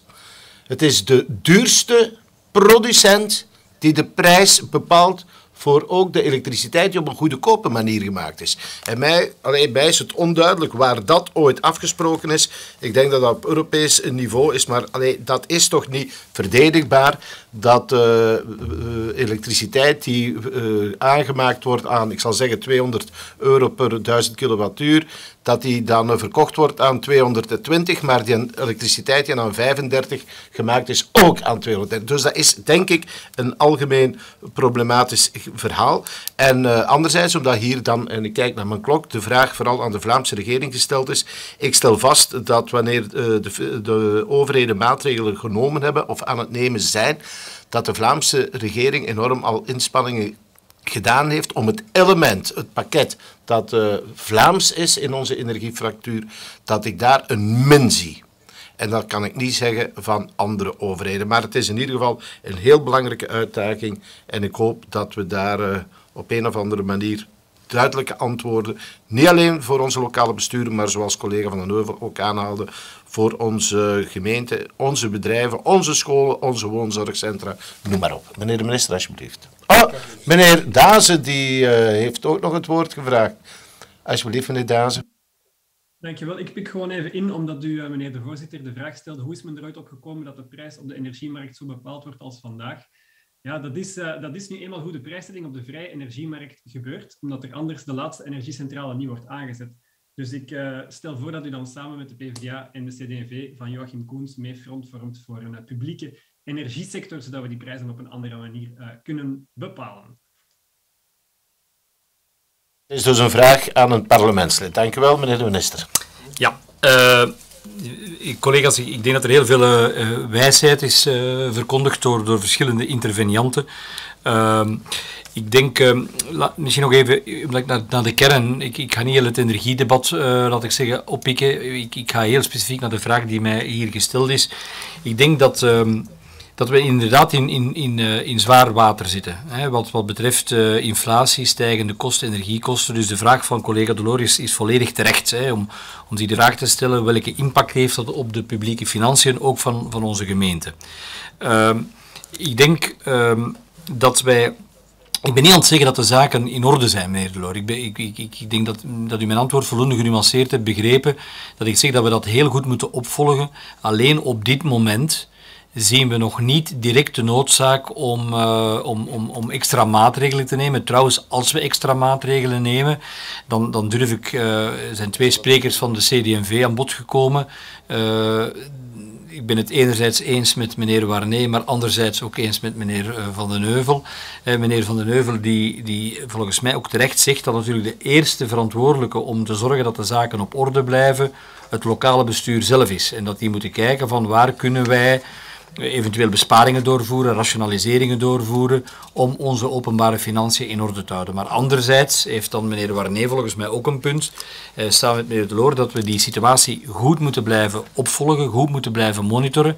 En ik monitor daar eigenlijk twee zaken. Ik monitor enerzijds de stijgende kosten en kunnen gemeenten dat uh, uh, dragen. En anderzijds wil ik erover waken dat de ruimte die ze vrijmaken binnen hun budget om die factuur te betalen, dat die niet op de kap gebeurt van de investeringen die men heeft uh, lopen. op dit moment zien we dat de investeringen niet in gevaar zijn. Bij de meerjarenplannen die goedgekeurd zijn eind vorig jaar wordt er 1 miljard euro meer gepland om uitgegeven te worden op vlak van investeringen dan tegenover het jaar voordien. Dus de gemeenten willen meer investeren. Maar natuurlijk alles hangt af van de, de realisatiegraad. Worden de projecten ook gerealiseerd? Gebeurt het ook op het terrein ook echt? Of is men daar dingen aan het vooruitschuiven om op die manier uh, de, de rekening te laten kloppen? Dus dat blijven we heel goed monitoren en, en ik, ik blijf dat ook belangrijk vinden om dat te doen. Maar als ik één positieve noot mag zeggen, zo'n crisis is ook altijd een opportuniteit. De crisis maakt voor burgers en voor lokale overheden duidelijk dat energieonafhankelijkheid, onafhankelijkheid van de wispelturigheid van de energiemarkten, door minder energie te verbruiken, met andere woorden te isoleren, en ten tweede door zelf energie te produceren, lees zonnepanelen, warmtepompen, windmolens en dergelijke meer, dat dat vandaag meer rendabel is dan ooit. En gemeenten hebben een lokaal energie- en klimaatplan goedgekeurd, hebben zich daarop ingeschreven, hebben zich daarop ingeschreven om gradueel minder energie te verbruiken. Wel, ik zou hen ook willen aanmoedigen om dat lokaal energie- en klimaatplan echt vast te pakken. Velen doen dat. En te kijken wat kunnen we hier doen, wat kunnen we hier realiseren. Dat zijn ook belangrijke investeringen, zowel voor de lokale publieke sector, maar ook kijken hoe kunnen we burgers helpen, begeleiden, aanmoedigen, op pad zetten ondersteunen om zelf ook die oefening te doen. We kunnen het eigen patrimonium, kunnen burgers daartoe aanmoedigen. Nu, vandaag, is, de, is het elke investering die men nu doet om te isoleren of om zelf energie te produceren, is rendabeler, als ik het zo mag zeggen, dan ooit voordien. Dus we moeten dat pad verder bewandelen, dat is de weg die we moeten bewandelen. En we mogen niet de illusie hebben, ik denk dat alleszins niet, ik ben daar wat somber over, dat uh, de energiemarkten zeer snel te gaan terugvallen op de, het vroegere pijl. Ik denk dat we in een zeer volatiele omgeving zitten de volgende weken en maanden, ook door de internationale context.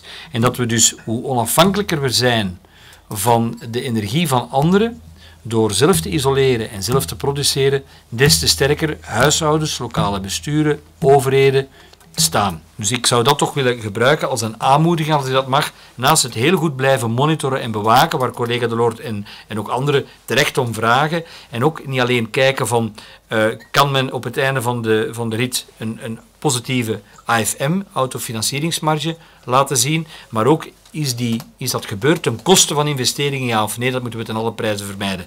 Uw heel specifieke vraag, meneer Warnee, ik heb die cijfers hier niet bij de hand. Hoeveel zitten er net boven? Maar ik ben graag bereid om die over te maken uh, via de voorzitter aan, aan alle leden van de, van de commissie. Dank u wel, meneer de minister. Meneer Deloor, voor het slotwoord. Ja, dank u wel, voorzitter. Dank u wel, meneer de minister. Um, collega's, ja, zien het um, toch het uh, grote aantal tussenkomsten. Kunnen we daar toch uit afleiden dat, um, dat de problema een problematiek is die, die heel veel, velen van ons uh, en ook anderen echt wel bezighoudt. En ja, die financiën van lokale besturen zijn kwetsbaar. Uh, en het is een grote uitdaging dan om die lokale besturen, om die financieel gezond te houden zodanig dat die investeringen ook kunnen gebeuren, dat de dienstverlening op, op peil kan blijven of zelfs uitgebreid wordt, dat die infrastructuur uh, kan geoptimaliseerd worden, ook in, kader, uh, in dat kader, uh, die investeringen naar ondernemingen en tewerkstelling toe. Het hangt allemaal aan elkaar, vandaar meneer de minister, en u hebt er ook een paar keer naar verwezen dat het zo belangrijk is om die financiën te blijven monitoren, zodanig dat die gezond blijven. Dank u wel. En hiermee zou ik deze vraag om uitleg afgehandeld. En we komen bij vier gekoppelde vragen van respectievelijk collega Dazen, Moerenhout, Minate en Van de Wouwer. Uh, over de negatieve adviezen over de oprichting van het Vlaamse Mensenrechteninstituut. Uh, mevrouw Moerenhout formuleert het over het advies van de Sociaal-Economische Raad van Vlaanderen over het terugtreden uit Unia. Mevrouw Sminati over de adviezen over het nieuwe Vlaamse Mensenrechteninstituut. En tot slot meneer Van der Wouwer over de adviezen naar aanleiding van de geplande oprichting van het Vlaamse Mensenrechteninstituut. We zijn met vier die de vraag stellen. De starter krijgt vijf minuten, de andere vier. En het klokje begint zo dadelijk te lopen voor meneer Dazen. Alsjeblieft. Dank meneer de voorzitter. En ik beperk mij deze keer tot vragen aan de minister. Wees gerust. Um, meneer de minister, we uh, weten ondertussen natuurlijk wel dat de Vlaamse regering van Unia af wil. We weten ook dat dat het eerste punt was uit het 70-puntenplan van het toenmalige Vlaams Blok en uh, dat het niet gemakkelijk moet zijn om dat als liberaal uit te moeten voeren. Um, de N-VA die duwt daarop, dat weten we. Uh, onder druk van het Vlaams Belang zeggen het ook letterlijk zo. Unia is te kritisch en dus moet Vlaanderen eruit stappen. U hebt al verschillende keren gezegd, ook recent in de pers, ja, ik heb daar zelf niet voor gekozen, hè, voor die uitstap uit Unio, dat weet iedereen wel. Um, maar wat nu voor ligt, een eigen Vlaams Mensenrechteninstituut, dat is gewoon veel beter. En de oppositie wil dat niet inzien. Dat is een ideologische blindheid van de andere kant. Dat klonk natuurlijk allemaal heel goed, maar toen kwamen de adviezen binnen over dat decreet om het Vlaams Mensenrechteninstituut op te richten. En die waren allemaal negatief allemaal. Korte bloemlezing, de FLOR, de Vlaamse Onderwijsraad, heeft het over een verlies in rechtstoegang en rechtsbescherming. De SERF, met de vakbonden en de werkgevers, heroverweegt de terugtrekking van Vlaanderen uit Unia. De Vlaamse Ouderenraad, deze beleidskeuze, treft bij uitstek wie kwetsbaar is. De Vlaamse Raad voor Welzijn, Volksgezondheid en Gezin heeft het over een toegenomen versnippering en een bijhorende complexiteit en het gebrek aan slagkracht in de strijd tegen mensenrechten schendingen en discriminatie. De VLIR heeft het over een vrijblijvend karakter van de geschillenkamer. De Vlaamse adviesraad handicap dat het moeilijker wordt voor de burger om de juiste weg naar de juiste instelling te vinden. De Vlaamse Jeugdraad zegt dat de inkandeling van het kinderrechtencommissieraad in het Vlaams Mensenrechteninstituut afbreuk doet aan het vooropstellen van het belang van het kind. En de Strategische Adviesraad voor Cultuur, Jeugd, Sport en Media, de SARC, is het daarmee eens en zegt de specifieke positie en aanspreekbaarheid van het kinderrechtencommissiariaat mag niet verdwijnen.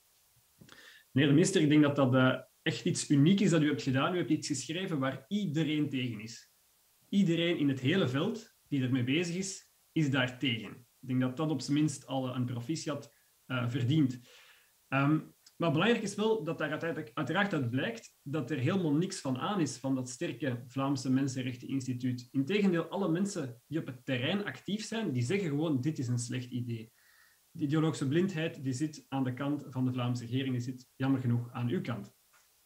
Want in plaats van, uh, van, van het mensenrechtenbeleid te versterken, verzwakt u de ondersteuning voor het realiseren van mensenrechten en versnippert u het mensenrechtenlandschap, zodat burgers door het bos de bomen uh, niet meer kunnen zien. Um, met de woorden van de politicoloog Dave Sinarde, die, die schreef, wat we zelf versnipperen, versnipperen we beter in Vlaanderen als ik van u was, meneer de minister, ik zou dat ergens inkaderen en ophangen en misschien meteen ook uh, cadeau doen aan al uw collega's van de Vlaamse regering. Denk je daar eens naar kijken voordat je nog naar dit soort beslissingen gaan. Want wat zijn de gevolgen van waar jullie mee bezig zijn? Dat is dat slachtoffers van discriminatie slechter de weg gaan vinden naar de juiste instantie. In plaats van één loket komen er de facto twee loketten op basis van de plaats waar je woont. Dat het Mensenrechteninstituut Unia door de uitstap expertise verliest, 10% van zijn personeel moet ontslaan en dat dat niet wordt overgenomen. En natuurlijk dat uh, we overgaan van, een, uh, van ondersteuning ook in rechtszaken naar een geschillenkamer. Unia heeft het mandaat om juridisch op te treden als, om, als de antidiscriminatiewetgeving overtreden wordt en dat mandaat heeft het Vlaams Mensenrechteninstituut niet. En dus het middenveld en al die adviesorganen die maken zich allemaal zorgen over het ontbreken van juridische slagkracht en de verminderde toegang tot de rechtbank voor kwetsbare groepen die te maken krijgen met discriminatie. En u zegt daar altijd twee zaken op, uh, meneer de minister. Ten eerste zegt u, ja, Unia trekt weinig naar de rechter, dus dat heeft toch allemaal geen zin. Hè?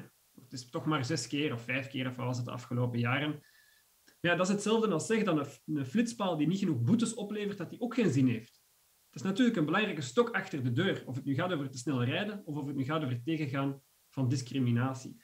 Twee weken geleden is dat ook gebleken op de gedachtwisseling die we erover hebben gehad met Unia over een jaarverslag van vorig jaar. Dat ze zeiden, ja, dat is een belangrijke stok achter de deur om te komen tot, ge, tot geschillenoplossing, om te komen tot bemiddeling, om dadingen te sluiten en zo verder. Dus het effect van die mogelijkheid om naar de rechtbank te trekken is uiteraard veel groter dan het aantal rechtszaken. En ten tweede zegt u, ja, maar we hebben een geschillenkamer in Nederland en dat werkt fantastisch. Ja, u vergeet daar dan natuurlijk bij te zeggen dat in Nederland er wel juridische bijstand is aan melders vanuit de lokale antidiscriminatiebureaus die bij ons niet bestaan. Dus dat is wel een heel belangrijk onderscheid, uh, dat u natuurlijk dat model niet zomaar kan kopiëren, gezien we hier niet met dezelfde instellingen zitten. Dus zijn mijn vragen, meneer de minister, over die adviezen ten eerste... En daar hebt u nog vijf seconden voor. Nog vijf seconden voor mijn vragen, dat moet net lukken als ik snel genoeg babbel. Of dat u bereid bent om terug te komen op die uitstap uh, uit Unia na de negatieve adviezen van de adviesraden, want waar hebben we anders adviesraden voor? Ten tweede, hoe je gaat voorkomen dat de oprichting van zo'n instituut leidt tot een verdere versnippering en dat kwetsbare groepen niet meer de kans krijgen om mensenrechten aan te kaarten. En tenslotte, hoe dat u ervoor gaat zorgen dat de rechtstoegang en de rechtsbescherming gegarandeerd blijft, ook bij de oprichting van het Vlaams Mensenrechteninstituut. Dank voor uw antwoord. Dank u wel, meneer Daas mevrouw Moerenhout. Dank u, voorzitter. Uh, ik heb inderdaad ook een, een soortgelijke vraag. Um, het is inderdaad ongezien wat mijn collega zei, dat uh, negen uh, negatieve adviezen op een rij, meneer de minister, uh, over het idee of over de oprichting om een Vlaams Mensenrechteninstituut op te richten. het is dan niet eens het, eerste alarmsignaal. We hebben net voor het kerstreces ook al um, de gebundelde middenveldorganisaties gehad dat naar buiten kwamen met hun bezorgdheid. En er wordt eigenlijk, die bezorgdheid wordt alleen maar bijgetreden door de negen negatieve adviezen die daarnet zijn opgesomd. Ik heb uh, één advies eruit gehaald in mijn vraag, en dat is het advies van de, SERF, uh, omdat dat toch een heel erg opvallend advies was. De kritiek is niet uh, min, meneer de minister. De SERF vraagt de Vlaamse regering, vraagt u dus zelfs om de uitstap uit Unia ongedaan te maken. Dat is een vraag die niet lichtzinnig wordt, wordt gedaan. Hè. De SERF um, onderzoekt elke kwestie terdege. En in hun advies zijn ze dan ook heel duidelijk ga een kort stukje uh, citeren. Zij zeggen, schrap de voorziene oprichting van een geschillenkamer binnen het instituut. Oordelen over vermoedens van schendingen van mensenrechten moet door de rechterlijke macht gebeuren. Geef het instituut de mogelijkheid om in rechten op te treden in eigen naam. Dat vergt ook een duidelijk kader in zaken bemiddeling, waarbij de inhoud van de bemiddeling niet gebruikt kan worden bij verdere gerechtelijke stappen. Het is eveneens belangrijk dat het instituut de nodige ondersteuning kan bieden, zeker voor personen in kwetsbare situaties. En daar gaat het natuurlijk onder meer, hè, want er zijn een aantal uh, belangrijke kritiekpunten, maar daar gaat het natuurlijk onder meer heel, heel erg over. Um, collega Dazen heeft daar, daarnet al geschetst wat de problemen zijn met die geschillenkamer. Maar ook hier, uh, wat de SERF hier schrijft, ja, klopt natuurlijk volledig. Als er uh, schendingen van mensenrechten zijn en daar moet een oordeel over komen, ja, dat komt door die rechterlijke macht. En een, een ander punt dat, dat mij heel sterk tegen de borst stoot, is het feit als je het vanuit een persoonlijk uh, standpunt bekijkt, want we spreken nu over de juridische problematiek, uh, de, de, de, de zijde langs de overheid, maar u verwacht dus van individuen die dan een advies hebben gekregen van die geschillenkamer. Dat advies wordt niet gevolgd door de dader, want anders uh, zou het slachtoffer um, niet naar de gerechtelijke macht moeten stappen. En omdat ze dan eigenlijk op, op persoonlijke basis alsnog naar het gerecht gaan stappen zonder steun, zonder ondersteuning. Ik denk dat dat heel, heel zwaar is. Het, um, ja, de boodschap impliciet, de impliciete boodschap die je op dat moment krijgt van, van je eigen overheid. Dus ik ben daar ook absoluut niet uh, van te spreken, van die, uh, van die geschillenkamer. Ik denk dat dat heel belangrijk is, die kritiek dat overal terugkomt van, die, um, van al die organisaties, van het middenveld, dat er effectief naar, naar de juridische wereld moet gestapt kunnen zijn. Die juridische armslag is, is ongelooflijk belangrijk. Ik wil nog twee uh, extra kritieken hier aanhalen dat ik daarnet niet heb gehoord.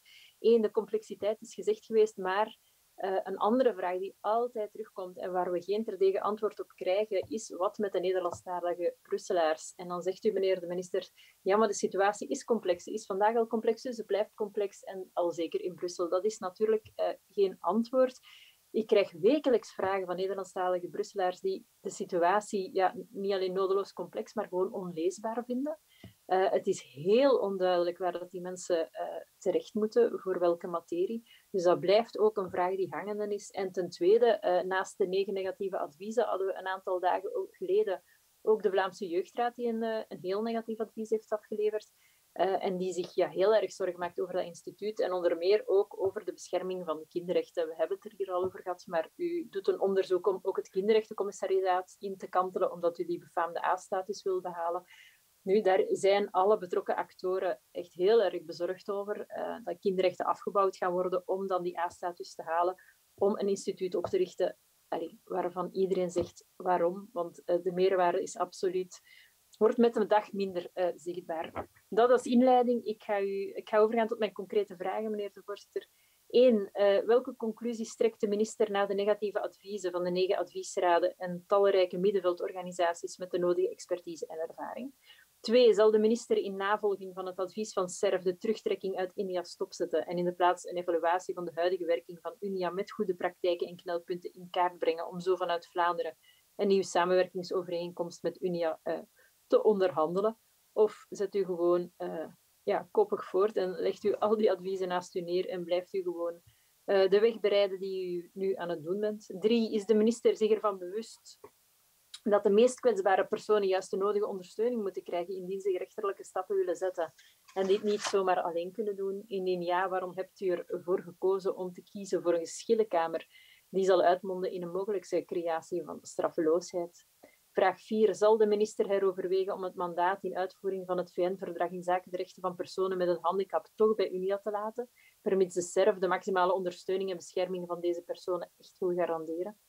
Welke conclusies trekt de minister uit dit advies over de eigen slagkracht en bescherming van de mensenrechten voor het instituut? Vijfde vraag. Welke initiatieven neemt u nadat deze raden en organen een geschillenkamer als een achteruitgang in de bescherming van mensenrechten uh, beschouwen en de aanpak van discriminatie in het gedrang komt, want het zijn absoluut geen lichte woorden. En laatste vraag, kan de minister een stand van zaken geven over de positie van de Nederlandstalige Brusselaars? Tot zover mijn vragen, meneer de voorzitter. Mevrouw Sminate. Dank u wel, voorzitter. Um, ik had inderdaad een uh, vraag over uh, hetzelfde thema, maar uiteraard en uh, gelukkig maar met een heel andere insteek. Um, ik heb gezien dat centraal in de kritieken op deze beslissing van de Vlaamse regering staat uh, dat de oprichting van de geschillenkamer dat dat een, een probleem zou zijn. Dus geschillenkamer die een niet bindend oordeel zal kunnen vellen en dus niet bij rechten zal kunnen optreden. Dat is natuurlijk een, een kritiek die niet nieuw is, hè? Uh, maar we hebben hierover al uh, uitgebreid van gedachten gewisseld in deze commissie. En u heeft toen in mijn ogen heel duidelijk aangetoond waarom er voor zo'n geschillenkamer wordt gekozen naar analogie met Nederland bijvoorbeeld. Um, en u heeft toen ook dat instrument van, van bij rechten optreden heel sterk genuanceerd. Um, ik merk dat het niet de eerste keer is dat een hervorming, een grote hervorming deze legislatuur, dat dat wat heilige huizen doet slopen, als ik dat zo mag zeggen. Het Vlaamse regeerakkoord is heel ambitieus en wij kiezen absoluut niet voor het status quo, ehm, dat toch door velen in dossiers over integratie, inburgering, gelijke kansen, dat dat eh, gehanteerd wordt. Uh, meneer de minister, u gaf uh, in het artikel en, en bij eerdere debatten ook al aan dat het niet uw persoonlijke keuze was om naar een eigen Vlaams Mensenrechteninstituut te gaan. En dat klopt ook. Uh, het is een uitdrukkelijke wens geweest van mijn partij. Um, om de naleving en behandeling van mensenrechten en de aanpak van discriminatie naar Vlaanderen te halen. Um, nu, ik ben ervan overtuigd dat we moeten gaan voor een robuust, maar vooral evenwichtig mensenrechtenbeleid in Vlaanderen. Wij moeten ook een einde stellen, uh, ik heb dat daar straks ook al gezegd, aan de uh, nogal activistische houding van Unia, die iedere keer opnieuw hun ideologische uh, vooringenomenheid uh, laat primeren op haar veronderstelde onafhankelijkheid. Um, voor mij en voor mijn, mijn partij is uh, zo'n organisatie geen betrouwbare partner voor het beleid dat wij in Vlaanderen voor ogen hebben. Uh, wij hebben daarentegen wel alle vertrouwen in de verdere behandeling van dit dossier en de uitvoering van dat ambitieuze regeerakkoord. En wij geloven dat we op deze manier Vlaanderen een stevige basis geven om mensenrechten te beschermen en discriminatie te bestrijden. Um, ik had een aantal uh, concrete vragen voor u, meneer de minister. Hoe evalueert u de verschillende adviezen die werden afgeleverd naar aanleiding van de oprichting van het Vlaams Mensenrechteninstituut? Uh, hoe kijkt u naar de kritiek op het concept van de geschillenkamer? Um, en tenslotte, welke verdere stappen moet, moeten concreet nog genomen worden voor de finalisering van het ontwerpdecreet? En wat is uh, de timing daarvan? Dank u wel, mevrouw Sminaatu. Meneer Van de Wouwer. Ja, dankjewel. Uh, voorzitter, minister, het is naar aanleiding van die uh, principiële goedkeuring uh, van het voorontwerp van decreet voor de oprichting van het Vlaamse Mensenrechteninstituut dat de Vlaamse regering dat advies heeft ingewonnen van uh, negen adviesorganen. We hebben ze nu allemaal uh, ontvangen. Die zijn heel veel omvattend en uh, ook een uiting van een aantal bezorgdheden die ook al in het bredere middenveld leven, die we ook al, waar we ook al van gehoord hebben. Waar de eerdere sprekers hadden in hun initiële vraagstelling voornamelijk een focus op de beslissing om uit Unia te treden aan zich. Dat is een beslissing, meneer de minister, u heeft dat al een paar keer gesteld, dat u daar geen vragende partij voor was, voor alle duidelijkheid. Eh, CD&V was dat ook, ook niet. Um, en ze focussen enerzijds op die uh, beslissing uit Unia. Een andere focus was dat, dat niet meer in rechten kunnen optreden. Dat is iets waar ik in deze commissie ook al vaker mijn bezorgdheid over heb geuit. U heeft al um, heel uitgebreid uw visie op die geschillenkamer toegericht op basis van de goede praktijken in, in Nederland. U heeft dat duidelijk geschetst. En ik wou u daar ook het, uh, voordeel van de twijfel in, geven. Dat verhaal dat zit, uh, dat zit goed, uh, goed ineen. Maar mijn bezorgdheden zijn nog wel niet helemaal weg. En de verschillende adviesraden die halen op dat vlak ook een aantal terechte punten aan. Het is in quasi elk advies dat er terugkomt, die vrees voor die vrijblijvendheid of die niet-bindendheid van die uitspraken van die geschillenkamer. Met daaraan dan ook gekoppeld die oproep om toch nog die mogelijkheid te voorzien om je rechten te kunnen, te kunnen optreden. Maar er zijn ook heel veel andere zaken die we terugvinden in die verschillende adviezen, onder andere over de onafhankelijkheid van het nieuwe instituut, over het belang van het afsluiten van samenwerkingsakkoorden met andere instellingen die met uh, kwetsbare doelgroepen werken, uh, het zorgen voor een pluralistische vertegenwoordiging van het maatschappelijke middenveld in de bestuursorganen, zorgen voor een heldere rolverdeling met andere officiële mensenrechteninstituten, het behoud van de opgebouwde expertise um, bij Unia en dan waken over uh, laagdrempelige toegang. Er zijn een aantal zaken die ook in die uh, adviezen meermaals uh, terugkwamen. En ik denk dat we al die verschillende elementen uit die adviezen moeten gebruiken om die verdere uitbouw van dat Vlaams Mensenrechteninstituut tot een echt krachtige instelling te garanderen. Een instelling die garant zal kunnen staan voor de bescherming van mensenrechten in Vlaanderen. En gezien de beslissing die genomen is om uit Unia te trekken, wil ik en, de CD&V-fractie bij gevolg van dit Frans Mensenrechteninstituut een zo krachtig mogelijk instituut maken. Dus ik denk dat we daardoor, uh, daarvoor ook kunnen leren uit een aantal adviezen die zijn uh, binnengekomen. En ik wil voornamelijk op die elementen focussen. Dus daarom volgende vragen aan u. Meneer de minister, heeft u al initiatief genomen om met die verschillende adviesraden in gesprek te gaan over de in hun, in hun adviezen naar voren gekomen bekommernissen en, en aanbevelingen, om de keuzes die gemaakt zijn binnen het vormtreppen nader te duiden. Zo ja, wat waren de verdere reacties? En zo niet, plant u dan nog te doen? En eigenlijk ook hierbij aansluitend, wat zijn nu voor u de belangrijkste conclusies uit de adviezen die geformuleerd zijn? En dan uh, ten tweede, uh, er zou ook nog een advies komen vanuit het Europees netwerk van, van de gelijkheidsorganen Equinet en vanuit het Europees netwerk van mensenrechteninstellingen. Ze zouden ook een advies aan het voorbereiden zijn. Werd u, meneer de minister, door deze instellingen al op de hoogte gesteld van het feit dat zij een advies uitwerken en werd u ook al gecontacteerd door die instellingen om de krachtlijnen van het voorontwerp van decreet nader te uh, verduidelijken. Ik kijk uit naar uw antwoorden, meneer de minister. Dank aan de vier vraagstellers. Meneer de minister, alsjeblieft. Ja, uh, dank u wel, eh, collega's, voor uh, de vraagstelling. Um, laat mij beginnen met uh, te zeggen dat uh, dit natuurlijk een belangrijk thema is. de bescherming van mensenrechten, strijd tegen discriminatie, is dat behoort tot het fundament van mijn eigen maatschappelijke en politieke overtuiging. En ik denk dat ook voor vele partijen dit een, een, een fundamenteel gegeven is. Er, er, is geen rechtvaardig Vlaanderen te bedenken zonder een, een gemeenschap of een, samenleving, een maatschappij die zich uh, actief inzet om iedereen gelijke kansen te geven en om uh, discriminatie te, te, voorkomen. Een eerste algemene inleidende beschouwing. Tweede algemene inleidende beschouwing. Ik, ik zit al te lang in, in de wedstraat en, en ik ben al te lang politiek actief om niet te weten op voorhand dat er in onze samenleving een ongelooflijk ingebakken conservatisme is. Dat uh, elke verandering eigenlijk met uh, angstzweet bekijkt. ik vind dat in de adviezen die ik gekregen heb een heleboel terechte bekommernissen en aandachtspunten zijn, zorgen die we ernstig moeten nemen.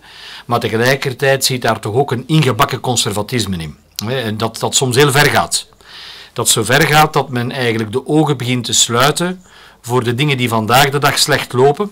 En eigenlijk bijna uh, de verdediging opneemt van het status quo. Hè. Uh, er is ooit een, een, Nederlandse sociaaldemocraat die heeft gezegd: de angst voor de verandering is vaak groter dan het ongemak van het status quo.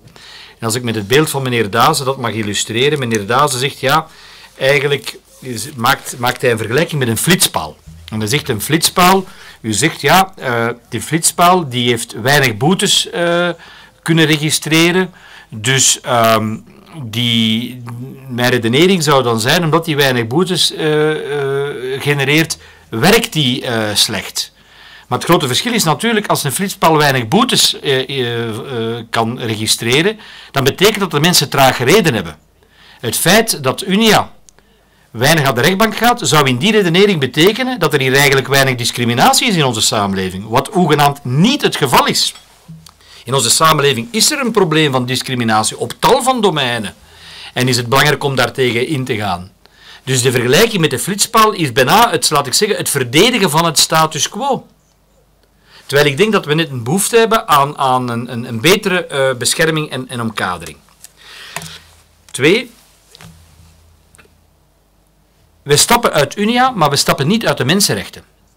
En dat is misschien tot, uh, tot verdriet van, van extreem rechts, die natuurlijk uitstappen uit Unia. Voor haar is dat een manier om mensenrechten en discriminatie onder de, de voetveeg, onder de mat te vegen. Maar dat is absoluut niet hetgeen wat we, wat we doen. En, en ik denk dat uh, in heel de retoriek we moeten opletten dat uh, die twee zaken, middel en doel niet door elkaar halen. UNIA is een instrument om mensenrechten te verdedigen, een instrument waar wij uitstappen, maar wij zetten daar tegenover een nieuw Vlaams instrument voor in de plaats, dat de ambitie heeft om de problemen en de moeilijkheden en de onvolkomenheden die er vandaag te zijn, op te vangen in een beter systeem. En het klopt heel juist dat ik geen vragende partij was en mijn partij was ook geen vragende partij, om uit Unia te stappen, maar ik vind als minister dat wij de kans moeten grijpen wanneer we een beweging doen om erop vooruit te gaan. En dat is ook, het regeerakkoord heeft dat ook zo bepaald. Vandaag heeft Unia een B-status. Wij hebben de ambitie om naar een A-status te gaan en ons te conformeren aan alle internationale maatstaven op vlak van bescherming van mensenrechten en strijd tegen de discriminatie. Uh, wat zijn de antwoorden op de verschillende vragen? Ik heb ze wat proberen te, te, te groeperen. We hebben uh, onze tijd genomen om, om grondig te onderzoeken waar huidige knelpunten liggen en hoe we het beter kunnen doen dan vandaag. We zijn daarvoor te raden gegaan bij topacademici en advocaten gespecialiseerd in discriminatierecht en buitenlandse best practices. En wie zijn dat? Elke Kloots, Jochem Vrielink en Stefan Sotjo. Dat zijn de drie van onze absolute topacademici op vlak van discriminatierecht uh, in, in Vlaanderen. En academisch onderzoek toont aan dat het huidige handhavingsmodel tekortschiet in het bestrijden van discriminatie. Dat zijn niet mijn woorden, dat is de vaststelling van nogal wat uh, mensen, deskundigen op het terrein, van de betrokken academici. En trouwens ook in alle eerlijkheid van nogal wat partijen die vandaag de dag eigenlijk het status quo omarmen en, en proberen te verdedigen. Die anders, op andere momenten, mocht dit debat nu niet gevoerd worden over stappen we uit Unia en gaan we naar het Vlaams Mensenrechteninstituut, zouden zeggen dat we meer moeten doen in de strijd tegen mensenrechten en daarin hebben ze, uh, in de strijd van mensenrechten schendingen en daarin hebben ze uh, gelijk. Academisch onderzoek doet aan dat het huidige aantaningsmodel tekortschiet. De kwantiteit aan rechtszaken is onvoldoende en ook de kwaliteit is onvoldoende. En het gaat daarbij manifest over foute toepassingen van het decreet. Men zegt dat de, de rechterlijke macht, het Openbaar Ministerie, juist omdat er weinig rechtszaken zijn, onvoldoende vertrouwd zijn met de discriminatiewetgeving en dan daar ook vaak uh, blijkbaar slechte kwaliteit aan, aan uh, rechtspraak ontstaat. Ik zeg dat niet, specialisten zeggen dat. Het heeft gevolg dat slachtoffers vandaag te vaak in de kou blijven staan. Mensen met migratieroutes krijgen 50-plussers, universitair geschoolde vrouwen en zo verder. Ik heb ervoor gekozen om een systeem uit te werken dat gehoor geeft aan, aan vier aanbevelingen uit de studie. De studie van deze professoren, nogmaals Elke Kloots, Jochem Vrielink, Stefan Sotjo. 1. We gaan van een gelijkheidsorgaan naar een volwaardig mensenrechteninstituut met een breed mandaat. Zo vullen we een bestaande lacune in en creëren we meer zichtbaarheid en impact. 2. We pakken de versnippering aan van discriminatiegronden die vandaag de dag bestaan. Want er zijn vandaag, is er niet één loket, er zijn vooral dergelijke, vandaag ook drie loketten. De genderkamer, het Instituut Gelijkheid voor Vrouwen en Mannen en Unia. Waar moet, trouwens vandaag, waar moet een vrouw vandaag, om de concrete vraag, met migratieroutes naartoe als ze te maken krijgt met discriminatie? Moet zij naar Unia of moet ze naar het Instituut voor de Gelijkheid van Vrouwen en Mannen of moet ze naar de genderkamer? Jonge studenten die recent te maken kregen met seksuele intimidatie, wisten zelfs niet van het bestaan van de genderkamer. En drie, we geven gehoor aan de concrete suggestie van de onderzoekers om de handhaving te versterken en draagvlak te vergroten via een onafhankelijke geschillenkamer. En ten vierde, er is nood aan een mensenrechteninstituut met een A-status. Het voorontwerp komt volledig tegemoet aan deze vier aanbevelingen. Dat wil niet zeggen dat we niet kunnen bijleren uit de adviezen. Integendeel, we zijn de adviezen momenteel ernstig aan het bestuderen. Een aantal opmerkingen wijzen erop dat het kader waarbinnen het Vlaams Mensenrechteninstituut zal werken niet duidelijk genoeg is. Dat zullen we aanpakken in de memorie van toelichting. 1. Enkele voorbeelden. Zo lijken sommige adviesraden ervan uit te gaan dat de volledige ondersteuning van slachtoffers wegvalt, terwijl de overgrote meerderheid van de bijstand behouden blijft. Het Vlaams Mensenrechteninstituut zal informatie verlenen, samen met slachtoffers meedenken, gericht doorverwijzen en ook kunnen begeleiden naar gerechtelijke procedures waar nodig. We moeten dat verduidelijken. Sommige adviezen zijn in de veronderstelling dat dat niet het geval zal zijn. De ondersteuning zal niet alleen gelden in zaken discriminatie, maar voor alle mensenrechten. Een unicum in ons land. De ondersteuning tegen discriminatie wordt zelfs versterkt met een onafhankelijke geschillenkamer. Die zal bestaan uit academici, rechters en gespecialiseerde advocaten. En we zien in Nederland het effect, met zo'n 120 uitspraken per jaar die in 80% van de gevallen worden gevolgd. Deze vooruitgang kan en moeten we sterker in de verf zetten. Het enige wat verdwijnt is de mogelijkheid voor het Vlaams Mensenrechteninstituut om echt in naam van een slachtoffer naar de rechter te stappen. Omdat het VMRI dan rechter en partij in één zaak zou kunnen zijn. Maar daar komt een sterk concept voor in de plaats, de geschillenkamer. Sinds 2008 stapte Unia slechts zes keer, volgens de professoren, volgens Unia zelf slechts vijf keer, binnen de Vlaamse bevoegdheden naar de rechter. Alle andere keren bleven slachtoffers dus in de kou staan als bemiddeling niet lukte. En dat wordt verleden tijd. Als bemiddeling niet lukt, kunnen slachtoffers bij de VMRI een gezaghebbend oordeel krijgen over hun zaak en laagdrempelige en kosteloze procedure. Vandaag moeten slachtoffers hun eigen advocaat betalen. Ook als Unia in rechten optreedt, en dat is duur. Dus ook als Unia in rechten optreedt, voor alle duidelijkheid, moeten de slachtoffers hun eigen advocaat betalen. Unia betaalt die niet voor hen. In de geschillenkamer is dat gratis. Uit studie blijkt dat slachtoffers onvoldoende hun slaagkansen kennen. In rechtszaken op basis van het gelijke kansendecreet was dat in het verleden 50-50. Ook dat is verleden tijd. Met het oordeel in de hand van de geschillenkamer zullen slachtoffers sterker staan. Verschillende adviesorganen zijn bezorgd over de versnippering van het landschap van mensenrechteninstellingen in ons land en vragen zich af of iedereen nog de weg zal vinden naar de juiste instelling. Daarom wordt er gesuggereerd om de bevoegdheden van alle instellingen duidelijk uit te klaren en wordt er gepleit voor samenwerking in het bijzonder voor wat betreft de doorverwijzing van meldingen en klachten. En we mogen daar niet blind voor zijn. Voor de versnippering die vandaag al bestaat tussen verschillende discriminatiegronden. En ik wil van dit momentum gebruik maken om een laagdrempelig één loketsysteem uit te werken dat een vooruitgang betekent voor alle burgers in ons land en dus ook voor de Brusselaars. Dat is een uitdrukkelijk engagement van de regering om te werken aan een samenwerkingsakkoord. In het bijzonder rond de doorverwijzing van meldingen en klachten tussen de bestaande instellingen op het federale en interfederale niveau en de VMRI. En Vlaanderen is trekker in dat verhaal. Dus dat probleem kan perfect worden opgelost met een één-loketsysteem. Een discussie van de back, uh, van de front office en de back office zijn twee verschillende discussies. Voor de burger is de eenduidigheid van de front office cruciaal en daar wil ik aan werken. In sommige adviezen worden ook bezorgdheden geuit over de bescherming van het VN-handicapverdrag, maar deze zijn onterecht. Niet alleen het recht op gelijke behandeling, maar alle rechten van de personen met een handicap zullen binnen het Vlaams Mensenrechteninstituut worden beschermd. Het weigeren van redelijke aanpassingen is binnen het gelijke kansendecreet een vorm van discriminatie. Dat wil zeggen dat personen met een handicap mee zullen kunnen profiteren van de sterkere en laagdrempelige handhaving. De Adviesraad Handicap, NOZO, erkent dan ook het potentieel van de VMRI en het laagdrempelig karakter van de geschillenkamer. Alle adviesraden werden uitgenodigd op gesprekken om van gedachten te wisselen, hun opmerkingen beter te begrijpen en hen eventueel ook te wijzen op uh, verkeerde interpretaties. Mijn kabinet is reeds in gesprek gegaan met de SERF, de Vlaamse Jeugdraad, de Vlaamse Ouderenraad en NOZO en deze gesprekken liepen heel constructief. We hebben ook een formele adviesaanvraag verstuurd naar Enri en Equinet uh, en Equinet nam uit eigen initiatief met ons contact op.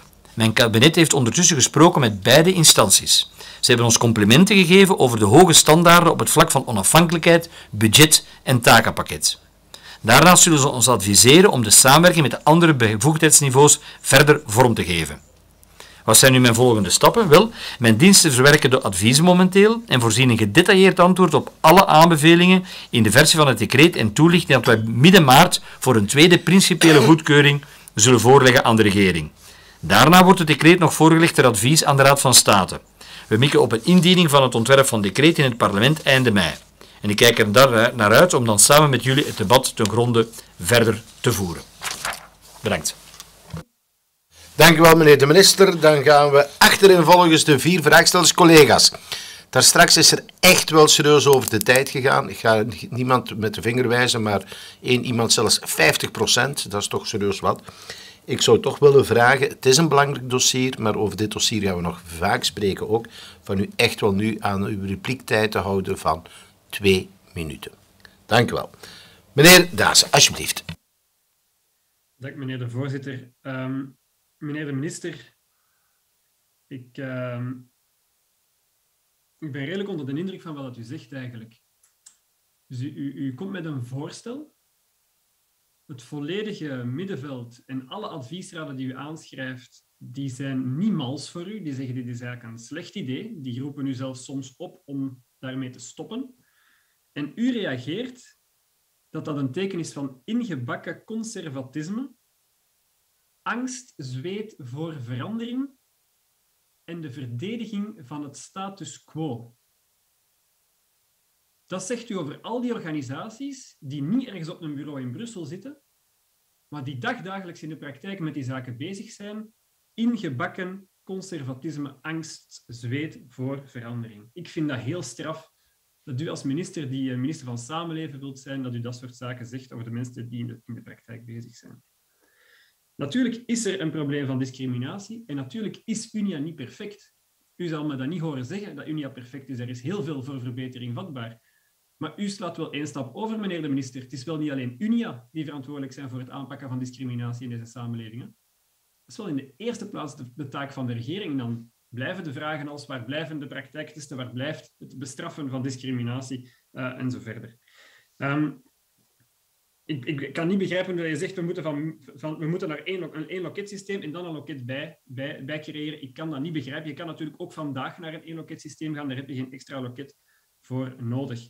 Um, twee vragen nog. Um, meneer de minister, ten eerste, u hebt mijn eerste vraag overgeslagen. Dat was, bent u bereid om die uitstap uit Unia te herzien? En een tweede vraag, en die is eigenlijk exact dezelfde. U zegt, ik wil wel bijleren uit adviezen, we gaan, we, gaan, we gaan antwoorden op de adviezen. Nee, nee, maar begrijpt u die adviezen? Luistert u naar die adviezen? Uh, neemt u die serieus? En dan is er de SERF, de vakbonden en de werkgevers, die volgens u ingebakken conservatief zijn en in wie het angst, zweet uitbreekt voor verandering, die vragen u, heroverweeg die terugtrekking. Bent u bereid om dat effectief te doen? Dat is hier toch vandaag de vraag. En ik hoop dat we daar toch nog een antwoord op krijgen. Mevrouw Moerenhout. Bedankt, voorzitter en minister. Ja, meneer de minister, u doet inderdaad, u doet de adviezen af als ingebakken uh, conservatieve, conservatisme. Ja, dat klopt natuurlijk niet. Het instituut met de geschillenkamer zoals die nu voorligt, is net een achteruitgang, zeg, zeggen al die adviezen, zeggen al die middenveldorganisaties. Het is geen ingebakken conservatisme. Men oordeelt, men heeft schrik. Het is een achteruitgang in de bescherming van de mensenrechten en in de aanpak van discriminatie. En een zin verder zegt u, ja, we moeten meer doen. Ik had verwacht van de oppositie dat ze zouden zeggen, we moeten meer doen. Ja, we moeten inderdaad meer doen in de strijd voor uh, gelijke rechten. Maar dat is het hele punt. Het instituut zoals het nu voor ligt, gaat niet meer doen. Het gaat minder doen. Hè. Het is geen vooruitgang, het is een achteruitgang. En dat bewijst ook wel ten dele uw antwoord, want u, kan geen ant u geeft geen antwoord omdat u het niet kan, volgens mij, op de fundamentele kritieken van die adviezen, de fundamentele bezorgdheid.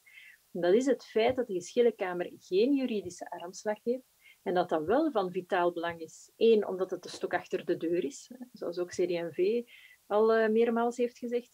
Twee, omdat de slachtoffers gewoon maximale steun uh, verdienen. En u spreekt over, ja, maar ze kunnen info geven of ze kunnen doorverwezen worden. Ja, dat is natuurlijk geen maximale steun. En drie, de essentie van wat uh, SERF schrijft, is dat het oordelen over schendingen van mensenrechten, dat dat moet gebeuren door een gerechterlijke macht of door de gerechterlijke macht. En u verwijst steeds naar Nederland.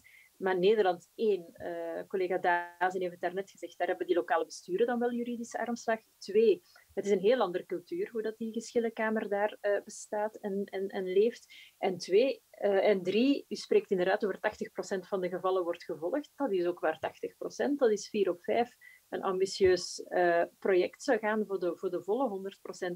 Dus die geschillenkamer is, is essentieel in de, in de problematiek, waarom dat het een achteruitgang is en geen vooruitgang. Ik heb nog één bijkomende vraag. Heel kort aan mevrouw Moerenhout, want u bent weer serieus over de tijd. Weer, dan was ik het daar juist. Sorry, voorzitter. Um, over de inkanteling van de sectorale MRI's. Ik heb daarnet al de kader gegeven van het kinderrechtencommissariaat. Wanneer gaan we daar meer duidelijkheid over hebben, uh, meneer de minister? Want nu hangt dat zo in het uh, vage. Misschien wel, misschien niet. Wanneer komt die duidelijkheid? Dank u wel, mevrouw Sminate. Dank u wel, collega's. Um, het argument waar ik persoonlijk mij heel erg aan stoor, dat is dat het Vlaams Mensenrechteninstituut de versnippering in de hand zal werken. Allee, collega's, um, is het vandaag dan zo'n duidelijk en transparant speelveld? We hebben de genderkamer, de ombudsman, de kinderrechtencommissaris, uh, Vlaams Vredesinstituut, UNIA, het Instituut voor de Gelijkheid van Mannen en Vrouwen, MIRIA, het uh, Federaal Instituut voor de Mensenrechten en, en ongetwijfeld vergeet ik er nog een paar in, in Wallonië en Brussel. Um, dus nu komen beweren dat dit Vlaams Mensenrechteninstituut de versnippering zal veroorzaken. Allee, um, ik vind dat we toch een beetje serieus moeten blijven. Dus ik, ik kan mij niet vinden in de kritieken van deze adviezen en de minister heeft die al een aantal keren weerlegd. Um, dus er is voor mij en voor mijn fractie geen enkele aanwijsbare reden om niet door te gaan met uh, deze operatie. Um, en ja, de uitstap uit Unia, de oppositie kan dat uh, maar moeilijk verteren. En ik, begrijp dat ook. Hè. Um, we nemen als Vlaanderen eindelijk afscheid van een instituut dat hun mening verkondigt, hè, van de oppositie hier aanwezig, eh, toch al zeker van mijn twee voorgaande sprekers, en hun visie op discriminatie in plaats van onafhankelijk te zijn uh, in deze toch belangrijke maatschappelijke debatten. Dus meneer de minister, um, wij vragen u daarom om uh, snel vooruitgang te maken in dit dossier, zodat we wel degelijk kunnen rekenen uh, in de toekomst op een onafhankelijk instituut uh, in deze relevante discussies. Dank u wel. Meneer Van de Wouwer. Ja, dank u voorzitter. Uh, minister, ik wil toch ook even kort ingaan op dat ingebakken conservatisme. Ik betreur die uitspraak ook eerlijk gezegd.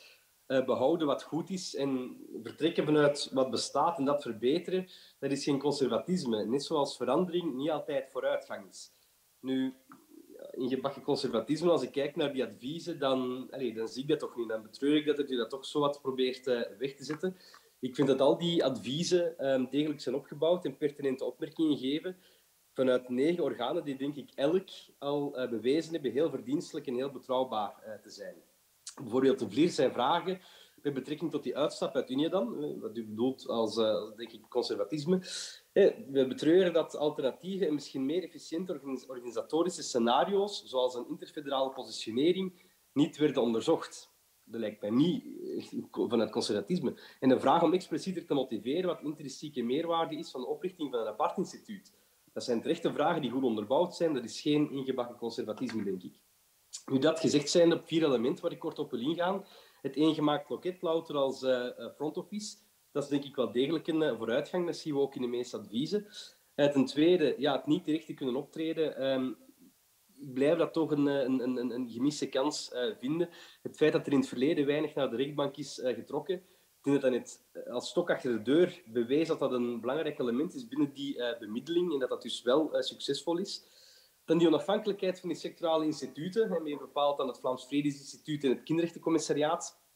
Daarvan zijn adviezen ook duidelijk dat die onafhankelijkheid belangrijk is. En zeker voor jongeren het ook belangrijk is om een heel duidelijk eigen aanspreekpunt uh, te hebben.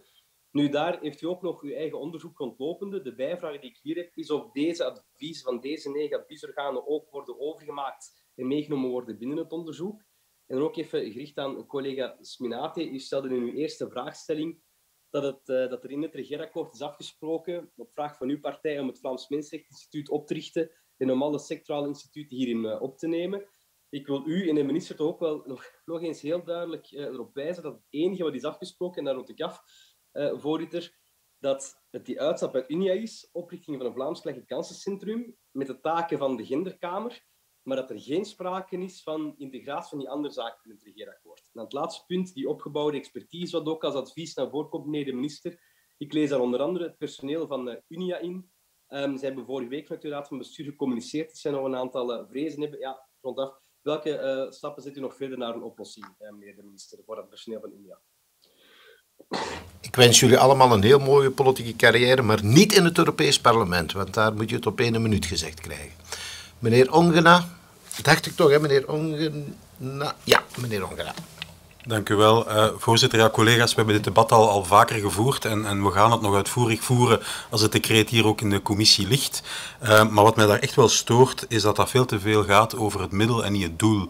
En, en dat men daardoor ook blind is eigenlijk voor de tekortkomingen die er vandaag zijn in het systeem en die toch door die uh, drie professoren heel duidelijk in kaart worden gebracht. Misschien moet die studie ook eens op een voorpagina van een krant komen, zodat de mensen van de oppositie die ook eens lezen, want die studie is niet min en die toont echt wel knelpunten aan. En ik ben blij uh, dat we dit gebruiken nu, de uitreden uit, het uitreden uit Unia, om, om de lat niet lager te leggen, maar net, hoger, hè, om te werk te maken van een beter, betere bescherming voor slachtoffers van schendingen van mensenrechten. Dus ik denk dat het goed is, meneer de minister, dat u de adviezen, dat u die goed leest, dat u nagaat waar kunnen we tegemoetkomen om vaak onduidelijkheden uh, weg te werken, maar dat we toch altijd goed het doel voor ogen blijven houden, hè, namelijk de tekortkomingen die er vandaag effectief zijn, wegwerken, werk maken van een beter mensenrechteninstituut, dat zorgt voor een betere bescherming voor slachtoffers van schending van mensenrechten, want laat daar geen twijfel over bestaan dat we dat absoluut willen, zeker als Open VLD. Geen andere tussenkomsten, meneer de minister. Ja. Ja, collega's, ik, ik wil graag uh, nogmaals herhalen uh, mijn uh, vaste overtuiging, want ik ga die niet veranderen, dat wij in onze samenleving geconfronteerd worden met een ingebakken conservatisme. Telkens wanneer er hervormingen plaatsvinden. Dat geldt niet alleen vandaag, maar bij, op heel veel domeinen en heel veel vlakken zijn wij in Vlaanderen vaak een conservatieve samenleving die angst heeft van verandering.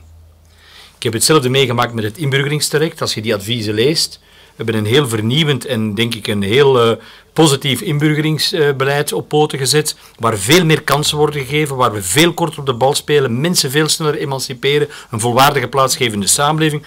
Als je de adviezen nog eens terugleest, dezelfde angst voor verandering, en dat is geen gebrek aan respect voor die belangengroepen. Ik, uh, in tegendeel, en voor, voor adviesorganen, in tegendeel. Ik heb daarbij ook gezegd, maar dat, dat hoort men dan niet, dat zij ook terechte bekommernissen aankaarten, terechte zorgen hebben, vragen hebben. En dat ik met hen in dialoog blijf gaan. Maar dat neemt niet weg dat ik na 30 jaar actief te zijn in de politiek moet vaststellen dat het veel gemakkelijker is op het ongemak van het status quo te kamperen, dan stappen vooruit te zetten naar een beter Vlaanderen. Dat is gewoon de realiteit. Dat is lokaal zo, dat is in Vlaanderen zo, dat is federaal zo. En nu moet je al nog heel verontwaardigd doen dat dat een slag in het gezicht is. Dat is geen slag in het gezicht, dat is de realiteit van de Vlaamse samenleving. En van de Belgische samenleving. En dat is mijn overtuiging. En dat is iets waar we elke dag opnieuw moeten tegen vechten. En dat is vechten om, om veranderingen te kunnen realiseren die stappen vooruit zijn. Evident moet je opletten dat je geen veranderingen realiseert naar achteruit, naar, naar minder goed, maar moet vooruit gaan. En je kunt dat alleen maar doen door met mensen in dialoog te gaan en goed te luisteren naar wat ze zeggen en met hen te praten. Maar dat wil niet zeggen te buigen voor elke kritiek.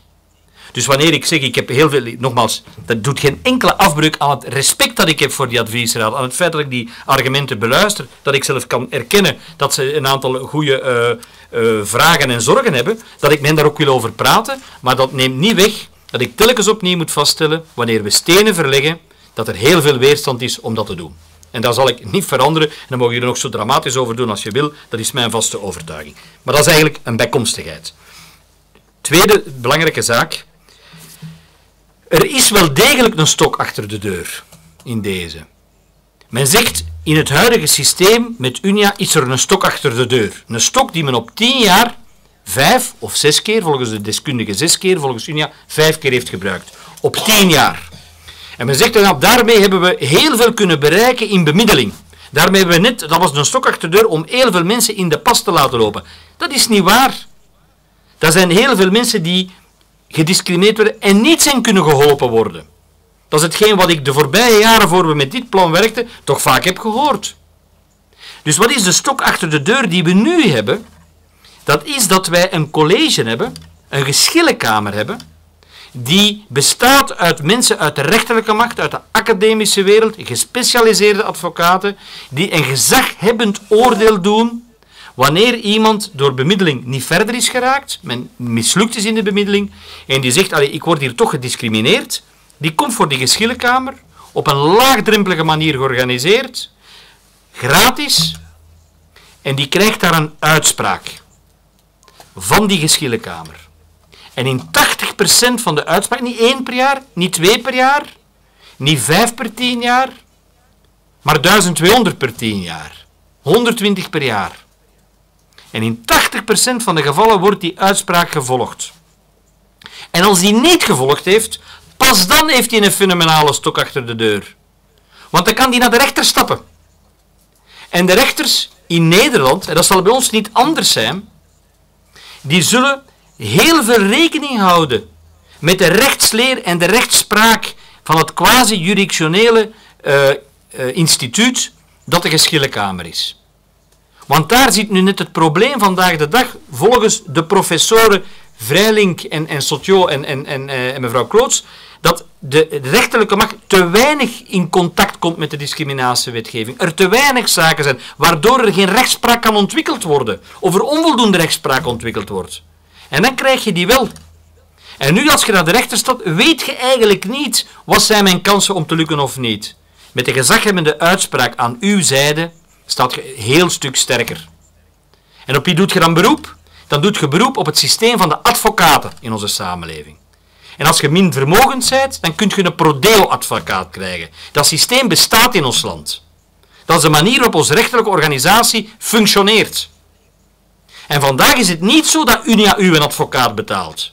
Unia gaat naast het slachtoffer mee procederen, maar betaalt daar een eigen advocaat. En dus het, voorstellen alsof je gratis nu door Unia voor de rechtbank wordt begeleid, is niet juist. Dus wat is uw steun, uw stok achter de deur? Een uitspraak van een gezaghebbend orgaan van, van juristen, rechters, academici, die zeggen, meneer Somers, je hebt gelijk, je zegt gediscrimineerd. We stellen voor dat de werkgever die u heeft gediscrimineerd of de verhuurder die heeft gediscrimineerd op die en die manier u tegemoet komt. Als die dat weigert, kan ik naar de rechtbank gaan. Als ik onvermogen ben of weinig vermogen ben, kan ik een prodeadvocaat pakken. Die, moet gewoon met dat, die, heeft dat, die heeft die uitspraak en die staat sterk in zijn schoenen bij de rechterlijke macht. Dat is de vooruitgang. Dat is het systeem waar we voor kiezen. We hebben tot nu toe gekozen voor een promotioneel systeem. We gaan nu kiezen voor een quasi-juridictioneel systeem. Beide systemen bestaan. En dan zegt men, ja, maar in Nederland, die, die kamer, die geschillenkamer in Nederland, dat college, dat is eigenlijk onvoldoende. Je wilt dat kopiëren, maar je vergeet dat daaronder een poot zit van, van gemeenten die ondersteunen. Maar wat doen wij in ons, in ons Mensenrechteninstituut? Wij doen meer dan de Nederlanders.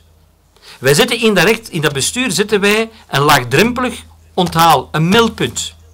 Daar adviseren we de klant. Dat doet men in Nederland niet. Hij die rechtszoekende is, hij of zij die zich gediscrimineerd voelt, kan naar het Vlaams Mensenrechteninstituut voor advies, voor doorverwijzing, voor begeleiding.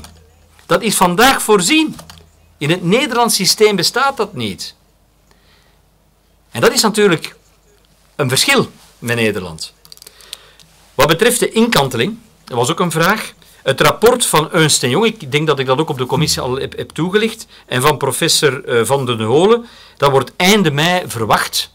En op dat moment zullen we kijken wat uh, ter zake uh, de, de professor en, en Ernst Jong ons daarover te melden heeft. En evident hebben we de adviezen die we nu gekregen hebben ook onmiddellijk overgemaakt aan, aan professor Van den Holen en aan Ernst Jong om hun werk daarin te, te, te, faciliteren. Dus ik denk, collega's, dat, ehm, dat dit natuurlijk een belangrijke hervorming is. En nogmaals, een hervorming die niet mijn keuze was.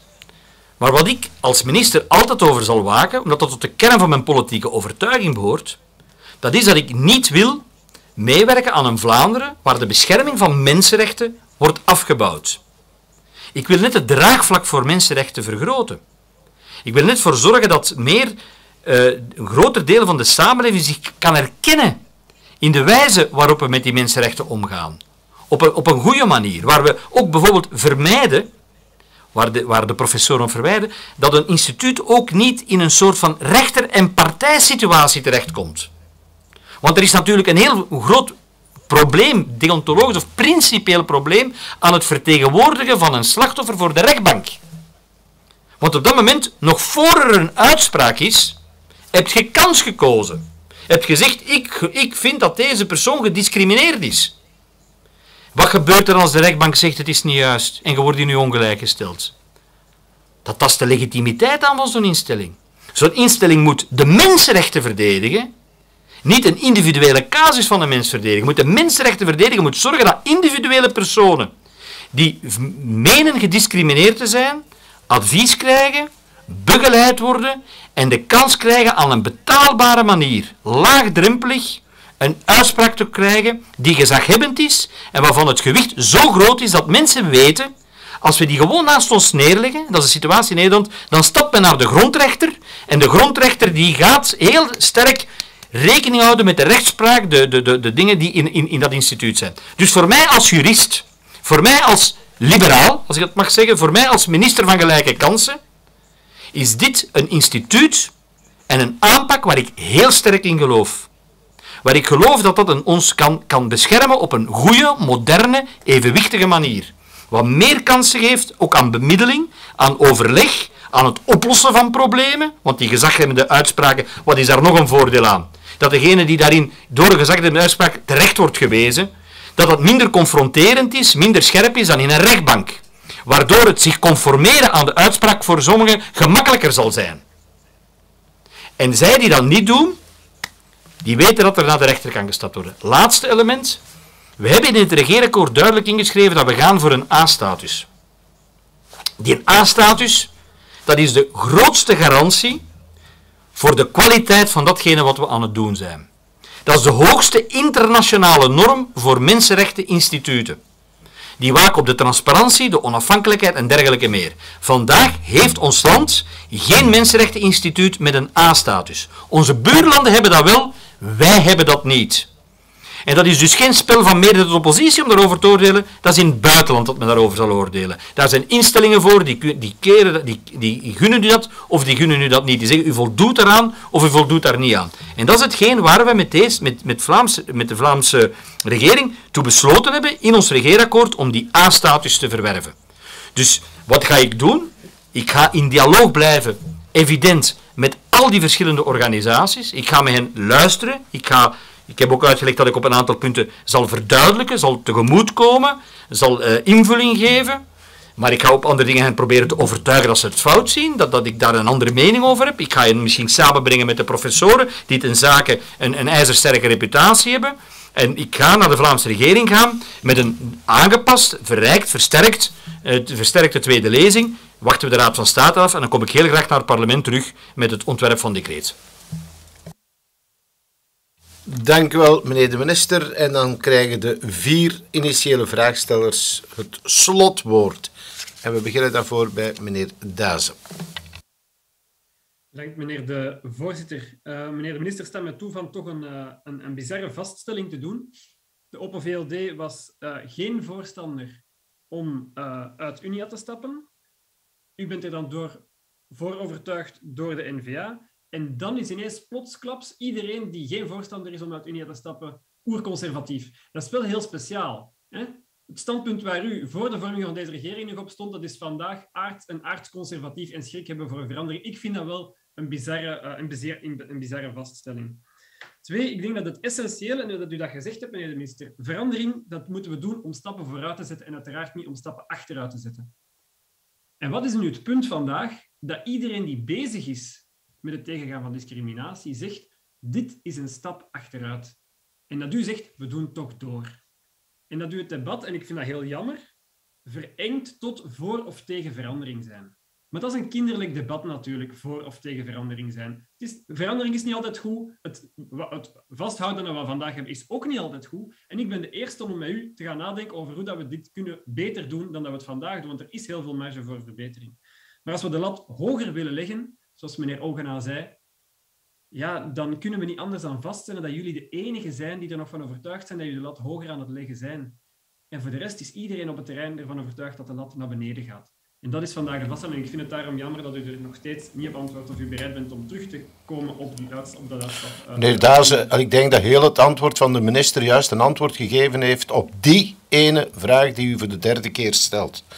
Goed, bij mijn weten heeft hij uitgelegd waarom dat... Uh, waarom dat Allee, jij vraagt zich bereid om uh, niet uit Unie aan de minister heeft net ook nog eens geantwoord dat hij na het advies van de Raad van State met het nieuw ontwerp van decreet naar dit parlement komt. Ik denk dat dat heel duidelijk is dat er een nieuw decreet gaat komen dan. Ja.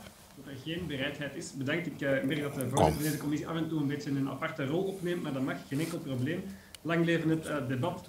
Meneer de minister, volgens mij is het doel is een betere bescherming van de slachtoffers.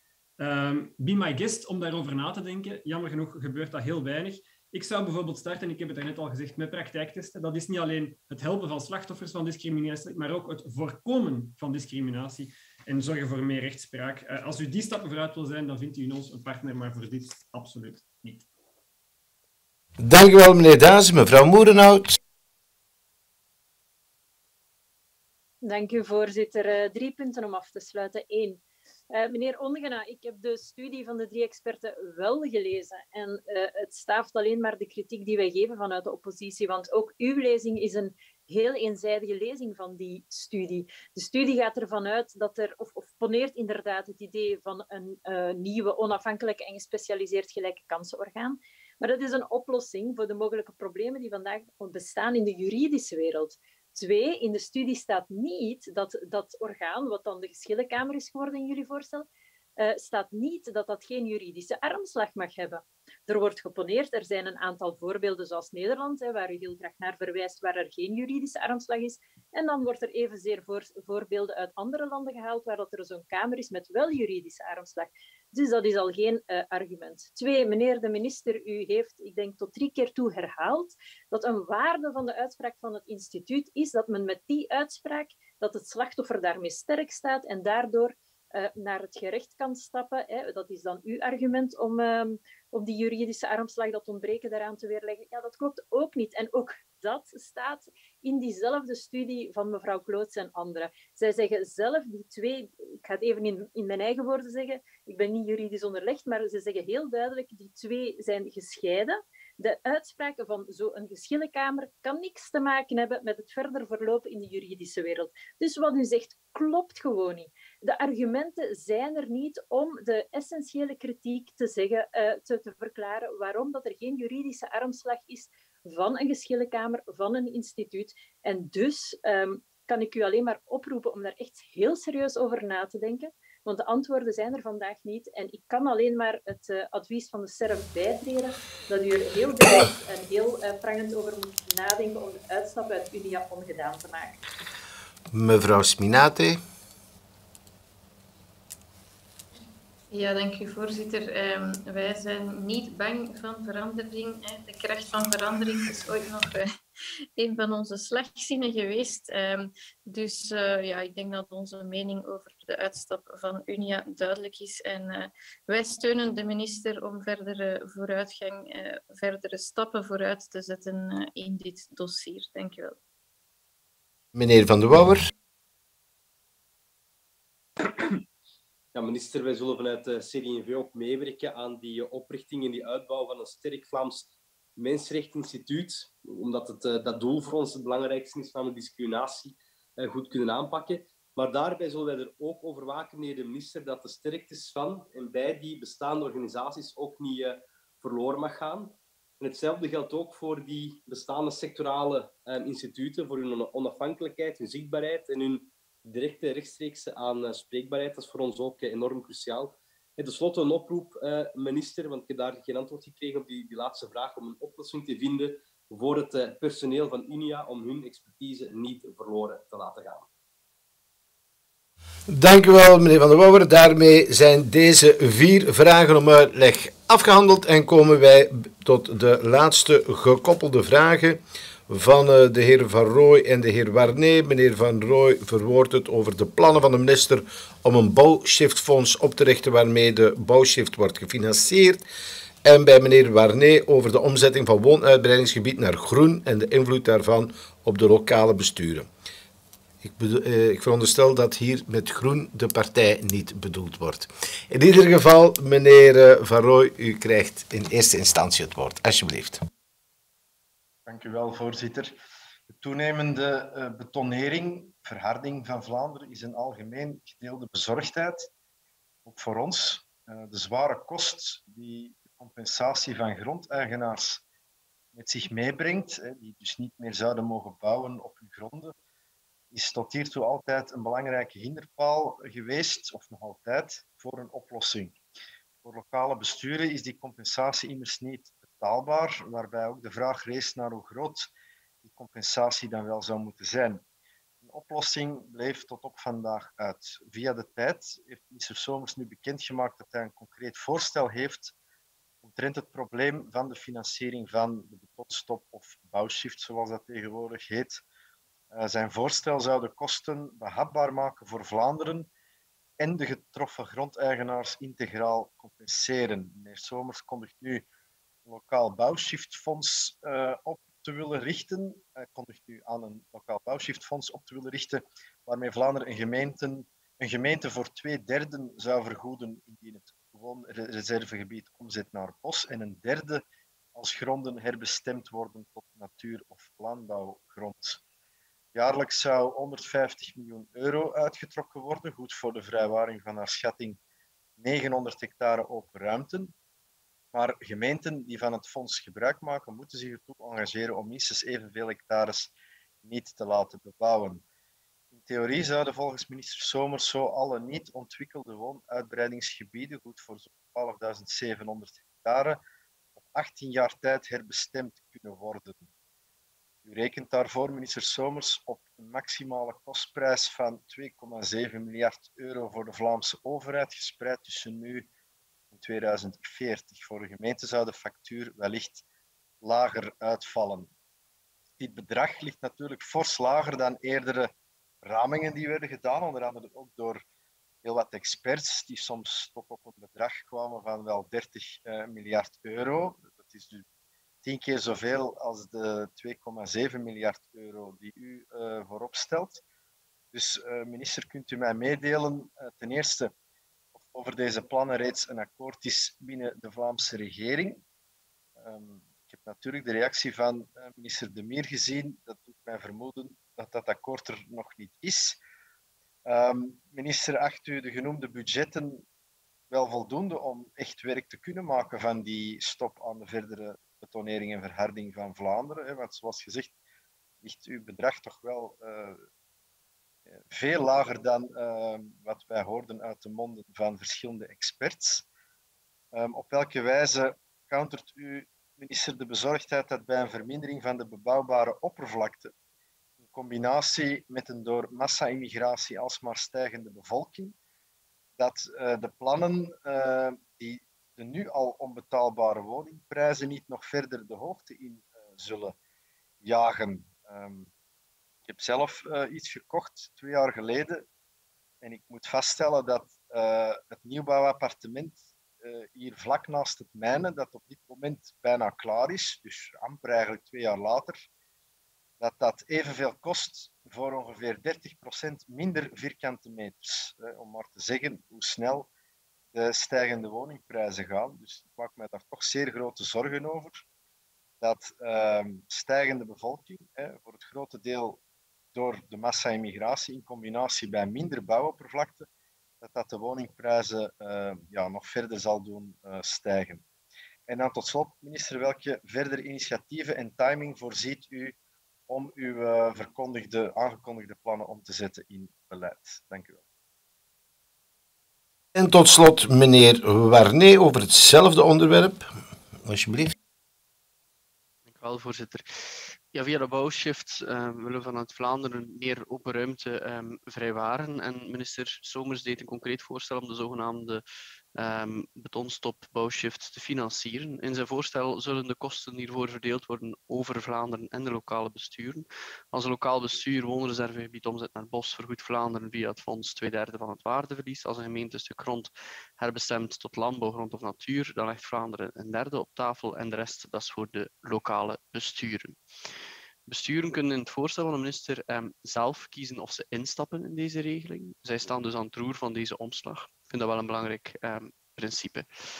De minister uh, zegt dat op die manier de kosten haalbaar zijn voor Vlaanderen, maar dat er anderzijds ook voor zorgt dat de gedupeerde grondeigenaars volledig gecompenseerd worden. Dat zou Vlaanderen, al dus de minister, 2,7 miljard kosten. De komende 18 jaar zouden alle niet ontwikkelde woonuitbreidingsgebieden goed voor 12.700 hectare herbestemd kunnen worden. Um, maar in de feite kunnen lokale besturen er ook voor kiezen om een deel van die gronden toch te laten bebouwen, onder andere om het woningaanbod aanbod in de gemeente te vergroten en op die manier de prijs ehm, te proberen drukken.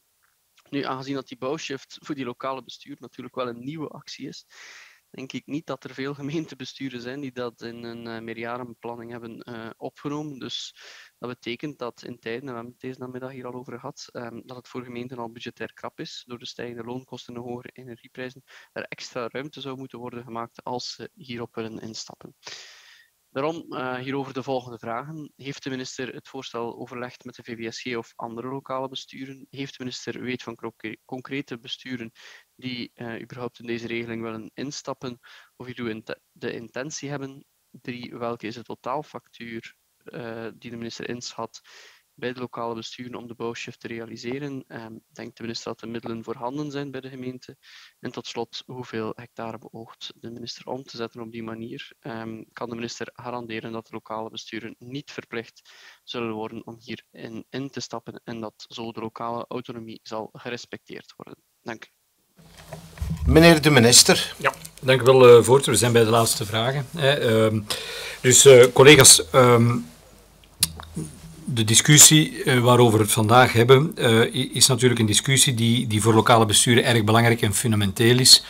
Uh, waar staan we, misschien laat ik daarmee beginnen, waar staan we op, op dit moment in, in het parlement en in de regering? dan moet ik even terugkijken naar het verleden, het akkoord van eind 2020. Dat heeft geresulteerd in een bijgesteld instrumentendecreet en een decreet woonreservegebieden. Dat is, dat is u gekend. Uh, dat is in het parlement al, al aan bod gekomen. Uh, en daar werden drie duidelijke hoofdlijnen in die twee decreten zijn, zijn te detecteren. Eerst en vooral het beschermen van de open ruimte. Dat is een belangrijk basisprincipe. Ik denk dat we het daar allemaal over eens zijn. Zorgzaam omspringen met de open ruimte. Net in beslagname van de open ruimte proberen te stoppen tegen 2040, halveren tegen 2025. Uh, en duidelijk uh, afspreken dat woonreservegebieden nog enkel aangesneden kunnen worden als het lokaal bestuur die keuze maakt. Dat was het, het, uh, het, het instrumentendecreet en het woondecreet op de woonreservegebieden. Tweede principe, het respecteren van de lokale autonomie stond daarin. Lokale besturen zijn best geplaatst. Uh, het is heel moeilijk om uh, welke grond kan nu aangesneden worden, welke grond blijft best openbare ruimte of open ruimte. Dat is iets dat je moeilijk van bovenaf kan beslissen. Ik denk dat je er toch altijd een zekere enige flexibiliteit moet inbouwen. Dat is ook mijn eigen ervaring vanuit het lokaal bestuur. En lokale besturen zullen die keuze doordacht maken. Uh, maatschappelijke en ecologische afwegingen maken. En het, is het moet een uitdrukkelijke beslissing zijn van de gemeenteraad, zo stonden in deze decreten het meest legitieme bestuursorgaan, dicht bij de burger, dat meest vertrouwen geniet van de burger, eh, die ter zake de, de, de knoop moeten doorhakken. En ten derde, eigenaars worden 100% vergoed voor hun uh, waardeverlies op basis van de venale of marktwaarde. Het eigendomsrecht is een van de fundamenten van onze samenleving en het decreet biedt perspectief en rechtszekerheid voor de eigenaars waarvan u weet dat 77% ervan slechts één perceel in eigendom heeft. Twee, Welk perspectief bieden we nu? Wel, na inwerkingtreding staan de woonreservegebieden, als die twee decreten worden gestemd, hè, staan de woonreservegebieden onder een stolp tot 2040. In tussentijd, in tussentijd kunnen gemeenten beslissen of en welke van deze gebieden nog zullen worden aangesneden en welke gebieden als open ruimte zullen worden behouden. Een eventuele herbestemming tot open ruimte kan definitief worden gemaakt via een RUP-procedure. Op het moment dat een lokaal bestuur dergelijk planinitiatief neemt, dan staat ze ook in voor de planschade. Lokale besturen moeten dus bekijken of en hoe ze hiervoor middelen kunnen vrijmaken. Mogelijke kritiek op dat decreet was toen, u schrijft eigenlijk de factuur door tot en met 2040. En dan komt eigenlijk het, het voorstel op, op de proppen. Een voorstel uh, trouwens, ik ben niet de enige die ter zake voorstellen aan de regeringstafel doet. Ook uh, collega Demir en anderen zijn ook heel intensief aan het zoeken naar een, naar een goede oplossing ter zake. Dus we proberen daar elkaar te vinden in de schoot van de Vlaamse regering. En ik heb daarin voorgesteld om een, zoals ik het in de krant heb kunnen lezen, een lokaal bouwschieffonds uh, te creëren ten einde sneller duidelijkheid te verschaffen. Uh, dat uh, voorstel bestaat er eigenlijk in dat wanneer een lokaal bestuur beslist om een woonreservegebied naar een open ruimtegebied uh, om te zetten, groen of, of geel, dat op zo'n moment er een, een, een, een eh, systeem van cofinanciering tot stand komt, dat de gemeente helpt en ondersteunt om dat voor hen draaglijk te maken. En zij zouden daar kunnen beroep op doen, dat was mijn voorstel, dat wanneer zij, zeg maar iets, 5 hectare willen herbestemmen tot bos- of, of landbouwgebied, dat ze dan zich ook moeten engageren om vijf andere hectares, die ook woonuitbreidingsgebieden zijn, niet aan te snijden uh, in de toekomst. En door dat systeem van, van, van een lokaal bouwschieffonds cofinanciering vanuit Vlaanderen voor die lokale besturen die ervoor kiezen om een, woon, om een woonuitbreidingsgebied om te zetten, krijg je een hefboom om die gemeente eigenlijk te motiveren, niet alles door te schuiven naar 2040, maar naar voren te trekken, met als bijkomend voordeel dat zij ook kunnen bijdragen aan de realisaties van de bosdoelstellingen die Vlaanderen heeft. U weet dat collega De Mier daar ook hard aan aan het werk is. Een bosdoelstelling van 10.000 hectare extra bos tegen 2030.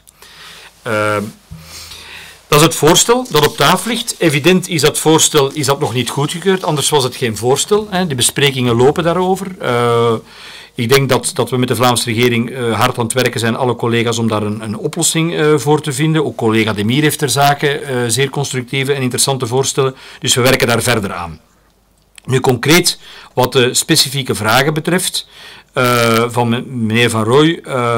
Eén, is er al een akkoord? Nee, er is nog geen akkoord. Er wordt op dit moment aan gewerkt. Het is een voorstel die het debat op een constructieve manier moet, uh, moet, moet, moet voeden.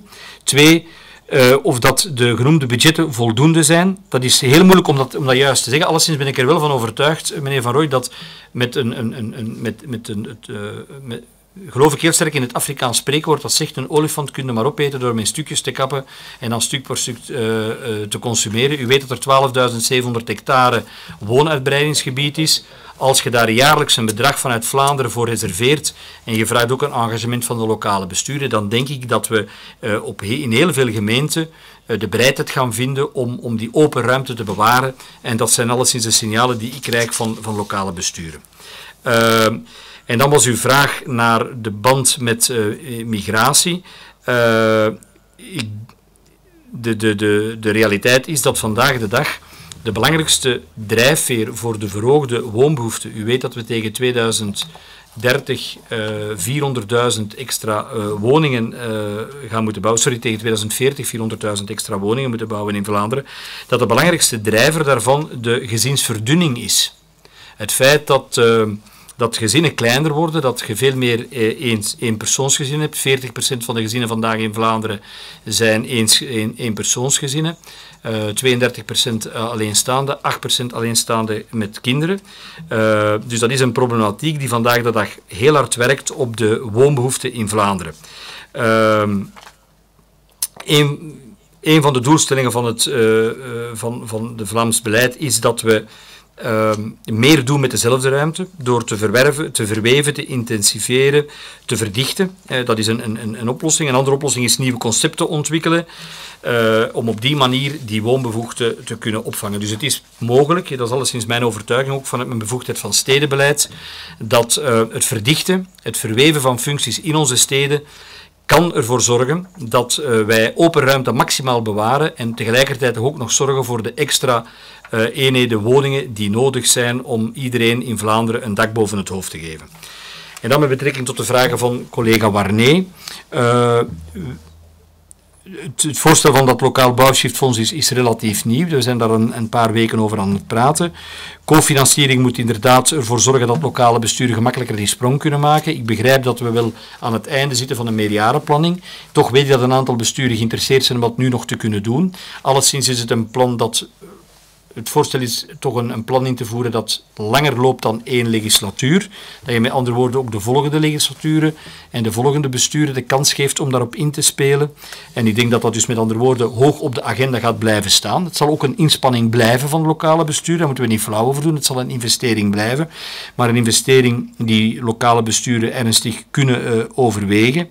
Uh, en voor mij blijft het uitgangspunt in dat voorstel, ik, heb dat ook, uh, dat is het centraal gegeven, dat is de lokale autonomie moet daar centraal in blijven staan. Gemeentebesturen kunnen niet verplicht worden om dat te doen, maar we faciliteren die gemeentebesturen die zeggen oké, ze zitten onder een stolp, ik wil er een stuk van, uit, van onder de stolp halen om het om te zetten in landbouwgebied, het om te zetten in bosgebied, of aan te snijden toch als woonuitbreidingsgebied, als woongebied, want er is hier een heel sterke woonbehoefte en er is voor ons geen andere manier om dat aan te pakken. U weet dat uit de wetenschappelijke studies die gemaakt zijn, men er altijd van uitging dat van de 12.700 hectare woonuitbreidingsgebied er ongeveer een, een, een 9.000 hectare zou kunnen als open ruimte behouden blijven. Hè. Dat is, uh, en ik wil daar ook heel ambitieus in zijn, maar zeggen dat we geen enkele vierkante meter woonuitbreidingsgebied meer gaan aansnijden, ik denk dat dat net iets te ver is. Ik denk ook geen enkele deskundige dat vraagt, maar wel om daar veel sturender in op te treden en ervoor te zorgen dat de lokale besturen de hefbomen hebben om mee te werken aan zo'n beleid. Als we dat niet doen, gaan weinig besturen in staat zijn om die, die factuur te betalen. En het is in dat perspectief dat het voorstel nu op tafel ligt op het moment dat u weet dat we aan het spreken zijn over een aantal belangrijke dossiers, zoals uh, het stikstofdossier, MAP 6 en in dit geval uh, het dossier rond de, de, het instrumentendecreet en uh, de woonuitbreidingsgebieden ter zake, waar lokale besturen in dat facet van, de, uh, van ruimtelijke ordening mee aan, de stuur, aan het stuur zitten, aan de stuurknuppel zitten. En dat het voor mij dan ook belangrijk is als minister van Binnenlands Bestuur om ter zake er mee over te waken dat uh, lokale besturen daar een, een, constructieve rol kunnen inspelen. Ik hoop dat dat een voldoende antwoord is. Dan gaan we terug naar de vraagstellers. Meneer Van Rooij. Dank u wel, voorzitter. Dank u, minister, voor uw uh, antwoord of antwoorden. Um, ik weet niet of het debat zo constructief wordt gevoerd uh, wanneer u eerst iets lanceert in uh, de media, alvorens u het met collega's zoals minister De Mier gaat bespreken. Maar goed, dat is mijn zaak niet echt. Ik wijs er alleen op dat ik de reactie van minister De Meer heb gezien en dat hij toch een beetje uh, gepikeerd of gecrispeerd reageerde. Die terzijde. Uh, wat ik positief vind, minister Somers, is dat u de lokale autonomie centraal blijft zetten. dat vind ik absoluut positief. Um, ik vind het ook positief dat u met dit plan ja, hen de vrijheid eigenlijk laat hè, um, om dat in te vullen hoe zij denken dat het best is. U geeft hen natuurlijk wel een financiële prikkel. Hè, dat is ook terecht wat mij betreft. Het kost nu eenmaal veel geld. Ik vraag mij dan alleen af, ja, in, hoeverre is dat... U zegt dat u positieve signalen krijgt uit de lokale besturen dat ze hierop zullen ingaan. Maar ja, het is toch hopelijk meer dan dat, dan u die positieve signalen krijgt. In de zin dat als die doelstelling, als u die wil halen van in 2040 geen open ruimte meer aan te boren, ja, dan moet er toch iets meer zijn dan positieve signalen aanvoelen om toch een zekere zekerheid te hebben dat x aantal uh, gemeenten daarop zullen ingaan met x aantal hectare uh, open ruimte waar zij iets mee zullen doen. En ik vraag me dus af, of daar een berekening rond bestaat, of een, inschat, een inschattingsberekening dan. Ik begrijp natuurlijk dat dat niet 100% kan zijn en dat dat deel koffiedik kijken, maar toch. En dan tot slot, ja, u, u wijst uh, op gezinsverdunning en, en, als belangrijkste drijver of aandrijver zeg maar, van uh, ja, het toenemend aantal woningen. Maar ik wil er toch op wijzen dat uh, het een en-en-verhaal is. Hè. Natuurlijk is dat een, een belangrijke uh, drijfveer of een belangrijke aandrijving van uh, toenemend aantal woningen, maar we kunnen er niet rond dat er ongeveer hè, op tien jaar tijd in dit land een stad bijkomt ter grootte van Antwerpen. Hè, dus, dus ongeveer 500.000 nieuwkomers op tien jaar tijd in België, hè, niet alleen in Vlaanderen uiteraard, hè, maar een groot deel daarvan ook in Vlaanderen. Dus mijn hoofdpunt of hoofdbekommernis blijft tot slot toch altijd dat als men vanaf 2040 geen enkele hectare open ruimte meer wil aansnijden, dan zal er toch, en ik weet dat dat natuurlijk tot nader order geen Vlaamse bevoegdheid is, maar dan zal er toch vroeg of laat uh, een demografische analyse moeten worden gemaakt van met hoeveel mensen willen wij in Vlaanderen eigenlijk de toekomst ingaan. En uh, dat er toch vroeg of laat zal moeten gezegd worden, hier is het nu wel vol, of anders kunnen wij niet meer uh, de open ruimte uh, bewaren zoals wij dat zouden willen. Meneer Warnee. Ja, dankjewel minister voor de antwoorden. Ik ben vooral um, uh, tevreden dat u nogmaals hebt bevestigd dat die lokale autonomie cruciaal is. Hè. We hebben het daar heel veel over in deze commissie. Ehm, maar in dit geval is dat toch wel een, een heel belangrijk element dat die gemeenteraden zelf kunnen beslissen. De betrokkenheid van die gemeenten in dit dossier is natuurlijk ehm, heel belangrijk, ook in het verder proces ervan. Uh, vandaar um, nogmaals de vraag, die lokale besturen, um, zijn die zelf al gehoord? Um, en zo nee, is het het plan om dat nog uh, te doen? zo ja, op welk ogenblik? Dank u. Meneer de minister. Excuseer, mevrouw de koning, dat ik u durf vergeten. Alsjeblieft. Geen probleem, voorzitter. Ik ben ook geen vast lid van deze commissie. Maar uh, ik volg de commissie al uh, zijdelings heel de namiddag. En uh, eindelijk voor deze vraag dus, die op het einde van de dag komt, maar waar ik toch graag op wil tussenkomen. meneer de minister, ik denk dat het een goed idee is dat we werk maken van die bouwshift, van de realisatie daarvan. En ook minister Demir haalt dikwijls aan dat eigenlijk de bouwshift een gedeelde verantwoordelijkheid is, zowel van Vlaanderen als van die lokale besturen. En dat we die gemeente vanuit Vlaanderen daarin dan willen ondersteunen. Ik denk dat niemand daar eigenlijk kan uh, tegen zijn. Ik denk ook dat het uh, eh, 5 voor 12 is. U haalde het ook aan, het draagvlak voor die bouwshift is er. Uh, de studie van minister Peters, die gisteren bekend raakte, is ook duidelijk. Hè. We moeten eindelijk gaan stoppen met te bouwen in die overstromingsgevoelige gebieden. En werk maken van die, allee, van die Vlaanderen als spons en die open ruimte bewaren. Maar als we dan die gebieden effectief niet meer willen laten bebouwen, ja, moeten we ze uiteraard ook herbestemmen en de eigenaars vergoeden met een plan schadevergoeding. Dat lijkt mij maar de rechtvaardigheid zelf. Nu, de vraag daarbij is natuurlijk, moeten we dat doen aan die 100% uh, venale waarde? Want als u dan uh, de berekening van uw bouwshiftfonds, meneer de minister, u voorziet 150 miljoen per jaar gedurende 18 jaar, dat is volgens mij 2,7 miljard. En de, opper, uh, de opdracht van de bouwshift is 30.000 hectare. Dan kom ik eigenlijk maar uit aan 9 euro de vierkante meter. Uh, ik denk dat dat dan ver afstaat van die 100% uh, venale waarde. Maar goed, ja, ik denk die discussie moet inderdaad nog gevoerd worden. Volgende week bespreken wij ook het rapport van de Taskforce Bouwshift, waar, zij, waar ook veel inzichten over die planschadevergoeding staan, maar misschien toch even een beetje verduidelijking van u over de berekening zelf. En dan nog een laatste vraag. De middelen die vanuit de gemeente komen, het zij een derde, het zij twee derde. Uh, ja, hoe kunnen die dan gefinancierd worden vanuit de lokale besturen? De regering heeft in het begin van de legislatuur een open ruimtefonds in het leven geroepen, eigenlijk om een beetje landelijke gemeenten te steunen natuurlijk is dat fonds niet geoormerkt, dus dat was een beetje uh, een toezegging op het gemeentefonds, waarbij stedelijke gebieden meer bevoordeeld zijn dan landelijke gebieden.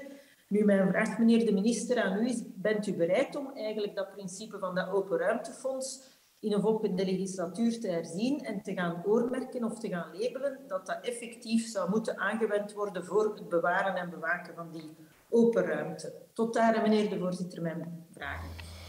Dank u wel, meneer de minister. Uh, dank u wel, collega's. Ik denk heel uh, interessante vragen en ook een, heel uh, belangrijk, geen gemakkelijk maatschappelijk debat. Uh, eerst en vooral voor, voor, voor, om, om geen misverstanden over te laten bestaan. Uh, ik denk dat, ik, uh, dat de collega Demir, meneer Verrooy en ik zelf hier op dit dossier heel goed samenwerken. Trouwens ook op andere dossiers, denk aan het lokaal energie- en klimaatplan. Dat we eigenlijk in dezelfde richting kijken en allebei aan het zoeken zijn. Zij vanuit de invalshoek evident ruimtelijke ordening.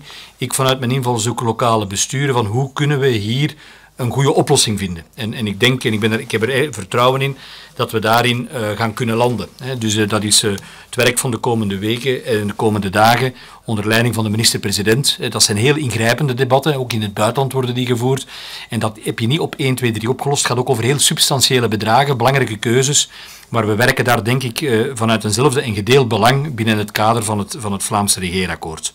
Twee, um, het Open Ruimtefonds, mevrouw Ines de Koning, is inderdaad een, een instrument geweest dat uh, de algemene financiering van de lokale besturen, hè, het was uh, niet geoormerkt, uh, dat, dat was een, een, een, instrument naast de RESPO-bijdrage, de algemene financiering van de lokale besturen vanuit het gemeentefonds, die eigenlijk diende ter, ter herfinanciering, ter ondersteuning van de lokale besturen die in, in zwaar weer zaten. Hè. We hebben dat kunnen herstellen, we hebben kunnen verzorgen dat die terug meer slagkracht krijgen en ik denk dat we over de partijgrenzen heen weten dat lokale besturen vandaag het nog altijd niet erg breed hebben uh, en dat, uh, dat dat open ruimtefonds op een heel goede manier gebruikt wordt door onze besturen uh, op dit moment. En dat spijtig genoeg, kun je hetzelfde geld geen twee keer uitgeven.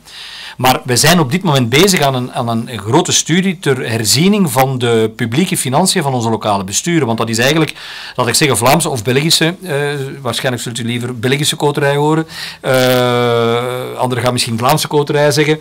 Maar dat is eigenlijk door de geschiedenis zijn altijd maar kottekes bijgebouwd en eigenlijk de, de logica, de ratio daarin is een stuk verloren gegaan. Dus we zijn nu met een aantal professoren aan het kijken dat we voor de volgende regering, dat gaat niet meer deze regering zijn, bij de regeringsonderhandelingen eigenlijk een aantal concrete voorstellen hebben van hoe je die lokale financiën meer rationeel kunt benaderen. En dat zal een van de dingen zijn, heb je dan nog een open ruimtefonds nodig dat dient voor algemene middelen of moeten er meer geoormerkte middelen komen? Dat worden dan debatten die men aan de onderhandelingstafel kan voeren. Ik heb het nu meegemaakt, we stonden nergens. Geen enkele partij was in staat om uh, eigenlijk een concreet voorstel te doen, omdat we geen becijferde modellen hadden. Ik probeer dat klaar te hebben tegen de volgende regeringsonderhandelingen. Hè. Uh, dus als we van de gemeente vragen om iets extra te doen, dan moeten we hen helpen daarbij. En, en, en ik ben het wel eens met collega Warné, dat zelfs mocht dit voorstel of een variante daarop hè, uh, het halen, dan blijven we altijd een inspanning vragen van de lokale besturen. En dat is niet zo eenvoudig voor die lokale besturen. Dat is eenvoudiger bij het begin van een legislatuur. Op het moment dat je een meerjarenplanning moet opmaken, meneer Warné, dan kun je inderdaad zeggen, we gaan x aantal investeringsmiddelen gebruiken, niet om, om nieuwe wegen aan te leggen of om een, uh, een grote bibliotheek te bouwen, maar we gaan inzetten op, op natuur op bos, op, op landbouw. En dan kan je dat doen. Nu, op het einde van de rit is dat iets moeilijker, maar er zijn een aantal besturen, en daar ben ik echt van overtuigd, die dat nu al willen doen. Waarom? Omdat er nog iets anders speelt. Er is niet alleen, laat ik zeggen, een, een, uh, een, een, een, een, een, maatschappelijk draagvlak om die open ruimte te, te beschermen, maar wij hebben als gemeentebesturen ook het lokaal energie- en klimaatplan ondertekend. En nogal wat gemeentebesturen zijn ook getriggerd door het werk van collega Demir om ook meer bos te realiseren. Alleen de vraag is, waar gaan we dat doen? En wanneer men dan een woonuitbreidingsgebied, 1 hectare, 2 hectare, 5 hectare, 10 hectare, kan omzetten in bosgebied of in natuurgebied, op dat moment creëert je in je gemeente de ruimte om dat te doen. En komt je uw engagementen na van het lokaal energie- en klimaatplan, waar u weet dat we dit jaar alleen al 33 miljoen euro extra hebben gegeven aan gemeenten om die doelstellingen te realiseren. Dus ook dat geld zou kunnen, mevrouw de Koning, voor een stuk gemobiliseerd worden om mee te werken aan die doelstelling van die uh, bouwshift. Dan kom ik bij collega Van Rooij, die inderdaad de rechte vraag stelt van, uh, geraakt je daarmee? Hoe ver geraakt je? Heb je daar een zekere becijfering van? Evident hebben we daar een zekere becijfering van. Stel u voor dat, uh, dat de, de, de, men alles op, op, op, op bos zou inzetten. Hè, waar, waar in mijn voorstel, hè, nogmaals, mijn voorstel is, is niet goedgekeurd in de regering, het is een aanzet, daar wordt over gediscussieerd, maar stel dat we vertrekken van het idee dat, dat, dat, dat binnen mijn voorstel, waar twee derde gefinancierd zou worden door Vlaanderen, men, men ra radicaal voor bos kiest, wel, dan is onze berekening dat uh, het verschil in waarde, hè, want je moet de, het verlies aan waarde financieren, je moet het niet onteigenen, het verlies aan waarde, ongeveer een half miljoen euro per hectare zou kunnen zijn. En dat is 50 euro per vierkante meter, naar gelang het soort woonuitbreidingsgebied. Woonuitbreidingsgebied aan een aangelegde weg ligt, daar zal het hoger zijn. Woonuitbreidingsgebied dat aan een niet aangelegde weg in een waterziek gebied ligt, gaat dat veel minder zijn. Dus wij, wij gaan in onze berekening zijn we eens uitgegaan van, pak nu 50 euro de vierkante meter, dan kun je daar uh, ongeveer 600 hectare per jaar mee omzetten. 300 hectare omzetten en 300 hectare beschermen. Want de, afspraak zou zijn, als je als gemeente een hectare omzet, dan moet je ook engageren om van een andere hectare woonuitbreidingsgebied ook af te blijven. 600 hectare, op 10 jaar 6000 van de 12.000 tegen 2040 heb je dan eigenlijk zo goed als alle gebied omgezet. Dat is een heel rudimentaire, rudimentaire berekening die, die moet doen inzien dat we met dat bedrag toch al heel ver zouden kunnen geraken. Nu spreek maar over 100 miljoen. Ik heb in het voorstel 150 miljoen gedaan. Dus ik denk dat we daarmee met zulke bedragen geraken we heel ver en kunnen we heel veel open ruimte in Vlaanderen veiligstellen. En als lokale bestuur, wat ik vermoed nogal gemakkelijk gaan kijken richting bos, omdat daar in Vlaanderen toch wel een behoefte aan is, dat op zo'n moment ja, ook uw doelstelling op het gebied van bossen gaat kunnen realiseren, wat vandaag de dag echt een gevecht is. Ik weet dat collega De Mier daar van morgens tot avonds mee bezig is, om plekken en plekjes te zoeken waar er bos kan bijkomen. Op die manier kunnen die lokale besturen mee hun schouders daaronder zetten. En creëren we een win-win. En u heeft onmiddellijk ook gelijk, mevrouw de Koning, dat mijn voorstel maar betrekking heeft op woonuitbreidingsgebieden, 12.000. In de voorstellen die de specialisten hebben naar voren gebracht, zegt men het gaat eigenlijk over 30.000. Ook industriegebied, ook de gewone bouwgronden die vandaag de dag overal liggen. Maar daar heb ik me niet over uitgesproken. Waarom? Omdat daar de lokale besturen geen rol spelen. De enige plaats waar lokale besturen echt aan bod komen, dat is in het systeem van de woonuitbreidingsgebieden, waar zij en zij alleen beslissen of het omgezet wordt of niet. En evident ga ik niet een tweede minister van ruimtelijke ordening spelen, maar speel ik minister van Binnenlands Bestuur. En heb ik mij geconcentreerd op mijn relatie met de lokale besturen en waar die aan bod komen, wil ik heel graag ook er mee blijven overwaken en constructieve voorstellen doen dat hun rol een positieve rol, maar ook een financieel haalbare rol kan zijn. Dus evident is daarnaast nog een grote opdracht, een misschien moeilijkere opdracht, want dan spreken we over uh, de versnippering en de lintbebouwing in Vlaanderen en dergelijke meer, spreken over industriegronden, maar de woonuitbreidingsgebieden, die 12.000 hectare, daar zijn het lokale besturen die een actieve rol hebben uh, en die daar een... Uh, en, daar wou ik, wil ik mee bijdragen aan het vinden van een goede oplossing. En ik geloof dat onze regering in staat zal zijn om, om die moeilijke knoop een Gordiaanse misschien, uh, te ontwarren en, en door te hakken. Dank u wel. En dan gaan we voor het slotwoord naar meneer Van Rooij. Ja, dank u voorzitter. Uh, dank u minister. Ja, ik kijk uiteraard uit uh, naar hoe het, uh, uw plan zal vergaan binnen de Vlaamse regering. Dat spreekt voor zich. Um, maar ik blijf natuurlijk, en dat zult u begrijpen, beetje op mijn honger zitten, uh, dat daar op geen enkel moment um, ja, iets over de bevolking en de demografie in die plannen uh, zit. Hè, of dat u dat ook niet aanraakt als wij daarover debatteren. Het enige wat u dan zegt is, ja, maar het gaat ook over gezinsverdunning. Dat klopt, ik ontken dat niet. Maar als je rekent aan de instroom van mensen in België van de laatste 10, 20 jaar gemiddeld, dat wil zeggen dat er tegen 2040, dus over 18 jaar, dat er nog eens bijna een miljoen mensen bijkomen in België. Een miljoen in België. Ja, stel dat daar, ik zeg maar eens, de helft van naar Vlaanderen komt, maar het zal meer zijn, denk ik. Ja, dan zit je dus 4, 5 miljoen, uh, sorry, 400.000, 500.000 mensen die erbij komen, komende 18 jaar in Vlaanderen die moeten allemaal ergens wonen. Hè. En ik, ik vind dus, nogmaals, het, ik vind uw plan op het eerste gezicht zeker niet slecht. En ik vind ook die doelstelling uiteraard van in 2040 dan tegen dan geen open ruimte meer aan te boren.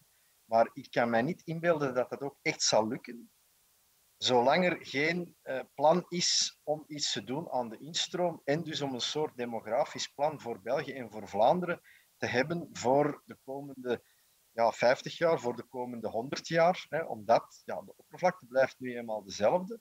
En ik kan mij toch ook niet inbeelden dat u er voorstander van bent dat mensen continu kleiner gaan wonen, dat steden continu verder worden verdicht. Want dat moet volgens mij leefbaarheid uh, Meneer Warnee. Ja, dank u wel, voorzitter. Ja, ik wil nog gewoon kort even reageren ook op de tussenkomst van collega de Koning. Um, van mijn tenen een klein beetje krulden, om het zo te zeggen het is wel belangrijk om te weten waarom dat, dat open ruimtefonds is gekomen. Dat is er echt gekomen om die lokale besturen met veel open ruimte te ondersteunen. Dat was ook de reden waarom dat onze fractie een grote pleitbezorger was van het open ruimtefonds, omdat er heel veel opdrachten zijn die vandaag structureel niet gefinancierd zijn. Iedereen komt heel graag fietsen langs onze landelijke wegen met bermen die niet overwoekend zijn, maar dat kost geld. Grachten die open moeten liggen, zuiver moeten zijn, dat kost geld. En, en net zoals als stedelijke functies moeten algemeen gefinancierd zijn, um, moeten ook die landelijke functie gefinancierd zijn. En die studies die komen er rond de financiering van de lokale besturen op basis daarvan gaan we die algemene financiering, uh, wie dat het dan ook is, um, uitwerken. Maar wat onze fractie betreft, zullen de kosten voor het onderhoud van die open ruimte altijd meezitten in die algemene financiering. En dat is echt een, een belangrijk basispunt dat ik toch nog even wou onderstrepen.